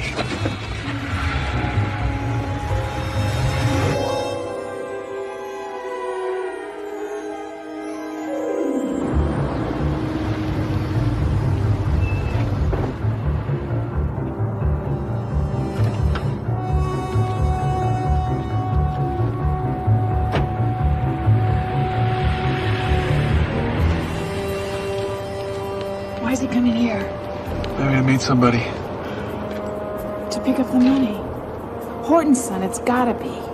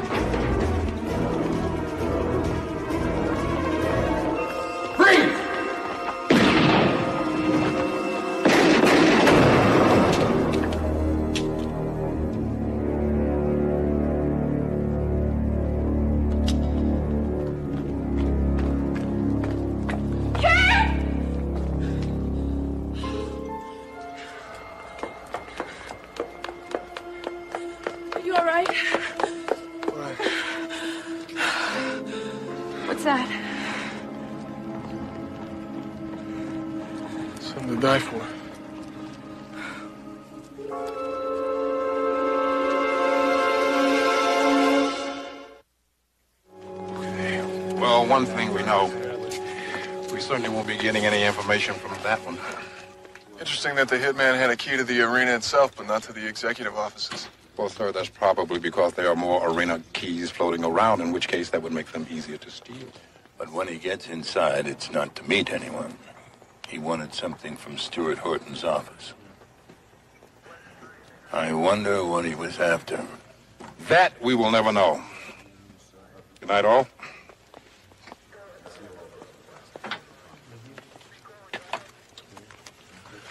I know people who would call that withholding evidence. He dropped it before he was shot. Why don't you tell the good lieutenant we'd like to study it for a couple of hours? Great. I'll order some coffee. Very hot. Very black. Really think that this could be the answer? At this point, it had better be.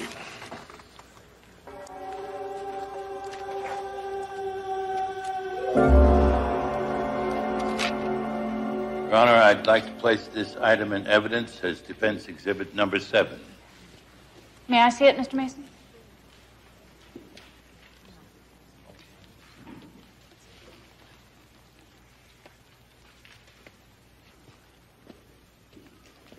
Mr. Mason. Yes, Your Honor, I call Stuart Horton to the stand. Mr. Horton, you are the only child and sole heir of the deceased, are you not? I am, but I didn't know anything about that new will until yesterday when my stepmother took it from her purse. I see. You uh, worked for your father, did you not? I was vice president of his company. Large title, modest paycheck. Well, I was being trained to take over. But with that modest paycheck, you support a penthouse here in town, Yes. a ski house in Aspen, beach house in California. That's true. Objection. Even for one of Mr. Mason's great fishing expeditions, we seem to be on a rather long line of irrelevancy here. Mr. Mason, I agree with the prosecution. I'm about to connect up, Your Honor. Quickly, Mr. Mason. How do you manage to live so well on so little, Mr. Horton? I inherited quite a lot of money from my mother. But you gambled that away, did you not? In fact, there was quite an unpleasant moment with your father over your betting on sports, was there not? He told me to stop, and I did. Your Honor, I would like the clerk to show Mr. Horton defense exhibit number seven. Certainly. Miss Jackson. Now, Mr. Horton, would you examine that notebook, please, and tell me if you recognize it? I don't. You don't recognize it? No. Even if I told you the man who was shot last night in your sports arena took it from the desk in your office? I've never seen it before. That brings me to my last order of business with you, Mr. Horton. I'm going to ask you about your relationship with your stepmother. Is it not true that you and your stepmother are lovers? Yes. I can't hear you. We're lovers. You hated your father, did you not? Yes. You hated him so much, you felt so humiliated by him, that you made love to his wife in his own house. Yes. I made love to her. Yes, I hated him. But I didn't kill him. I didn't kill him. I've no further questions. But I reserve the right to recall this witness, Your Honor. No questions, Your Honor. You may step down, Mr. Horton. Mr. Mason. I call Temple Brown. Mr. Brown, you're a member of Mr. Horton's basketball team, are you not? That's right. Two years ago, you were even voted onto the All Star team, weren't you? I was one of the top scorers in the league.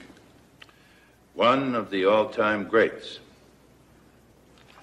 Now, would you please examine this notebook? Never seen it. Suppose I told you that the man who stole that book from Stuart Horton's desk was a hired killer.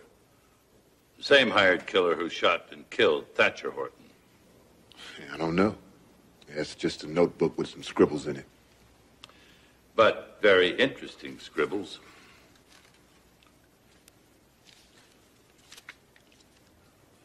Would you please read the top line? Boston by at least four, $50,000. Would you identify this bank statement for the record? It's mine. Marked as defendant's next in order. Now, what is that deposit there? $50,000. $50,000 made the day after your team lost to Boston. Suppose I told you I could match up at least 25 games last year with point spreads listed in this book and deposits in several of your accounts. I don't know. Mr. Brown. Mr. Brown, I am sorry. I'm sorry about you. You're a cheat.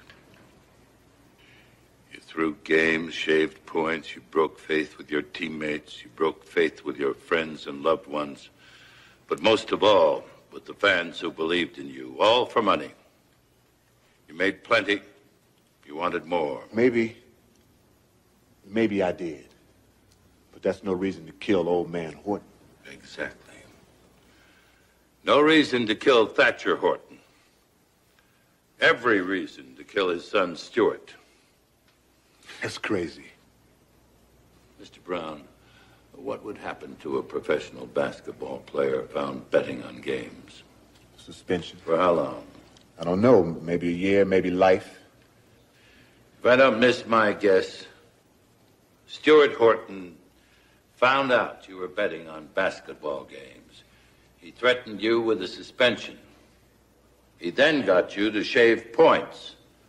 After that, there was just no turning back. Are you making this up as you go along? Objection. Speculation. Mr. Mason is fishing again. I tend to agree with the counselor. You do seem to be fishing, Mr. Mason.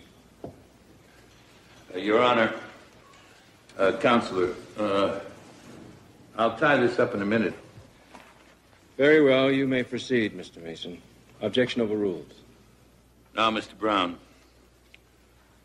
you hired that hitman to kill Stuart Horton, did you not? The killer shadowed him until he knew his habits, waiting for the right moment. Do you know what he found? I don't know anything. He found out every time the father left town, the son came over and slept with his wife. And that was the moment he picked for the kill. That's not true, none of it. The father came home unexpectedly, but the killer couldn't know that. All he could see through the curtains was the shadow. Your hired killer killed the wrong man. I don't know what you're talking about. Mr. Brown, your hitman stole that notebook. That notebook and your bank statement ties you to him. It ties you to the murder. When you heard the wrong man was killed, you had to frame somebody fast. You'd heard my client threaten the father. You'd seen him that night on his way to being drunk. It couldn't have been too hard for you or Richards to follow him home and plant the murder weapon. That's just not so. Well, here is something that is so. Your friend, Mr. Richards, died last night in a gun battle with the police. This morning he received. We received some startling news. Ballistics discovered that the bullet that killed him did not come from a police revolver. It came from this gun. This gun, which I would like to enter as defendant's next in order. You recognize this gun, Mr. Brown? Lieutenant Brock and my associate, Mr. Malansky, found this gun in your locker.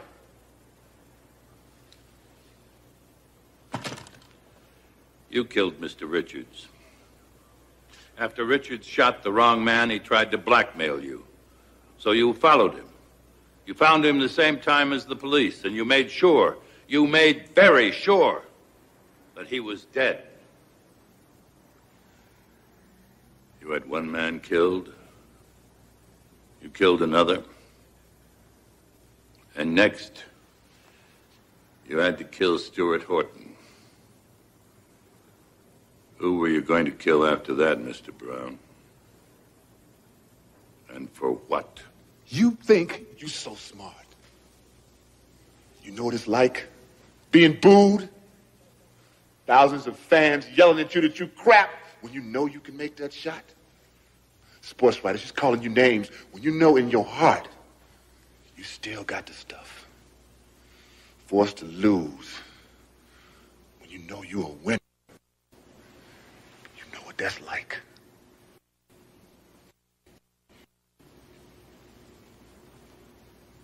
But I, I didn't mean for old man.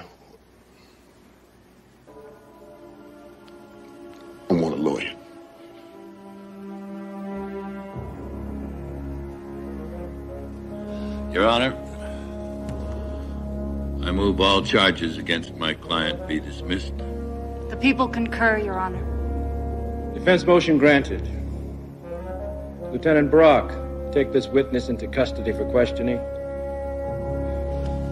This court stands adjourned.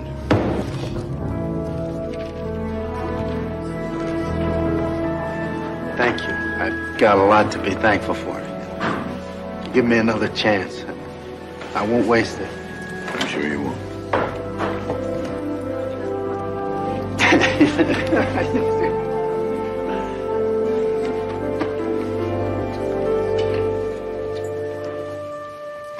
You were wonderful, Mr. Mason. Congratulations. No, thank you. May we give you two a word of advice? Sure. I believe there was a minor disagreement. That was nothing. Amy, you feel Ken doesn't have any confidence in you. That's right. Ken, you feel as if Amy has invaded your area of capability and expertise. I wouldn't put it that way.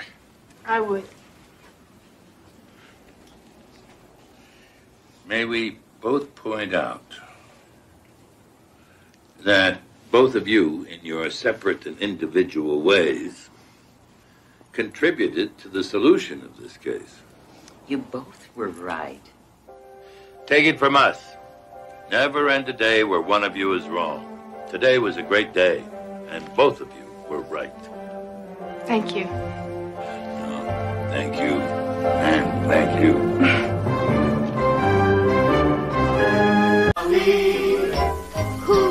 Most everyone that she knows? I know the creme de creme, and they all agree.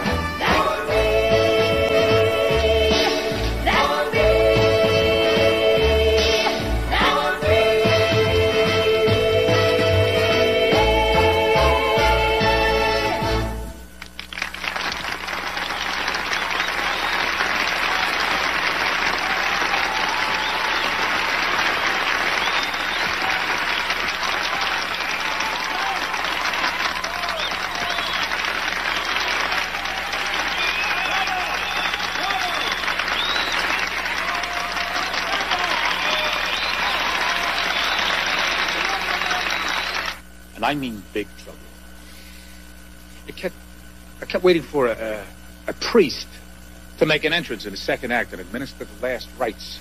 Oh, come on, Tony. The audience loved us. Five curtain calls.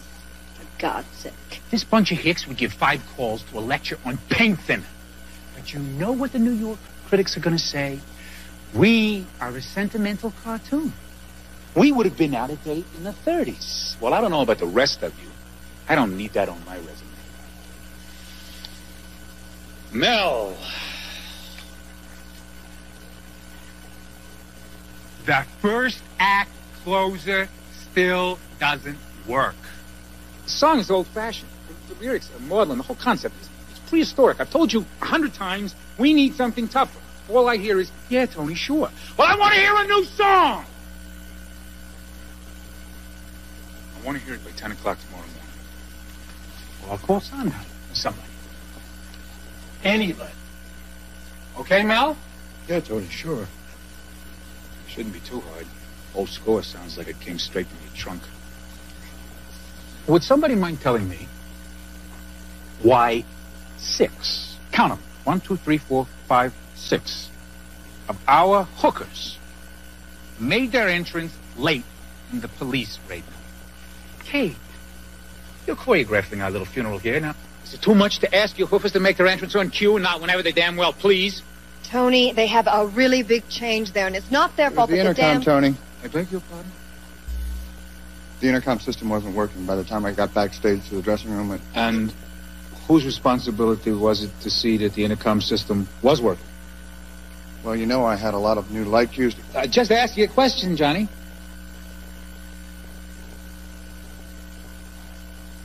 Okay. It was my responsibility. Oh, like it was your responsibility to make sure that there, there was a pianist at the understudy rehearsal last week. Yes. You are a flake. That's not fair, Tony. If you don't get your shabby little act together, I'm going to make sure you end up swabbing out toilets at some crummy little dinner theater. You've got no right to talk to me that way. Why not? You don't have the guts to do anything about it. Oh, yeah? Hey, what are you doing? Hey, Johnny, for God's sake! Stop it, will you? Hey, come on. Oh, for God's sake! You are fired, Whitman! Tony. You'll never work another Broadway show again! You hear me? Never! Come on, Tony, come on. Johnny's a hell of a good stage manager. You know that. You just got him a little crazy, that's all. You two just cool off, and then we'll sit down and talk this over, all right? I'm running this show. You get a problem with that, you get yourself another director. I'm sorry, Johnny. I really am.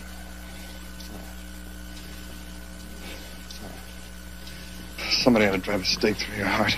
You? Yeah, maybe.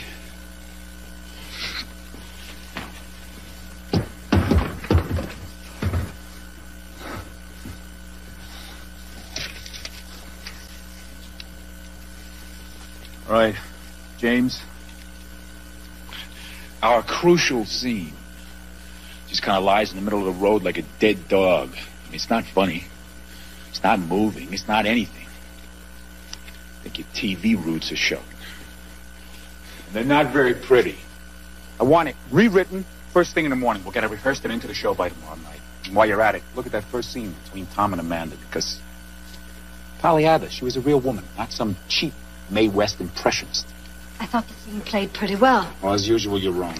Damn it, Tony, you are the most insensitive, insulting, arrogant. Oh, listen up here, kiddies. Our fading star, the silver screen, she actually can display an honest emotion. You're a pig, Tony. I'd like to reciprocate. I just don't want to waste my time. All right, that's it. but from now on, get ready. Plenty of more changes, because you're going to get them. And Mel, James, I mean it. By tomorrow morning.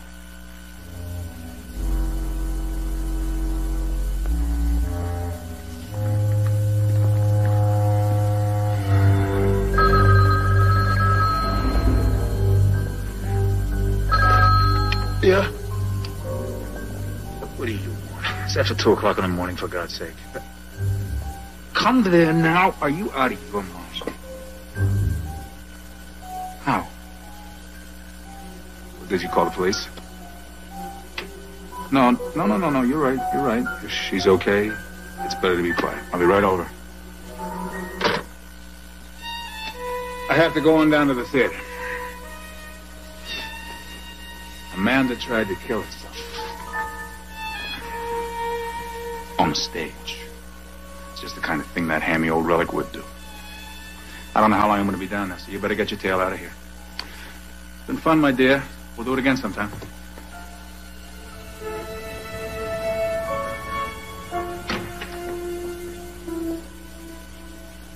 My mama. It's after 2 a.m. Why aren't we asleep? Our knee has its own idea. Well, when did we take our last medication? Ten o'clock. Oh, that's good. But I think we should take another pill right now. And I want you to know that we can't be responsible for that watch if it gets stolen. This watch was a Christmas present, and I want you to know that we are completely responsible for it.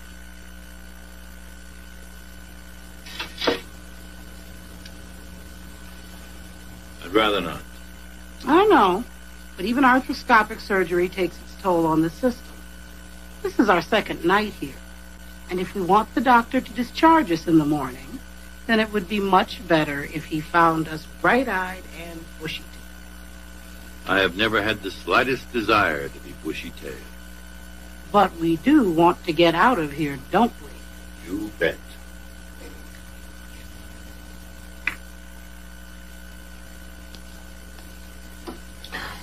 Now, we should get in bed. You first. You! In bed. Can we manage that by ourselves?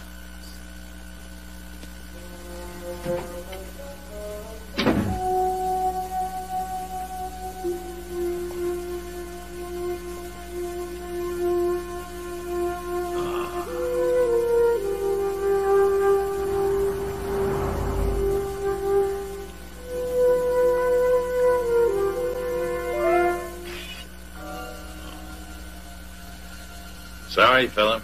Wish I could help.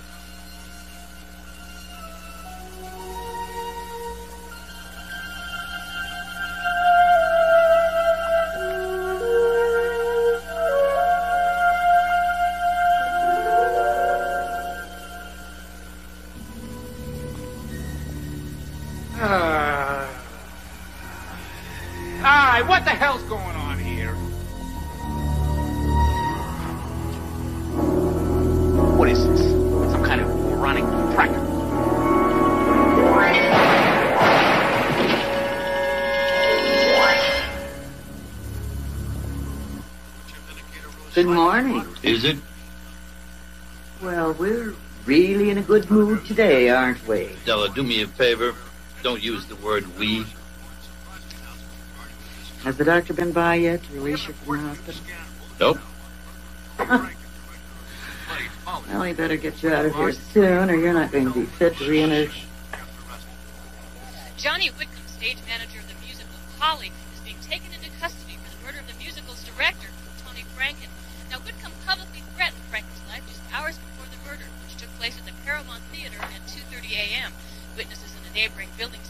shots at that time, but failed to report them. We'll have details. What's the matter, Perry? You know this Franken? No, but I know that boy didn't kill him. How? I saw him. What's his name? Whitcomb. Right under that street lamp at the time of the murder. Are you sure? I remember looking at my watch as he was standing there, and the theater where this Franken was murdered is at least three or four miles from here. What are you going to do? I don't know. He'll likely be arraigned this morning. Well, as soon as the doctor releases you, you can just go down and clear the boy. I'm afraid it's not that simple. Just tell him what you told me. Any halfway decent prosecutor would tear me apart. I don't. Uh, Adela, get my clothes for me, will you please? I'm going downtown with you. Good. Then you can watch me make a world-class fool of myself. Let's see, Mr. Mason. You believe you saw the defendant on that park bench at about 2:27 a.m. Is that right? Yes, I looked at my watch. But you were in a hospital about how many yards away? About 30? And although it was overcast that night, you believe you could make out his features by the streetlight. Yes, I believe so. How was the man you saw dressed? He was wearing the same clothes he has on now, plus an overcoat and a hat. Weren't you in the hospital for some sort of knee surgery? Yes, an arthroscopy. Mr. Mason, were you given some sort of sedation or painkiller before you went to sleep that night? Yes? And that would have been 40 milligrams of oxylidine, wouldn't it? Actually, I'd taken 20 milligrams at 10 A simple p.m. yes or no will do. Did you ingest 40 milligrams of oxylidine? Yes? Mr. Mason, is it your testimony that on a moonless night, from a hospital room 30 yards away, after ingesting enough medication to put most of us in a coma, you're able to identify this defendant, a stranger whose face you've never seen before, as the man you saw in the park in the middle of the night? Yes, I believe it to have been him. No further questions. The defense rests, Your Honor. Thank you, counsel. On the basis of the evidence presented here, this defendant shall be bound over to Superior Court for trial on March 15th at 8:30 a.m. Bail shall continue in the amount of $250,000. So after I left the theater, I bought myself a bottle of whiskey and just wandered the streets for a couple of hours, maybe.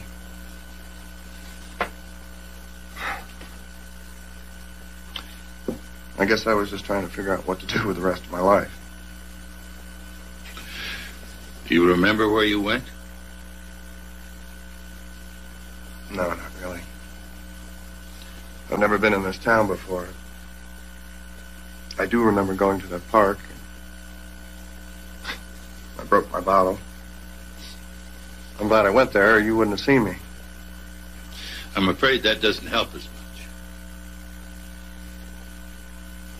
Well, anyway, after, after that, I went back to the hotel maybe about three. Bought myself another bottle, then drank myself into oblivion. I don't remember anything after that until the police pounded on my door at about 7.30 this morning. And found the gun in your room. Mr. Mason, I swear I never saw that gun before. It's a terrible tragedy, and I know how shocked all of you must be. Nevertheless, I intend for us to open in New York on the 3rd of next month. This morning, I phoned Gavin Austin. He's flying in from New York today to take over as director. Most of you know Gavin, and I'm sure you share my faith in him. You'll see the show tonight, and I've called a rehearsal for him at 10 o'clock tomorrow. We've got a great show here, kids. And although we'll all miss Tony, the show, as he would have wanted, will definitely go on. Right now, Mel and James will fill you in on the new material, all right?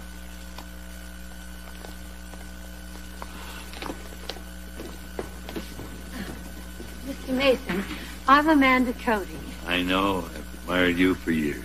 And so have I. Cheers. This is my associate, Della Street. Office Street. Hello. Please, it's Della and Perry. Perry, is there any way I can convince you to represent Johnny? I've I've called my attorney on the coast, but he isn't a criminal lawyer. After all, you're right here in town already, and I just you see, Johnny's a very decent young man. He couldn't have done such a thing. I don't think so either. And I am representing him. Oh, that's wonderful. Oh, I mean, Johnny will be so pleased. Mr. Mason, my name is Blaine Counter. I'm the producer of Polly. Is there anything I can do for you? I'm Johnny Whitcomb's attorney. My associate, Della Street. How do you do? Really? You know, I'm arranging Johnny's bail. I'll see you both later. We'll look forward to it. Uh, excuse me, but I'm going to go make those calls. Oh, try and locate Ken Malansky. I need to talk to him. Mr. Counter, do you have any idea what Franken was doing here at the theater at 2.30 in the morning? No, I don't. But I just fired the security guard who was supposed to be here all night. Uh, Parker somebody.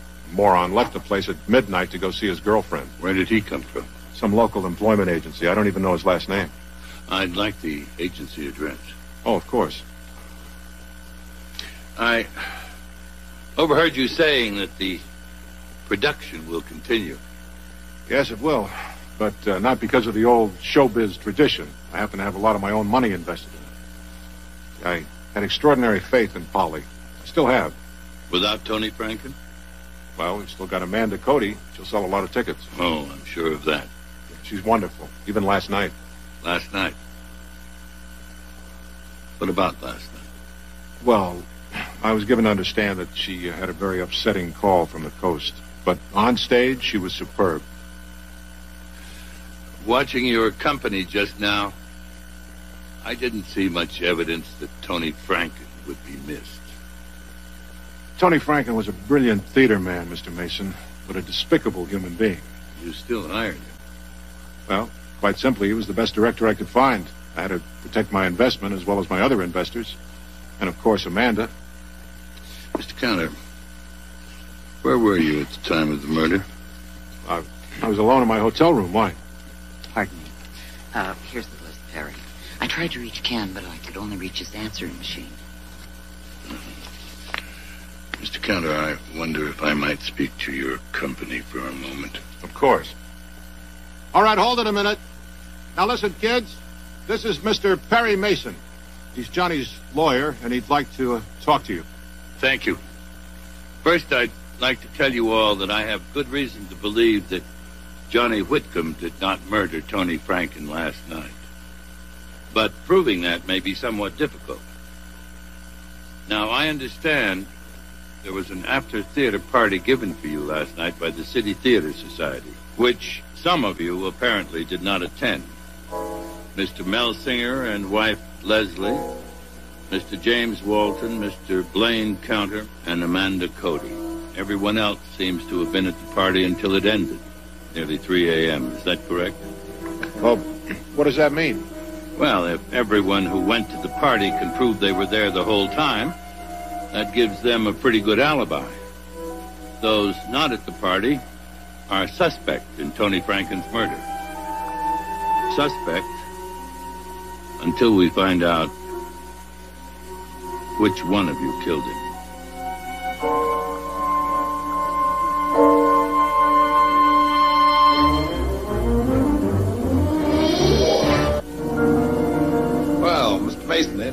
Homicide? It's Lieutenant now, isn't it?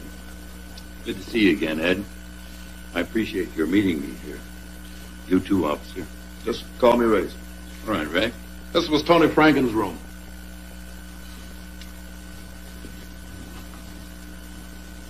We cleared out all the evidence.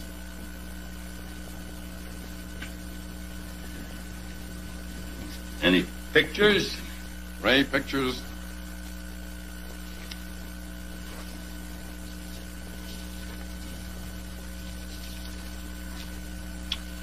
According to this picture, Mr. Franken must have had a visitor the night of the murder. Any prints? Latents. We couldn't get a match, so we sent him back to Washington. I'd like to know what took Franken to the theater at 2.30 in the morning.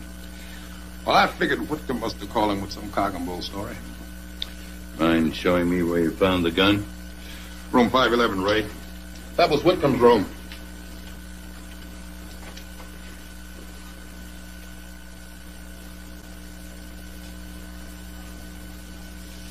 Now, the gun was right here behind these soft drink bottles. And who found the body? The cleaning crew from the theater. At about seven in the morning. Who told you about the threat Whitcomb made to Frank? The producer of the show, Mr. Counter. We called him and asked him to come down to identify the body. He told us the whole story. Luring Franken to the theater sounds pretty complicated, since that was Franken's room right there, and this is Johnny's room right here. But a shot would have wakened the whole hotel. And since Franken was right next door, Johnny probably could have heard that he had a visitor. That visitor could be very important, wouldn't you say, Lieutenant? Miss Mason? A Miss Street called for you. She left this message where you can find a guy called Molaski or something. Malansky. Thank you, Ray.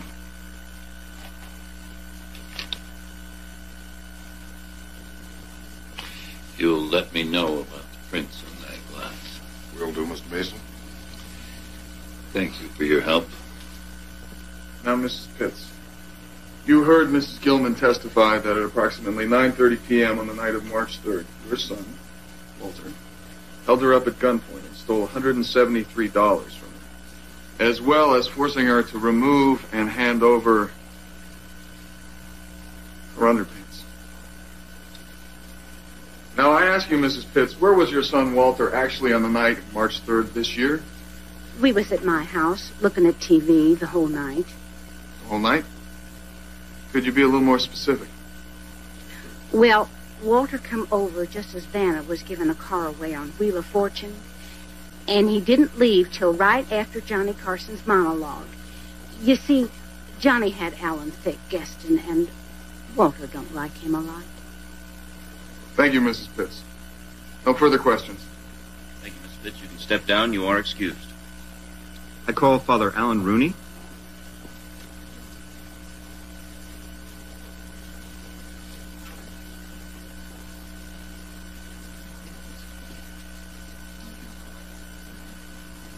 Do you solemnly swear under penalty of perjury that the testimony you're about to give will be the truth? I do. State your name for the record, please. I'm Father Alan Rooney. Father Rooney, where were you on the night of March 3rd?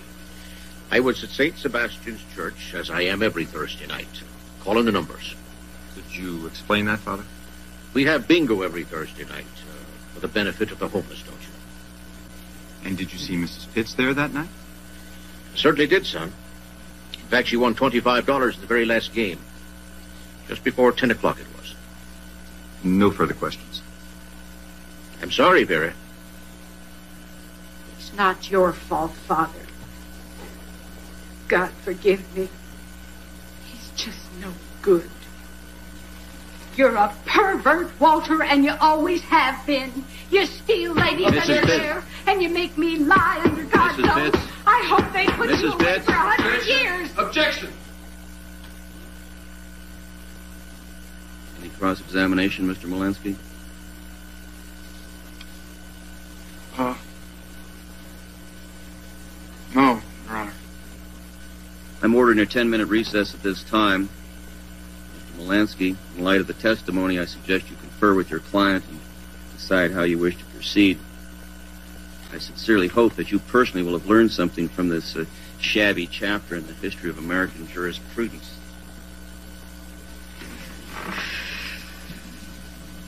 I'm real sorry, Mr. Malansky. Look, if you give me some time, I'll give you back the 500. I swear. 500. What 500? The 500 she gave me to give to you. Amy? Look, you weren't getting any clients, so I, I went down to the police station, you know, and I saw poor Walter here getting arraigned, and he looked so innocent. And he couldn't afford a lawyer, so. Yeah, and I already spent the money I stole from that Dane.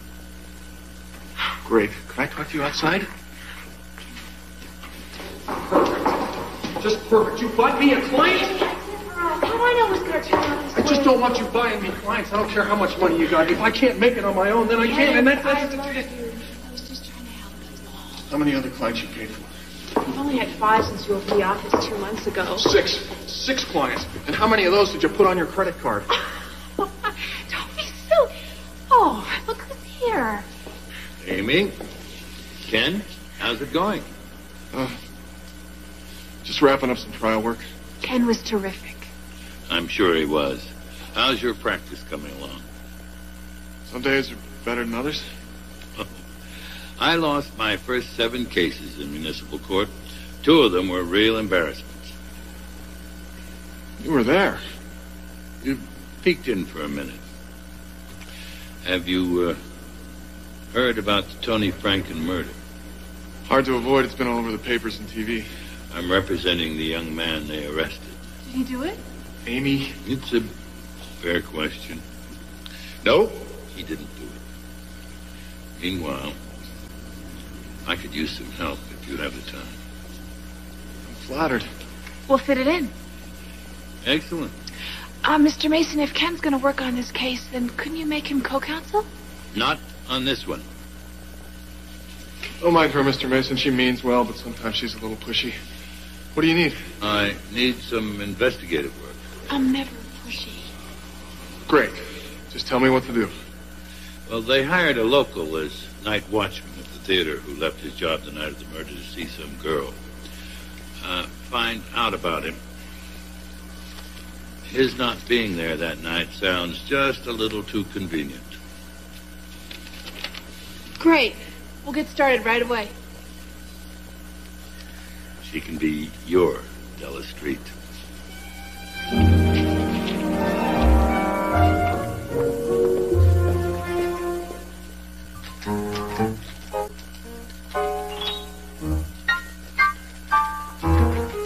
a lot we didn't already know. They're all pretty much in the pup guy. Anything more on Tony Franken? William mm-hmm.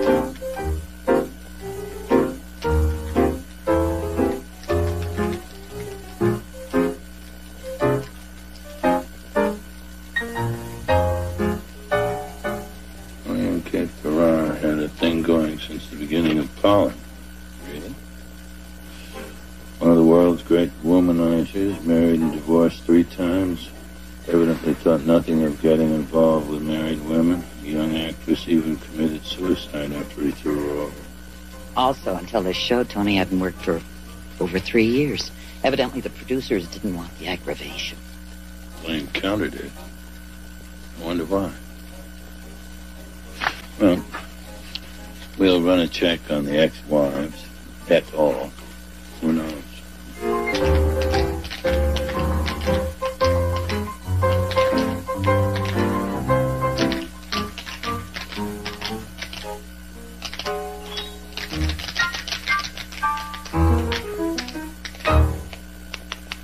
All right. Very nice, lady. Thank you. Let's take that. Okay. Amanda, ten minutes and uh, Gavin would like to put it on its feet. Right. Ah, As you heard, I have about ten minutes. Will that do? So far. We can talk in my dressing room. Yeah, will you take care of this? Have at the door for you. Thank you, Uncle Billy. Well, how's it going? Pretty well, I think. Mel's new song is marvelous, and Gavin has some really smashing ideas. There was this tedious ballet in the second act, and he just took it out, and now the whole show plays better. It's incredible. You don't miss Tony Franken. Like I'd miss a migraine headache. Oh, I'm sorry. I know that sounds awfully cruel. Tony was a truly loathsome man.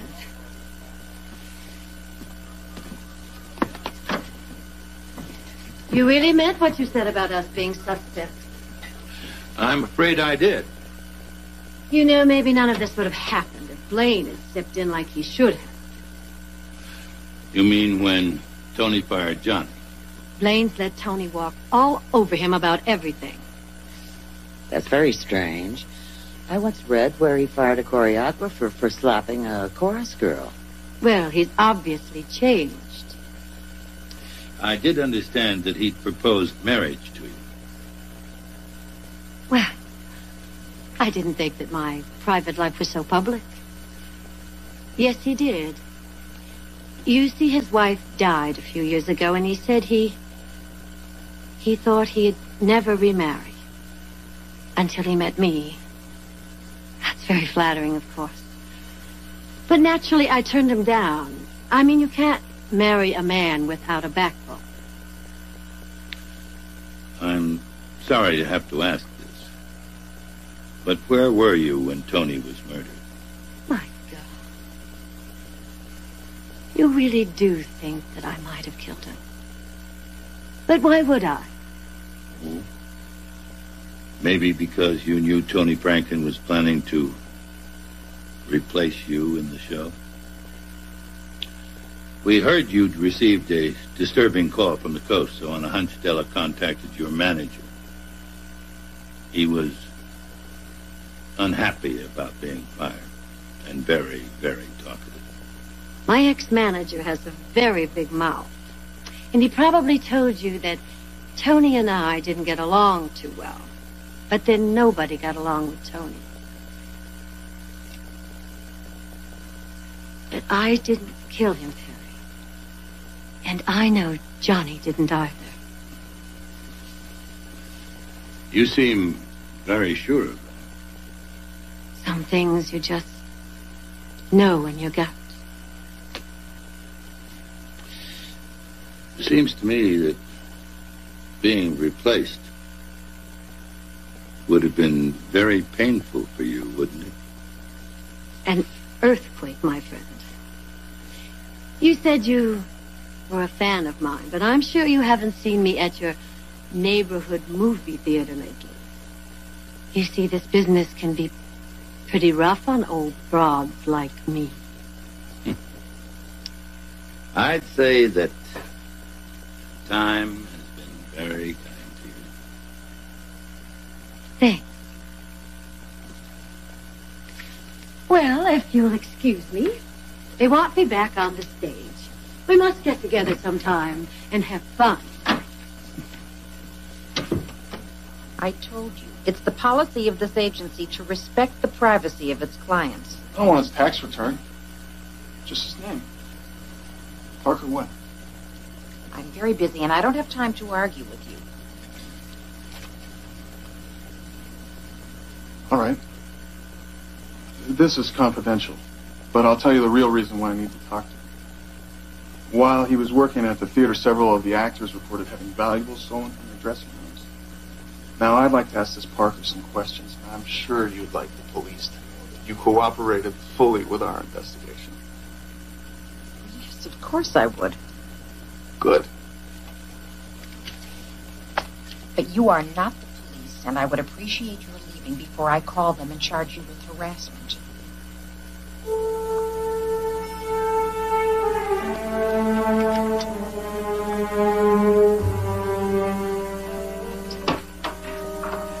Come on.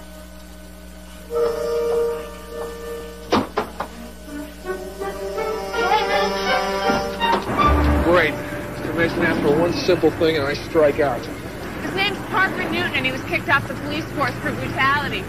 He lives at 552 Morgan Street, apartment 4B. What?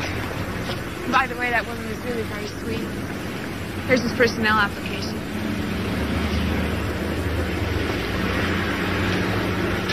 Nice work.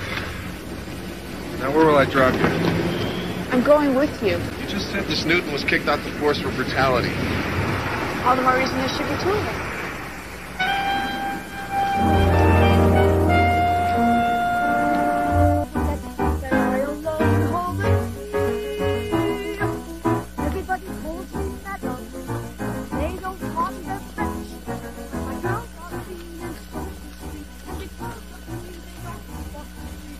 I think the show has finally taken shape. Morale is way up. New director put back the ballad Tony cut. It's Amanda's one real moment of vulnerability, and the show really needed it. I'll get right to the point, Mr. Walton. I'm told you came by Tony's room just as they were arresting Johnny Whitcomb. Yeah, I was delivering my script changes. Was up all night with him. What do I find? Tony's murdered? Johnny busted for it? You talk about shock. I'm also told Tony was pretty hard on you. You or your work. Mr. Mason, I come out of TV, where everybody and his astrologer tells you how to do it better. You don't like it. But you get used to it. He intended putting his name on the show as co-author. Didn't that bother you? Yeah, well, um, never got the chance, did he? You couldn't be more right. Whoa, hey, I don't like where you're going. Tell you, Mr. Mason, if Tony had really tried something like that, he would have been up to his neck in my lawyers. Wouldn't it still have cast doubt on your ability to write for Broadway? Excuse me. Uh, Lieutenant Brock just phoned for you. Um, later, Mr. Mason? Later, Mr. Walton.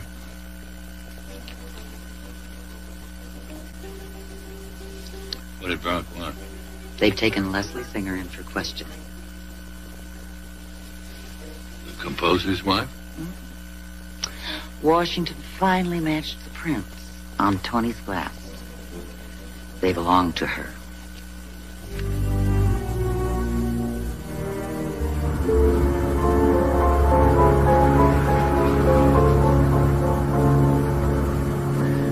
I won't let you do it. That's why we're here. It says he's 6'2", weighs 210. An ex-cop who brutalizes people. I'll just ask him a few questions. You know, what if you ask him the wrong one? I'm not impugning your masculinity. I knew I shouldn't have let you come. Darling, I only want to help. I mean, I know you and everybody else think I'm just some rich little kid who giggled her way through college, but I'd like to show you that maybe I can really do something. You know, I mean, actually contribute. Look, why don't you sort of think of me as your Della Street?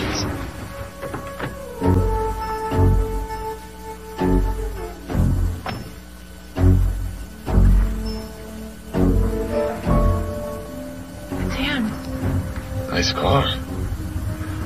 Looks like the security guard business pays better than I thought. Stay put. Dan! Remember brutality!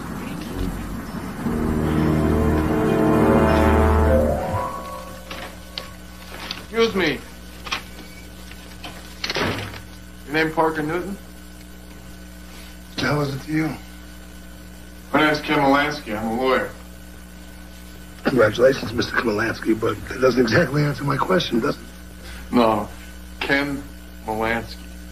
I know you said that before. Yeah, well, you see, I work for another lawyer named Perry Mason. You might have heard of him. We represent the man who's accused of killing Tony Franken. So what's that got to do with me? Just want to know what you saw at the theater that night. Not a thing. Like I told the cops, I took over around midnight. See your girlfriend. Funny time for a date, isn't it? Look, Cassie works all day in this dress store. And I was working all night at the theater, so we never get a chance to be together. Too bad you took off that particular night. Yeah? How was I supposed to know that someone would get murdered? Not a damn thing ever happened in three weeks I was there. Where's your girlfriend work? Me and you just finished talking. I understand you used to be a cop. Look, punk, I told you, get out of my face now. Move. Nice chatting with you.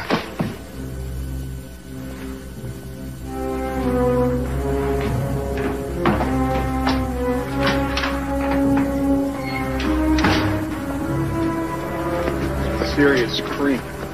Sure like to talk to his girlfriend now. She works at some dress store.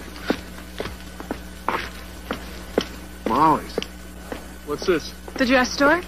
Very overpriced from what I hear, but I found it in the back of Newton's car, and I don't think they carry his size. Great. Tell me where it is and I'll drop you someplace. I told you I'm not droppable. Like it or not, we're in this together. Della Street, remember? Della Street. You can't even type. Mason, they've had her in there almost 45 minutes. Should be out soon, Mr. Singer. It's Mel. Up at the... You wanted to know where I was. Tony was killed, right? That's right. I was working on the new song that Tony wanted. I couldn't have a piano in my room, so I was working in one of the lounges downstairs. Some of the staff must have seen me or, uh, or heard me. Didn't you resent it? Tony kept you coming up with new songs. This is my seventh Broadway show. I've probably written two, three songs for every one that was used. That's why they call it a tryout. You did your last your last show in 1969. Yeah. Yeah, they sort of put me on hold for 20 years. That is, until they had a show that needed music instead of noise. Actually, my whole life was on hold. Until I met Leslie, of course. Mel.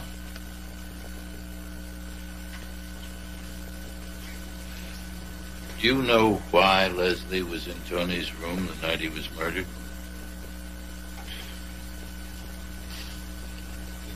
Look, Mr. Mason. I have no illusions about why Leslie married me. I'm this semi-famous old guy with ASCAP royalties that'll roll in forever. I married her because I love her. More than I've ever loved anybody else in my whole life, including my first wife, God rest her soul. And yeah, I know she cheats on me. Yeah, I guessed about her and Tony. But I'll never confront her with that, ever. You see, I won't take the chance of losing her. Most men couldn't live that way. You think I was the one who killed Tony because I was jealous? well, why would I?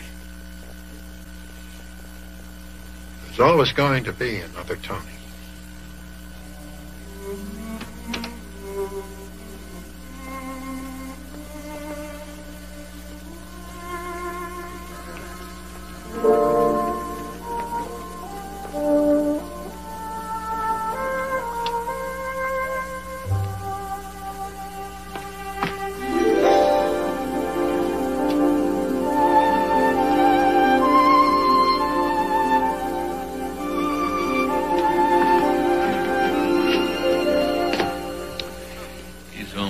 Good to be true. Well, anyway, she didn't solve much of the puzzle. Somebody did call Tony Franken saying that Amanda Cody had tried to kill herself down at the theater. Franken goes down there. Mrs. Singer doesn't know if it was a man or a woman. Doesn't do very much to get your client on the hook, though, Mr. Mason. Apparently not. He uh, must have got to my place at uh, 12.15. And like you said, you know, we spent the whole night together.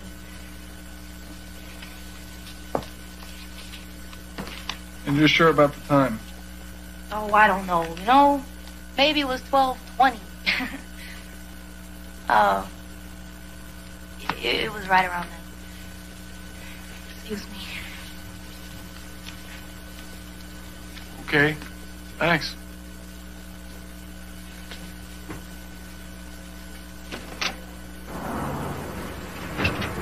She backed up his story. She seemed awfully jittery, though. I Think she's lying? Ken, look.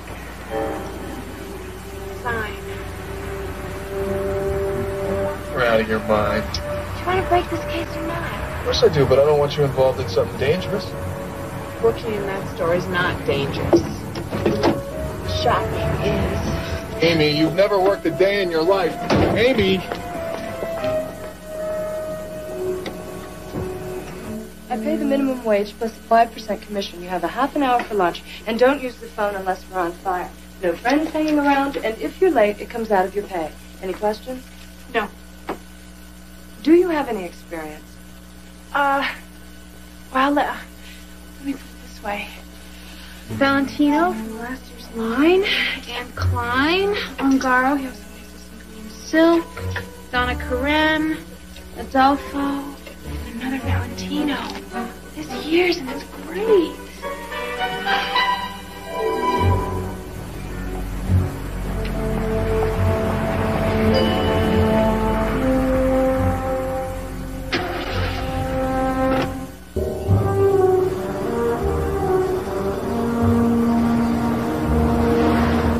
No, Ken, Cassie's really sweet. I mean, she has to be to work for that witch. Anyway, it's like we're old friends. I tell her about us, and she tells me about them. Tell everybody about us. I had to get her confidence, didn't I? And I did. She's told me a lot. Like what? Well, like sometimes she's frightened of Newton. Like uh, he hates broccoli. Like he works out at this gym called Harry's every day, and like he's not even looking for another job, even though he still talks about getting married. He's not looking for another job, but he is driving a new Corvette. Sure like to get a look at his bank book. See you tonight, okay?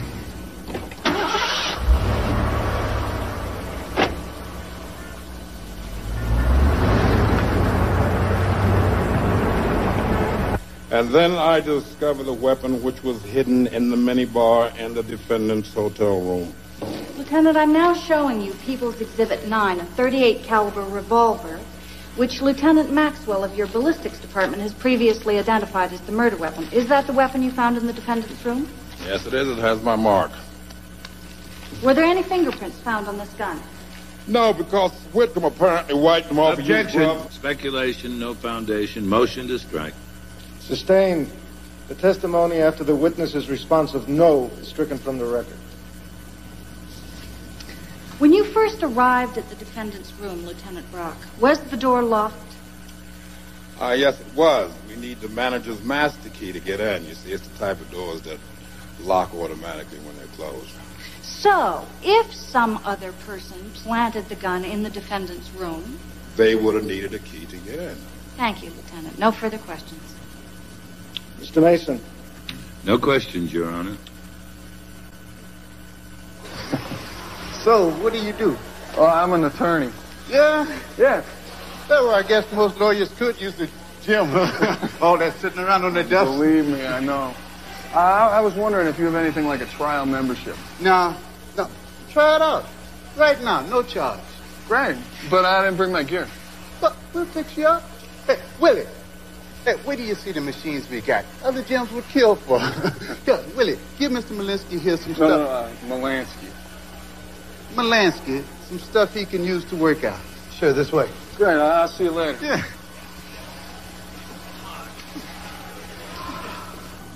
Sir, did the defendant say anything after you pulled him away from Mr. Franken? He said uh, somebody ought to drive a stake through your heart.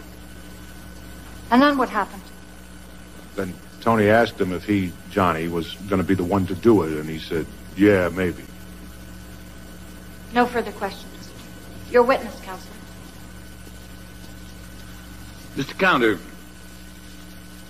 why didn't you object when Franken fired the defendant? I did. I told him that uh, Johnny was a damn fine stage manager. But you're the producer.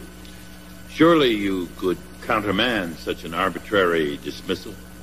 Well, yes, I'm the producer, but uh, ordinarily the director has jurisdiction over the backstage personnel, and uh, I didn't feel that it was my place to interfere.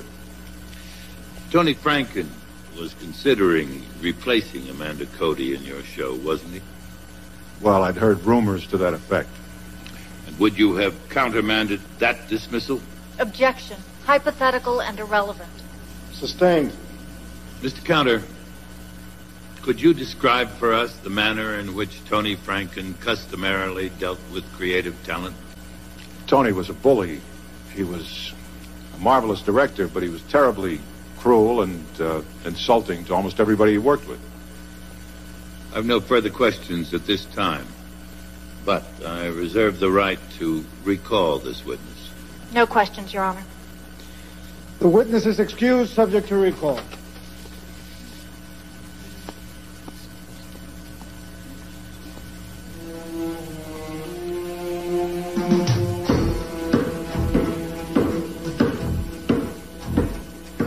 Hey, Newt. And you really hung up on this place, aren't you? Think I want to turn into a temple lord like you? Yeah. Let's find out who quits first.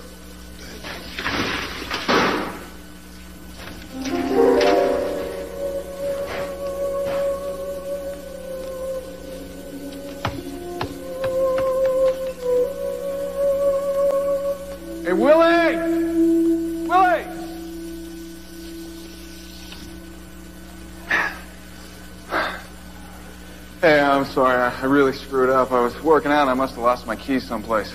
No problem. Which locker? Uh, this one. Right here. Thanks. I'll take care of you later.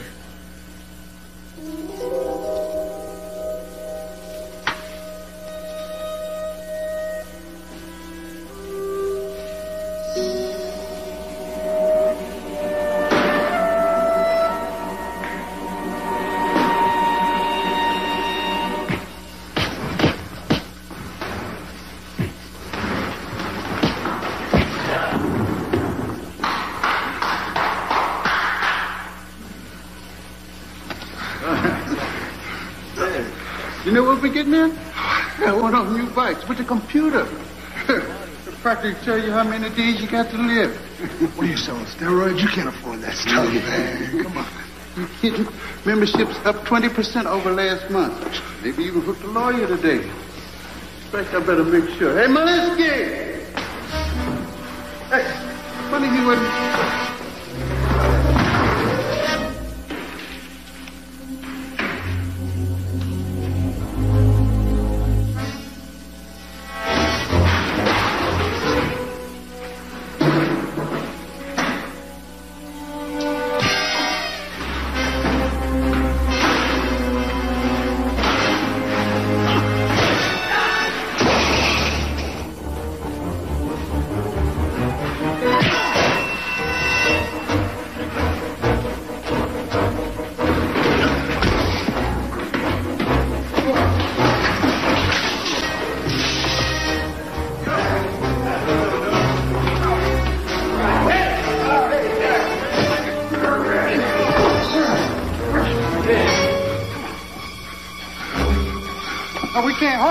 Hold him, I told you. You better get your butt out of here.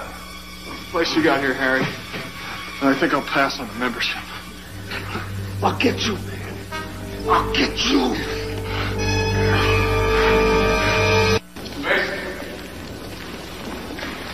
How'd it go today? Very well. The judge is going to allow us to put the victim on trial. The way I hear it, Tony Franken made enemies the way most people make friends. That's what I intend to show. I had a pretty good day myself. I got a look at Parker Newton's checkbook. You know, the security guard? There were two recent cash deposits of $25,000 each. The first deposit was made the day after Franken's death. The second deposit yesterday. Nice work. He's sure getting paid for something. We find out who's paying. We got our killer. We'd better talk to Newton officially.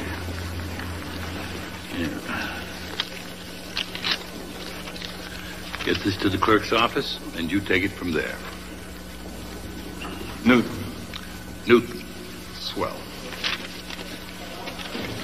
You see, this is the directory. I enter all my notes and all of the summaries according to the case name. At, at least those for the last couple of years. Of course, if you want all of the cases in here, it's going to take me till the middle of the next century. By that time, computers will be obsolete. They'll be implanting chips in all the odd parts of our brain and skull. I wish they could find some for my knee. So do I. What else? Now, let's see. Two of Tony's ex-wives are happily remarried and living in New York. The third is a costume designer in London. And uh, here's a photostat of that young actress who committed suicide. Her name was Vanessa Grant.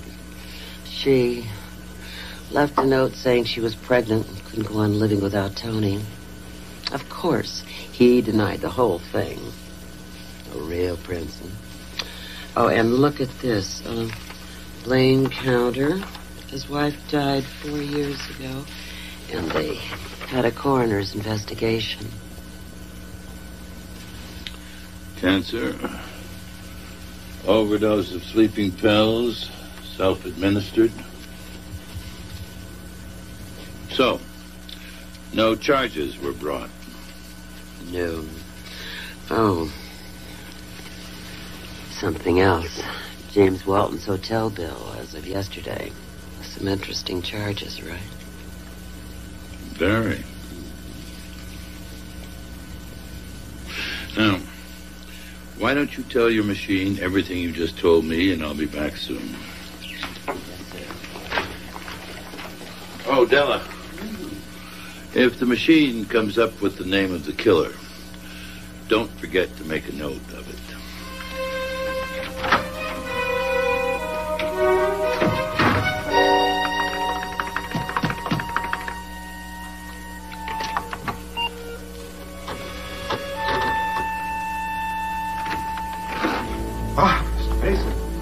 What can I do for you?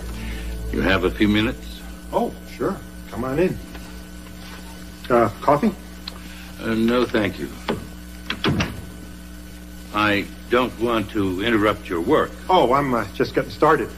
It's a TV pilot I've got due next week. You're not working on Polly? Oh, no. Ever since that last set of rewrites I did, that show has been frozen. Thank God. I'd like to show you something, Mr. Walton. A copy of my hotel bill. I just wondered why you've sent Kate Ferrara a dozen roses every night since rehearsals began. So, that's why you dropped by. Well, uh, the roses are part of a promise I made Kate. You see, at first we only wanted her for lead dancer, and she didn't want to do it. I promised if she would, I would send her a dozen roses every night. Well, she finally took the job when Tony let her choreograph, but meanwhile, I was stuck with my promise. Doesn't uh, this indicate more than a professional interest? You got me. it was more. Does anybody still use the word smitten? She was involved with Tony, wasn't she? What are you getting at? You think uh, I killed Tony because I was jealous? Mr. Walton, people have killed for a lot less. Mr. Mason, you're barking up the wrong tree. Tony was finished with Kate. At the time he was killed, he was sleeping with Leslie Singer. So if anyone was going to be jealous, it was Mel Singer, not me. Apparently, Mr. Singer has his problems. But then I believe so do you. I still consider both of you suspects. Thank you for your time, Mr. Walton.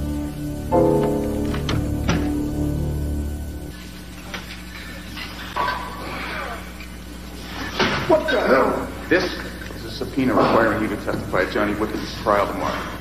See you there. Tony was very abusive, and Johnny just lost control. But it was obvious that he didn't mean he was actually going to kill Tony. It's just one of those things you say in the heat of anger. Tony always provoked a lot of anger from everybody. I think he enjoyed doing it. From your knowledge of Johnny Whitcomb's character, do you think there's any possibility he could have, with premeditation, murdered Tony Franken? Johnny would be incapable of murdering anybody. Thank you, Miss Cody. I have no questions. Miss Cody, you may step down. Wait. Listen, I, I know Johnny couldn't have killed Tony because I was with Johnny all night.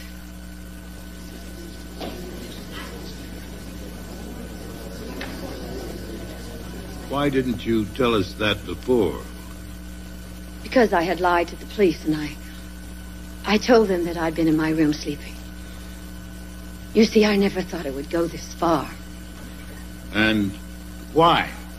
Were you in the defendant's room, Miss Cody? I was upset about him being fired and I couldn't sleep anyway, so I I went to his room about 2:15 and he was passed out on his bed, so I stayed with him until almost dawn. So you see, he couldn't have been at the theater and killed Tony. How did you get into the defendant's room? Oh, he'd uh, given me a key. How do you explain the defendant's own statement to the police that he did not get back to the hotel until nearly 3 a.m.? All right. I'll tell you the truth. The reason that I know Johnny didn't kill Tony Franken is because I killed him myself. Miss Cody, is it true that Johnny Whitcomb is your son?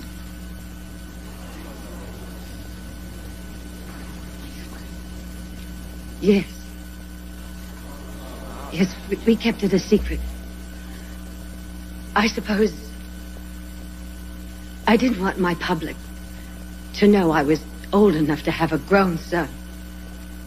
It was stupid of me.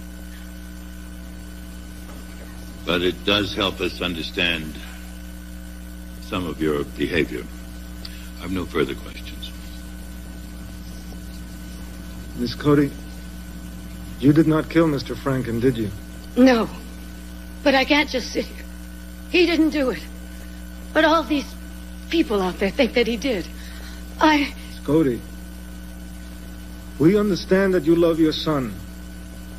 But this is not the way to help him. I'm going to ask you to step down now. I don't know whether the district attorney will be charging you with perjury or not. Your Honor, the district attorney's office has no interest in filing charges against this witness.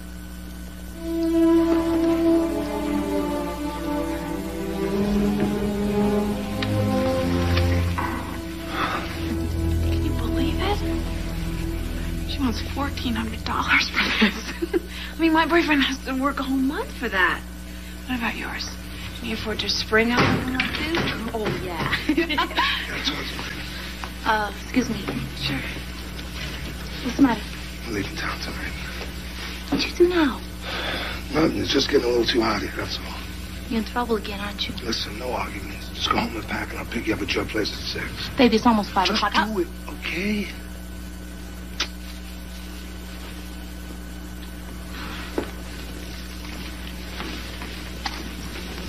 Emergency. I gotta leave early, okay? You can't go. It's still over half an hour before closing. I know. I, I can't help it, okay? I'm sorry. I, I'll see you later. Not here, you won't. You're fired.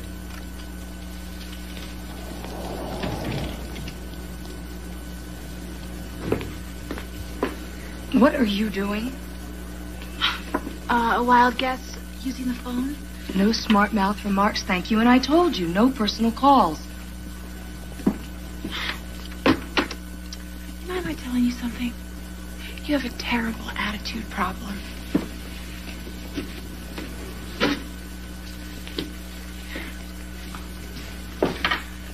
And your markups are obscene.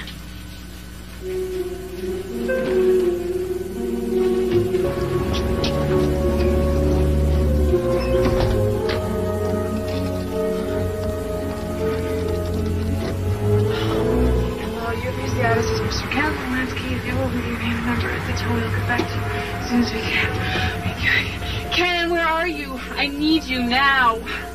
Listen, Newton is skipping town. He's picking up Cassie at her her place at, at six. Oh my God, that's 45 minutes. Listen, she lives at the Astor Apartments on 21st. No matter what happens, I love you. Bye. Counter, you've worked with Tony Franken? Yes, four years ago. And at that time, your wife was quite ill, wasn't she? Yes, she had cancer. And when she learned her cancer was inoperable, you wanted to help her, didn't you? What the hell has this got to do with Tony Franken's murder?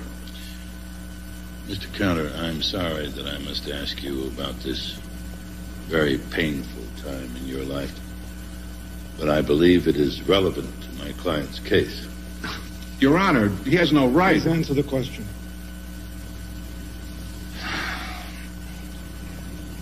When my wife learned the cancer was inoperable, she made me promise I'd help her. It was her idea. Help her how, Mr. Counter? Help her to end her suffering when it became too much for her. And eventually, it did become too much for her, didn't it? Yes? So you asked Tony Franken to get you some sleeping pills. I didn't know how else to get them without a prescription, and I knew that Tony was into the drug scene. And then. Look, what I'm going to say might get me in some trouble, but I guess it's about time I got it off my chest. I got the pills from Tony, and I gave them to my wife, and she decided to take them. And to this day, I can't say I'm sorry about it.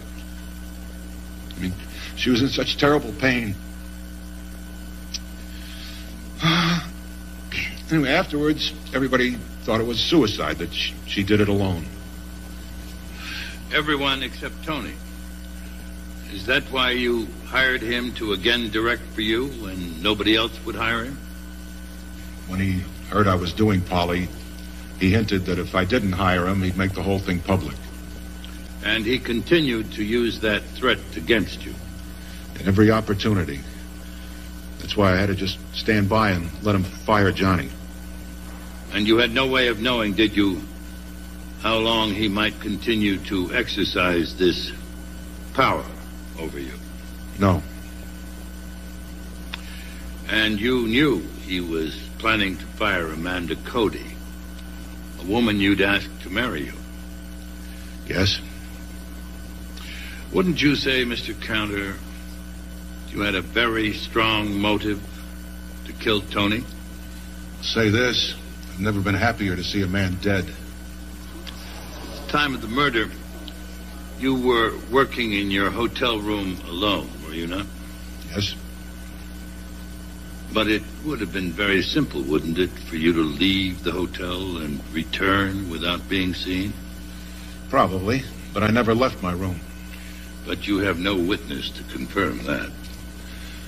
Mr. Mason, when I first met you, you told us you considered some of us suspects. So I thought I'd better protect myself. You see, one of my investors called me that night from Honolulu to find out how the show was doing.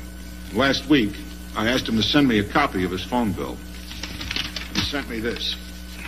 Now, it shows a long distance call from Mr. McQueen directly to my room phone on the night of the murder.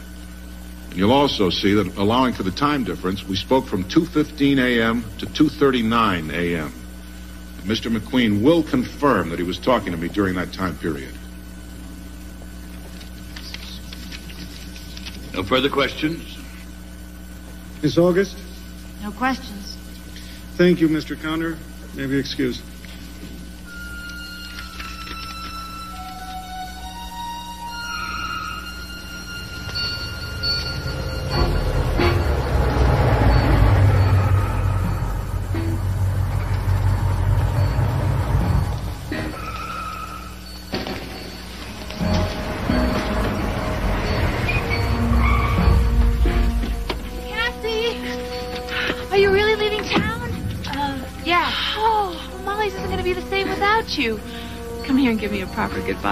Ma'am, can you please move your car? Can I have an address? Maybe I'll come visit. We don't have an address. Now move your car. In a minute. No! All right, you don't have to yell.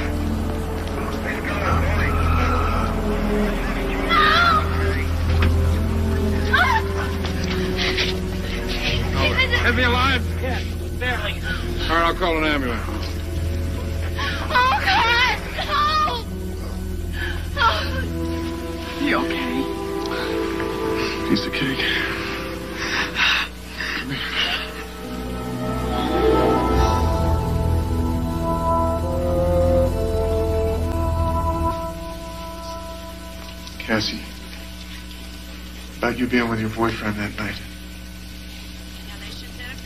I think it's time you told the truth.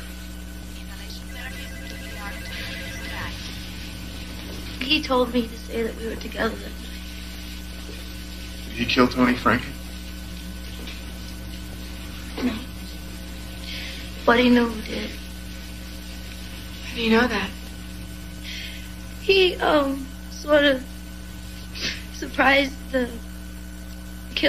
theater, I guess. And, um,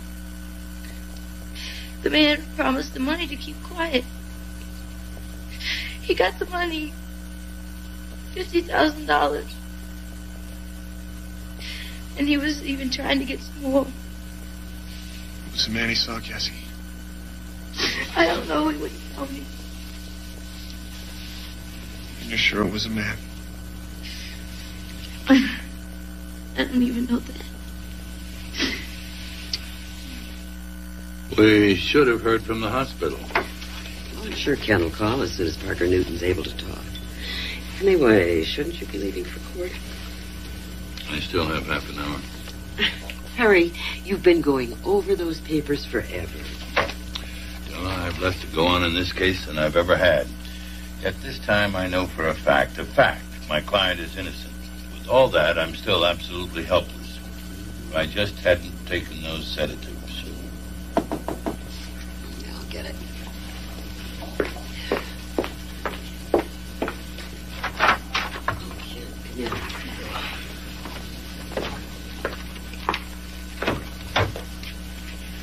I'm sorry, Mr. Mason. Newton died about 20 minutes ago. Didn't he ever regain consciousness? No. Brock had someone by his bed all night long. His girlfriend took it pretty hard, but I think she's going to be okay. That's it. What? You know who did it? Ken, I want you to do something for me, and fast. I need you back in the courtroom in 40 minutes. Who are you calling? Brock, I want him to contact the hotel security chief. Lieutenant Brock, please. Brock. Mr. Mason, we're waiting on you.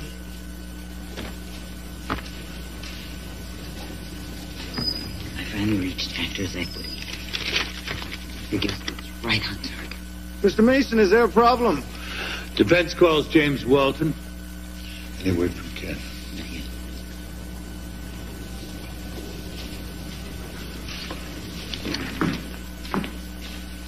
Do you solemnly swear under penalty of perjury that the testimony you are about to give will be the truth? I do.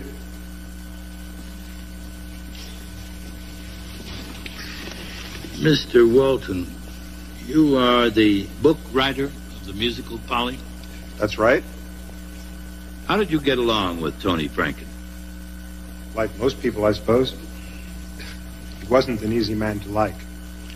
Mr. Counter testified that he was often very harsh in his criticisms of your work. Yes, he certainly was. That annoyed you, did it not? Of course. But uh, it was just a part of his usual drill. Was his plan to claim co-authorship of the show also part of his drill? Objection. No relevancy. I tend to agree. Objection sustained. Please try to find a more relevant line of questioning, Mr. Mason. Certainly. Mr. Walton, what is the number of your hotel room? I'm in room 611. I would remind the court that Lieutenant Brock has already testified that the defendant's room is 511. Now, Mr. Walton, is there a fire escape outside the window of your hotel? I, uh, not sure. Uh, maybe. Let me assure you there is. Just as there is one outside my client's room, just as there is one outside every room ending in the number 11. Objection. Relevancy. Your Honor, I am trying to establish that Mr. Walton's room was directly above that of the defendant's, and that therefore Mr. Walton, through their mutual fire escape, had access to the defendant's room. An interesting point, Counselor. But what's your point here? To establish that Mr. Walton could have climbed down that fire escape, and while the defendant was passed out, planted the murder weapon in the defendant's room, and that he, of course, would have returned the same way. Objection overruled. Mr. Walton, Did you murder Tony Franken?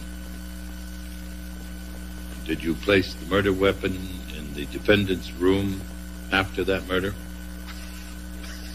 I never even saw the murder weapon until this trial. No, I didn't murder Tony Franken. I was in my room the entire night doing the script changes Tony asked for. Mr. Walton, I'm given to understand television writers are noted for their speed. Isn't it possible you finished those changes earlier than you say, early enough to have lured Tony Franken to the theater and then to have killed him? Objection. The witness has already denied he murdered Tony Franken. Sustained.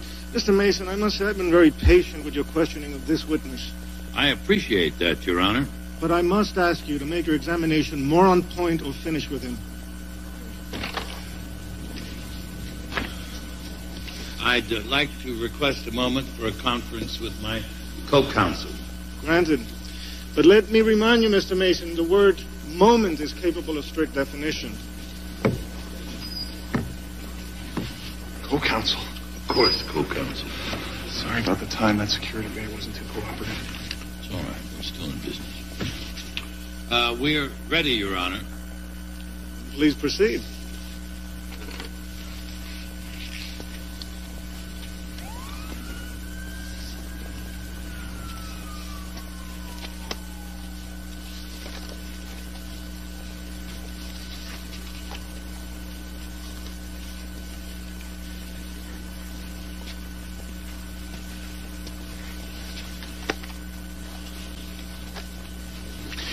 Mr. Walton, do you do your writing on a word processor? No, I do. You saw me working on it. Does the program you use put a time and date on each file? I, uh, I don't know. Uh, maybe it does. I never really noticed. Maybe you should have. Would you identify this for us? Yes, this is a printout of my directory. There are some 13 files listed on this directory. After each one, there is a date and a time indicating the last time the file was worked on. Isn't that correct? Um, that's how it works. And here, after the file name Polly, it shows the date. The same date Tony Franken was murdered. Now, what was the hour?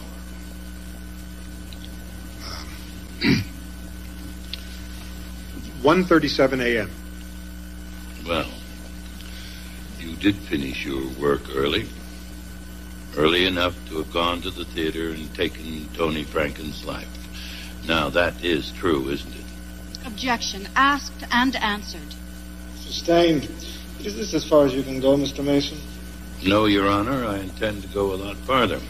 Mr. Walton did indeed murder Tony Franken. It's crazy. What the hell motive would I have? Yes, that was also a problem for me. That is, until I had that visit with you in your room yesterday. Look, this was my first Broadway show. Now, now, why would I kill the director that was going to take it to Broadway and make it a hit and make me a fortune? A good point, Mr. Walton. No, you wouldn't kill such a man. But you would kill a man who was responsible for the death of your sister. Mr. Walton, can you identify the people in that picture?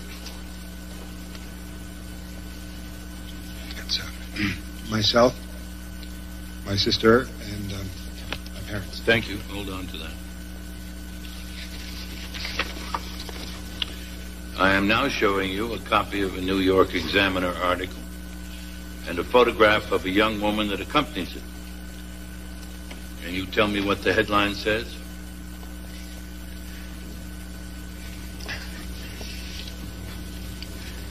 Actress commits suicide. And that actress was Vanessa Grant, and Vanessa Grant was really Edith Walton, and Edith Walton was really your sister. Isn't that true? Yes, it's it's true. I'm now showing you People's Exhibit 9, identified as the murder weapon. You recognize it, don't you? No, no. Here, take it.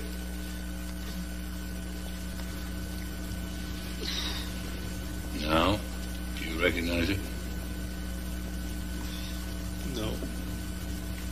Your Honor, I would like to excuse this witness, subject to recall. Call Mr. Parker Newton to the stand. I'll get him, Mr. Mason. He's waiting out in the hall. All right.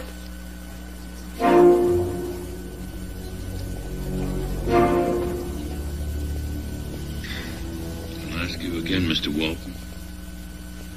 Have you ever seen that gun before?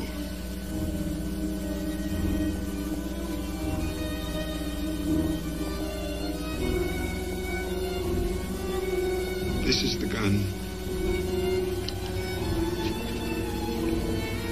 This is the gun my sister used to kill herself. And you thought there would be some ironic justice if you used that gun, that same gun, to kill Tony Franken, isn't that right?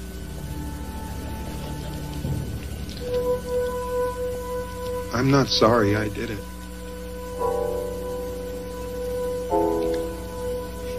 I'm only sorry that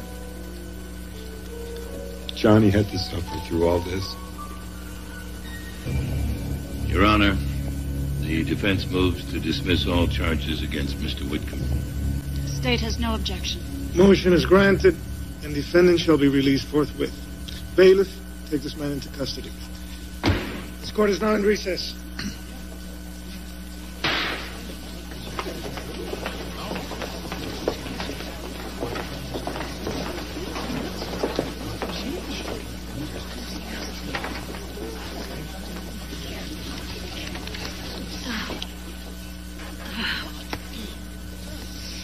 I love you.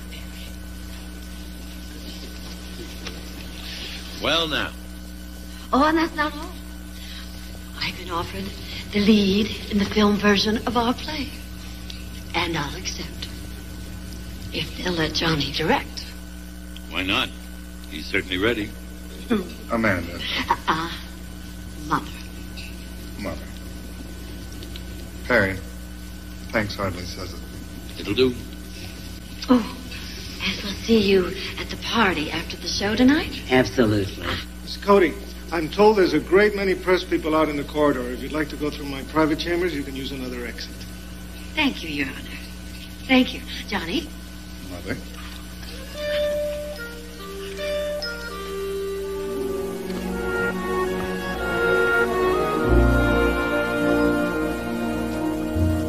I want to thank you for making me co-counsel. No. Thank you, co-counsel. We'll do it again. All out in the very near future.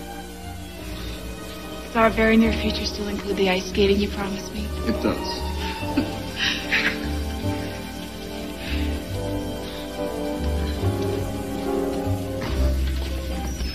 Hope it's not thin ice.